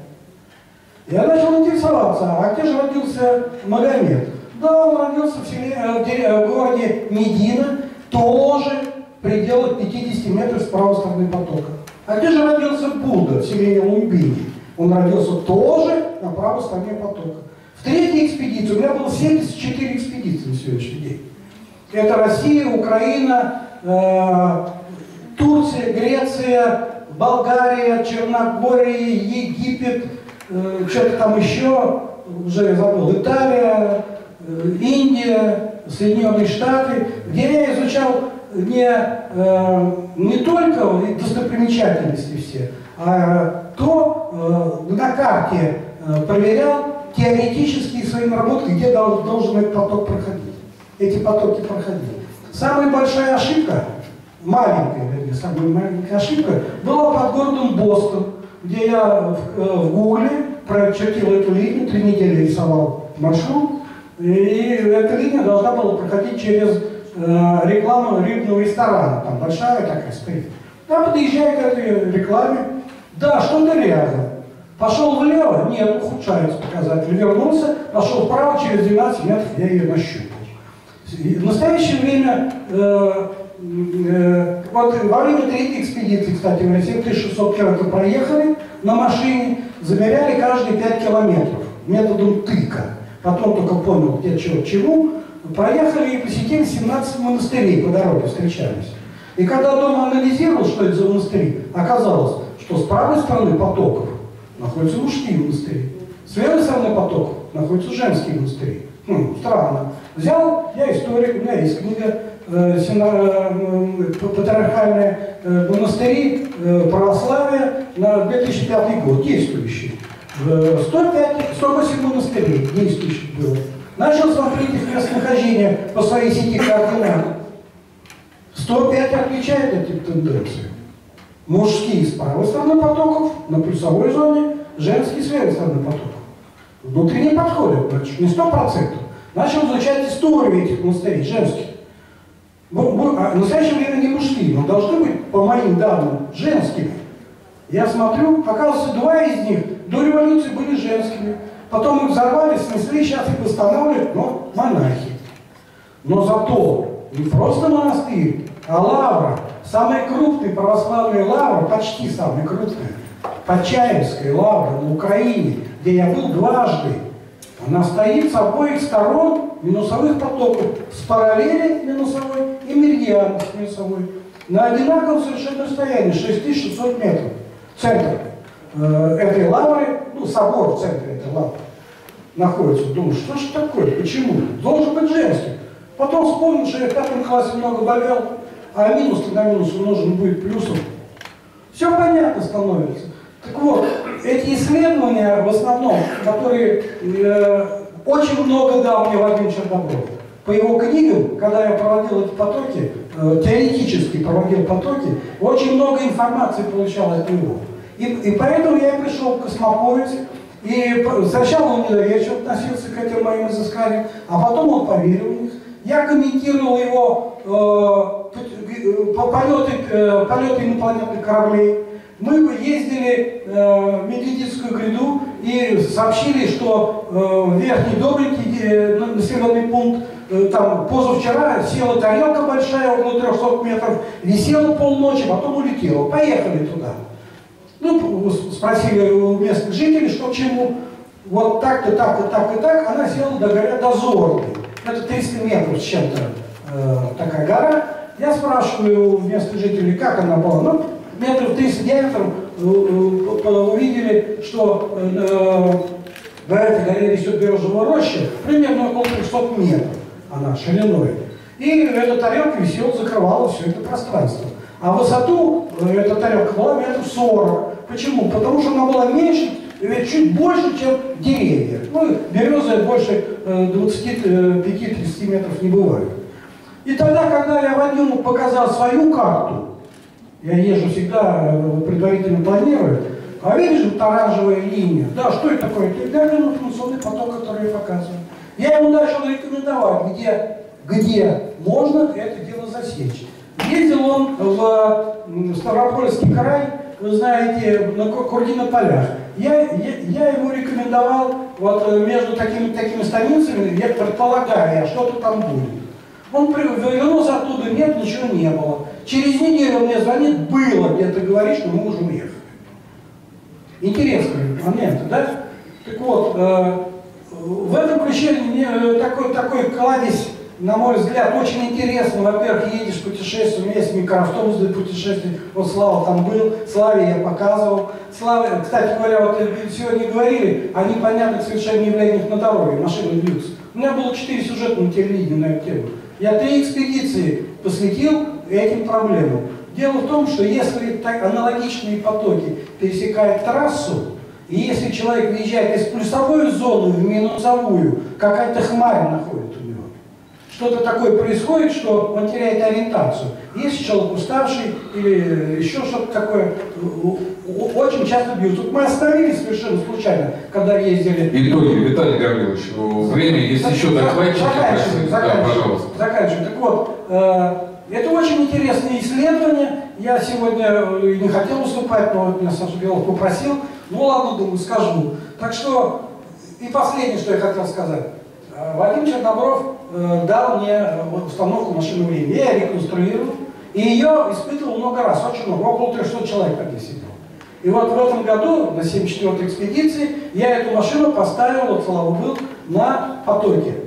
Какие там были путешествия в прошлое у людей. Очень интересно, очень интересно. Люди видели моменты смерти своей, ну, а начиная с, с начала этого века, тысячи лет назад. Это что-то неимоверное. Все э, требует дополнительных исследований, конечно. И, может быть, мой доклад такой очень сумбурный вас э, призовет к тому, что мы... Я, я страдаю от отсутствия инструментария, сертифицированного, нормально, хорошего инструментария. Очень ищу, очень прошу. Спасибо вам за внимание. Итак, Калядинцев Виталий Гаврилович, дорогие друзья, должен вас проинформировать, что мы с вами отличаемся усидчивостью. Китайские, китайские все э, группы уже закончили работу, а российская секция, несмотря ни на что, продолжает работу. И следующий выступающий уже третий по счету Мельников, но Виталий Михайлович. Попросим, Виталий Михайлович Мельников. Б, Мельников. Б.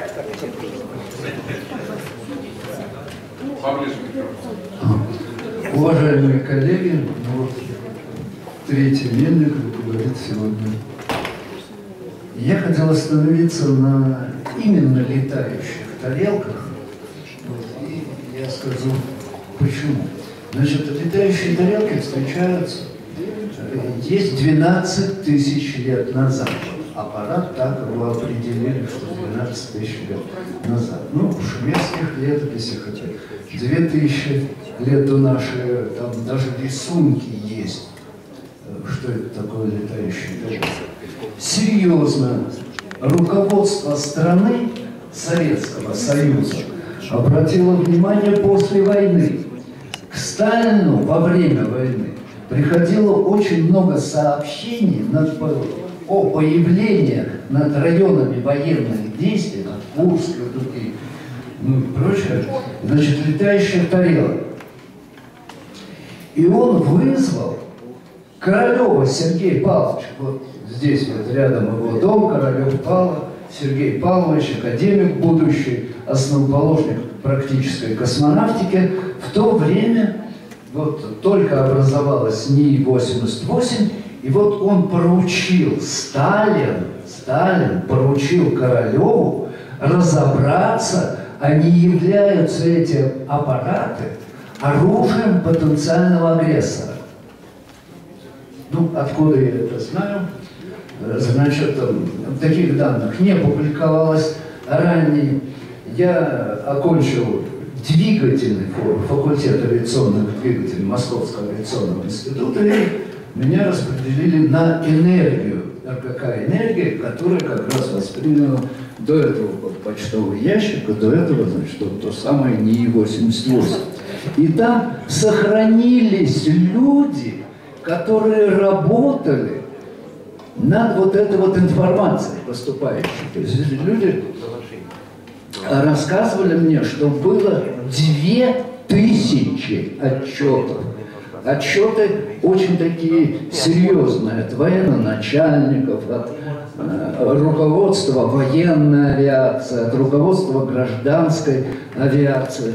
То есть это были ну, абсолютные источники. Нельзя было никак сказать, что нет, это, понимаете, недостоверно. И вот эти люди, значит, было два книжных шкафа, стояли они в первом отделе, вот. И, но это был 47 год где-то вот такого уровня информации. И вот они были тщательнейшим образом изучены.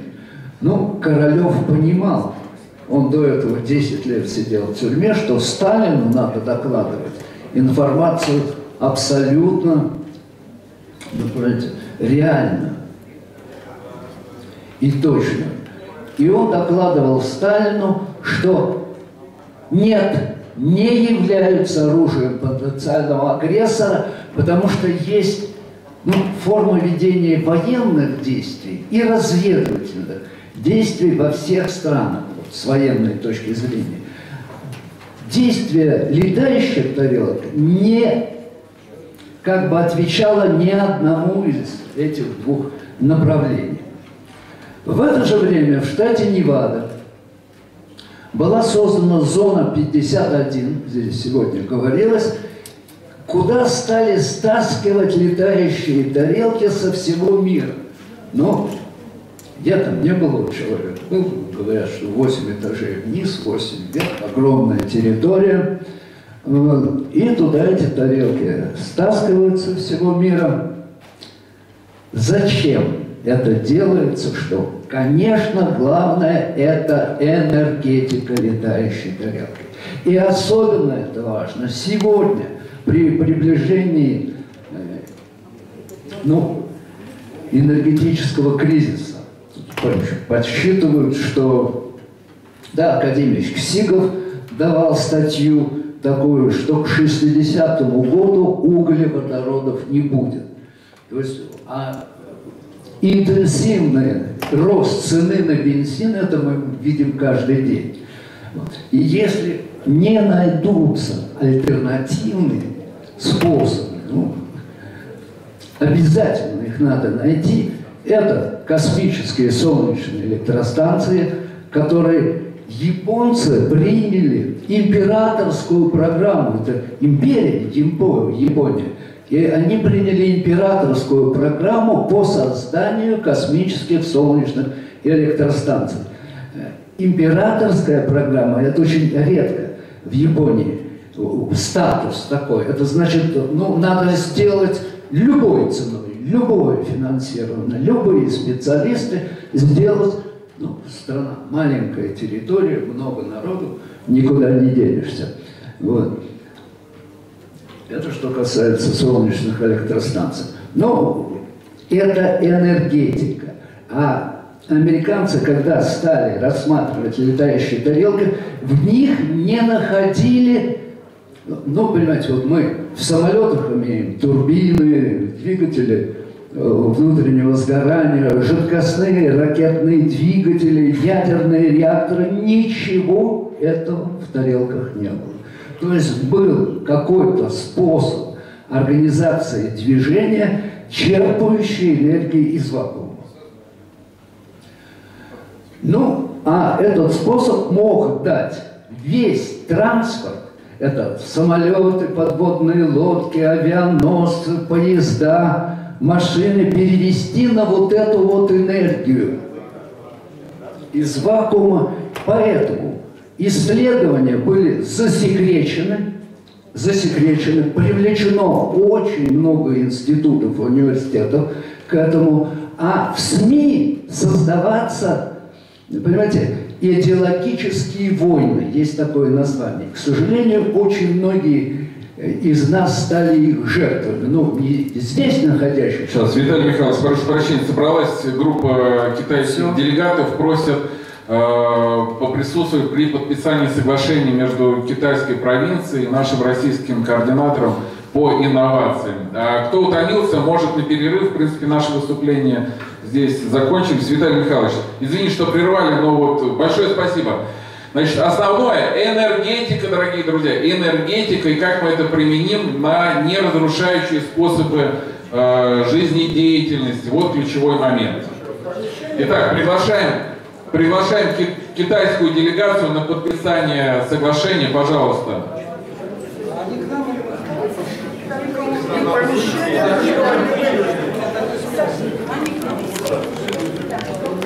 Итак, мы видим, что форум «Пять континентов» продолжается, дорогие друзья.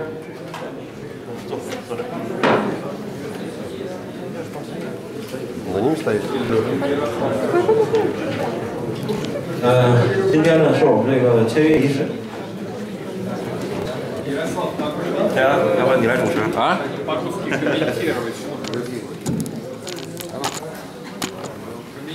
Но в первую очередь надо выучить э, китайское слово «здравствуйте». Это «нихао». «Нихао».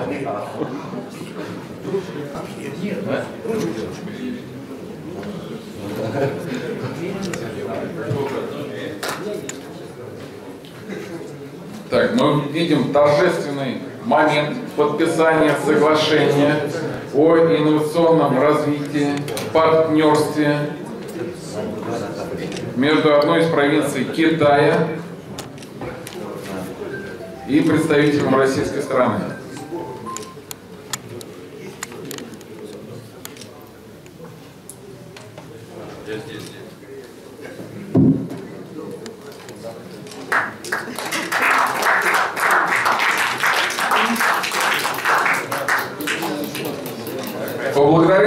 Китайскую сторону и лично председателя Коммунистической партии Син Цзиньпиня, который озвучивает курс развития страны на благоденствие и процветание всех живущих на планете Земля.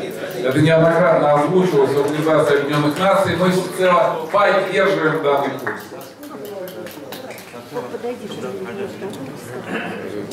Но он что-то хочет сказать, но на китайском. Я китайский не знаю. Да нет, нет, нет. Протокольные мероприятия выполнены. Ну что, дорогие друзья, свободно или свободный микрофон? Кто-то желает выступить? Надо соблюсти демократию. Кто-то желает выступить? Перерыв. Объявляется перерыв. Большое спасибо за участие в секции. Завтра. Куда и во сколько? Завтра к 10 часам сюда же приходит. А во сколько? Не в 11 написано. К 9? Ну точно. Ну надо уточнить. Подожди. Многим издалека 11 ехать, сказали. не из Королева ехать. Очень приятно, я с тобой Во завтра еще сколько раз. надо Сейчас надо уточнить. Посмотрим программу. Уточнять.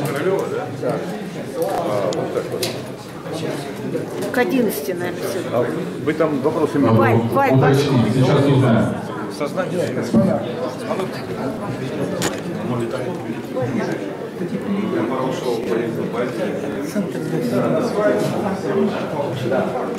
Подскажите, завтра во сколько мероприятие начинается? Завтра во сколько мероприятие? 9 часов. В 9 утра? 9 утра, да.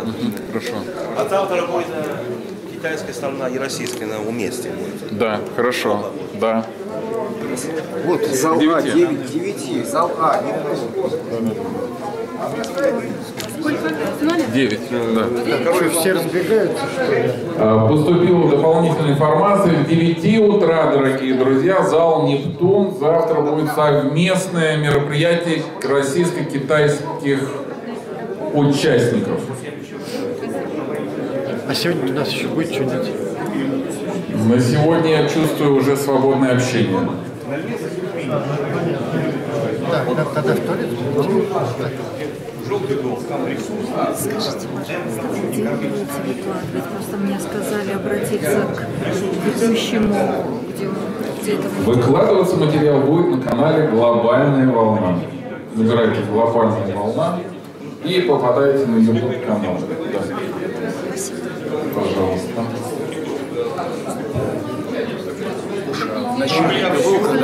Был по НЛО, вот в самом начале? Тут с этими залами все, я, например, не попал. Ты был вот с самого начала? Да, с самого начала. Но тут про НЛО не особо было много.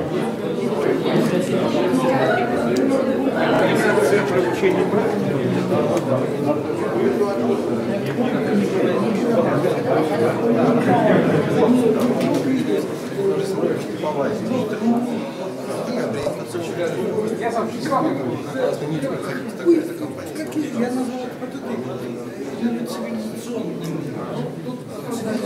Он говорит, это физика, чистая метафизика.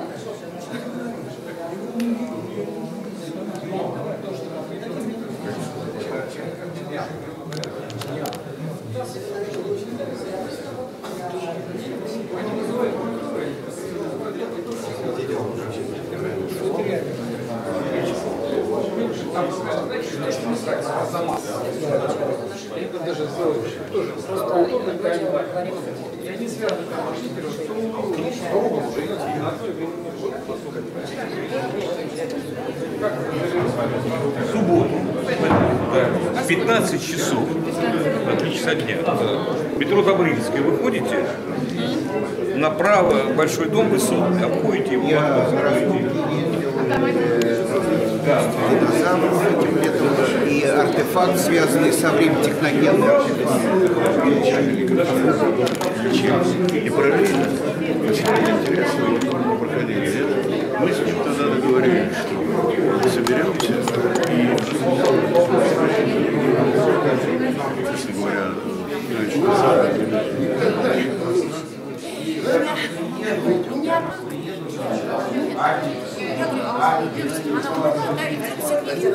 Нет, эфир исчез. Я пришла на эту программу, а мне пространство. Я поэтому и занялся, я сильно Не-не-не. Значит, я занялся тем, что, э, откровенно говоря, выяснить э, расположение органов человека, их обрисовать. Вот. Оно, оно есть расположение. Но самое главное – найти места, э, так называемую, что ли, памяти и сосредоточения генетических, э, генетической памяти. В каких местах этого э, печени, почек, и находятся вот эти вот э, места, ну, мы их назва- назвали э, как раз микропроцессорными. Почему я заговорил о микропроцессорах? Потому что я информационщик.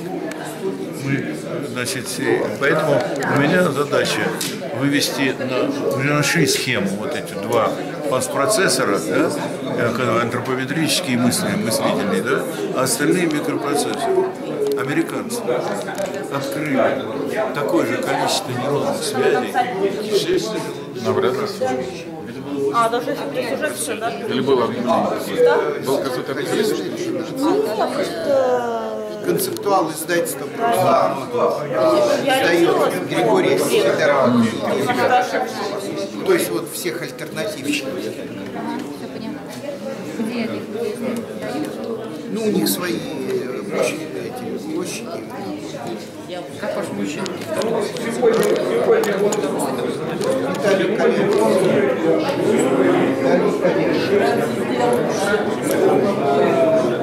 Мы его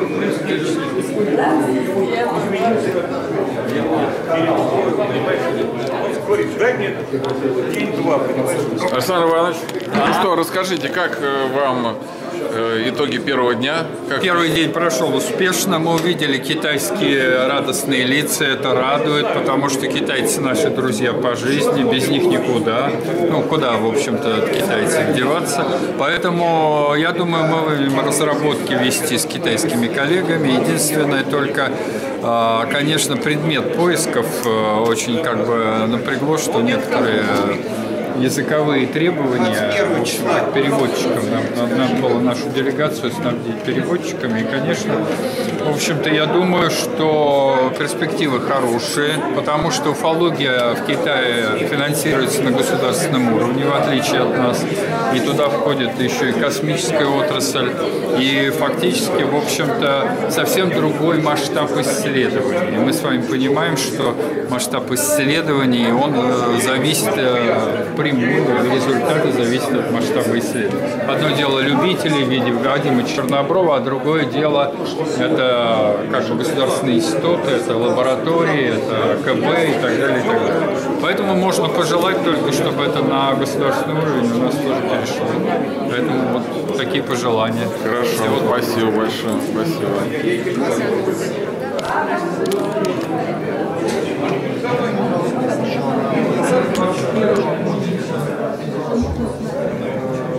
Сегодня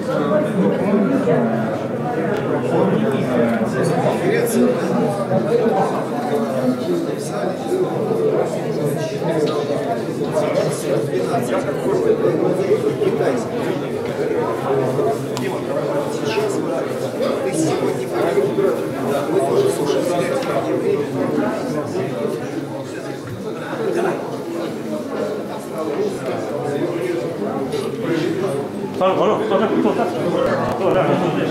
他现在说我还要做吗？上上上上来吧，你接着上。这一边 Ну что, дорогие друзья, у нас есть с вами возможность поприсутствовать еще на одном подписании мирного договора о партнерстве и сотрудничестве. 申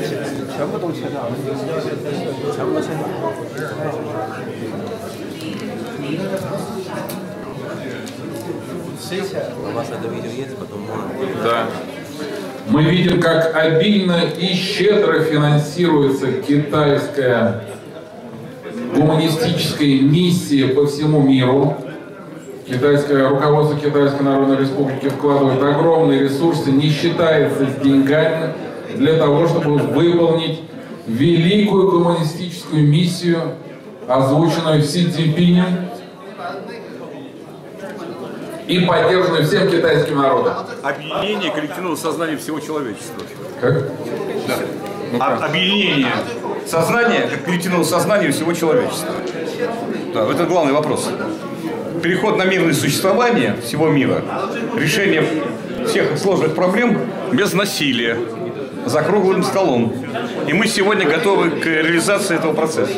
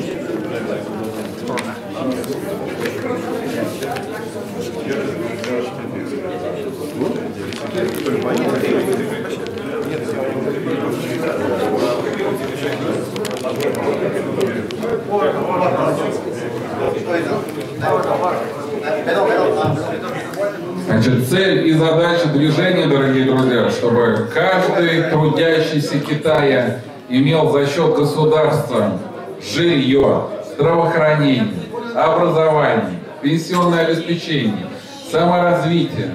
И все это за счет государства, дорогие друзья, за счет социалистической экономической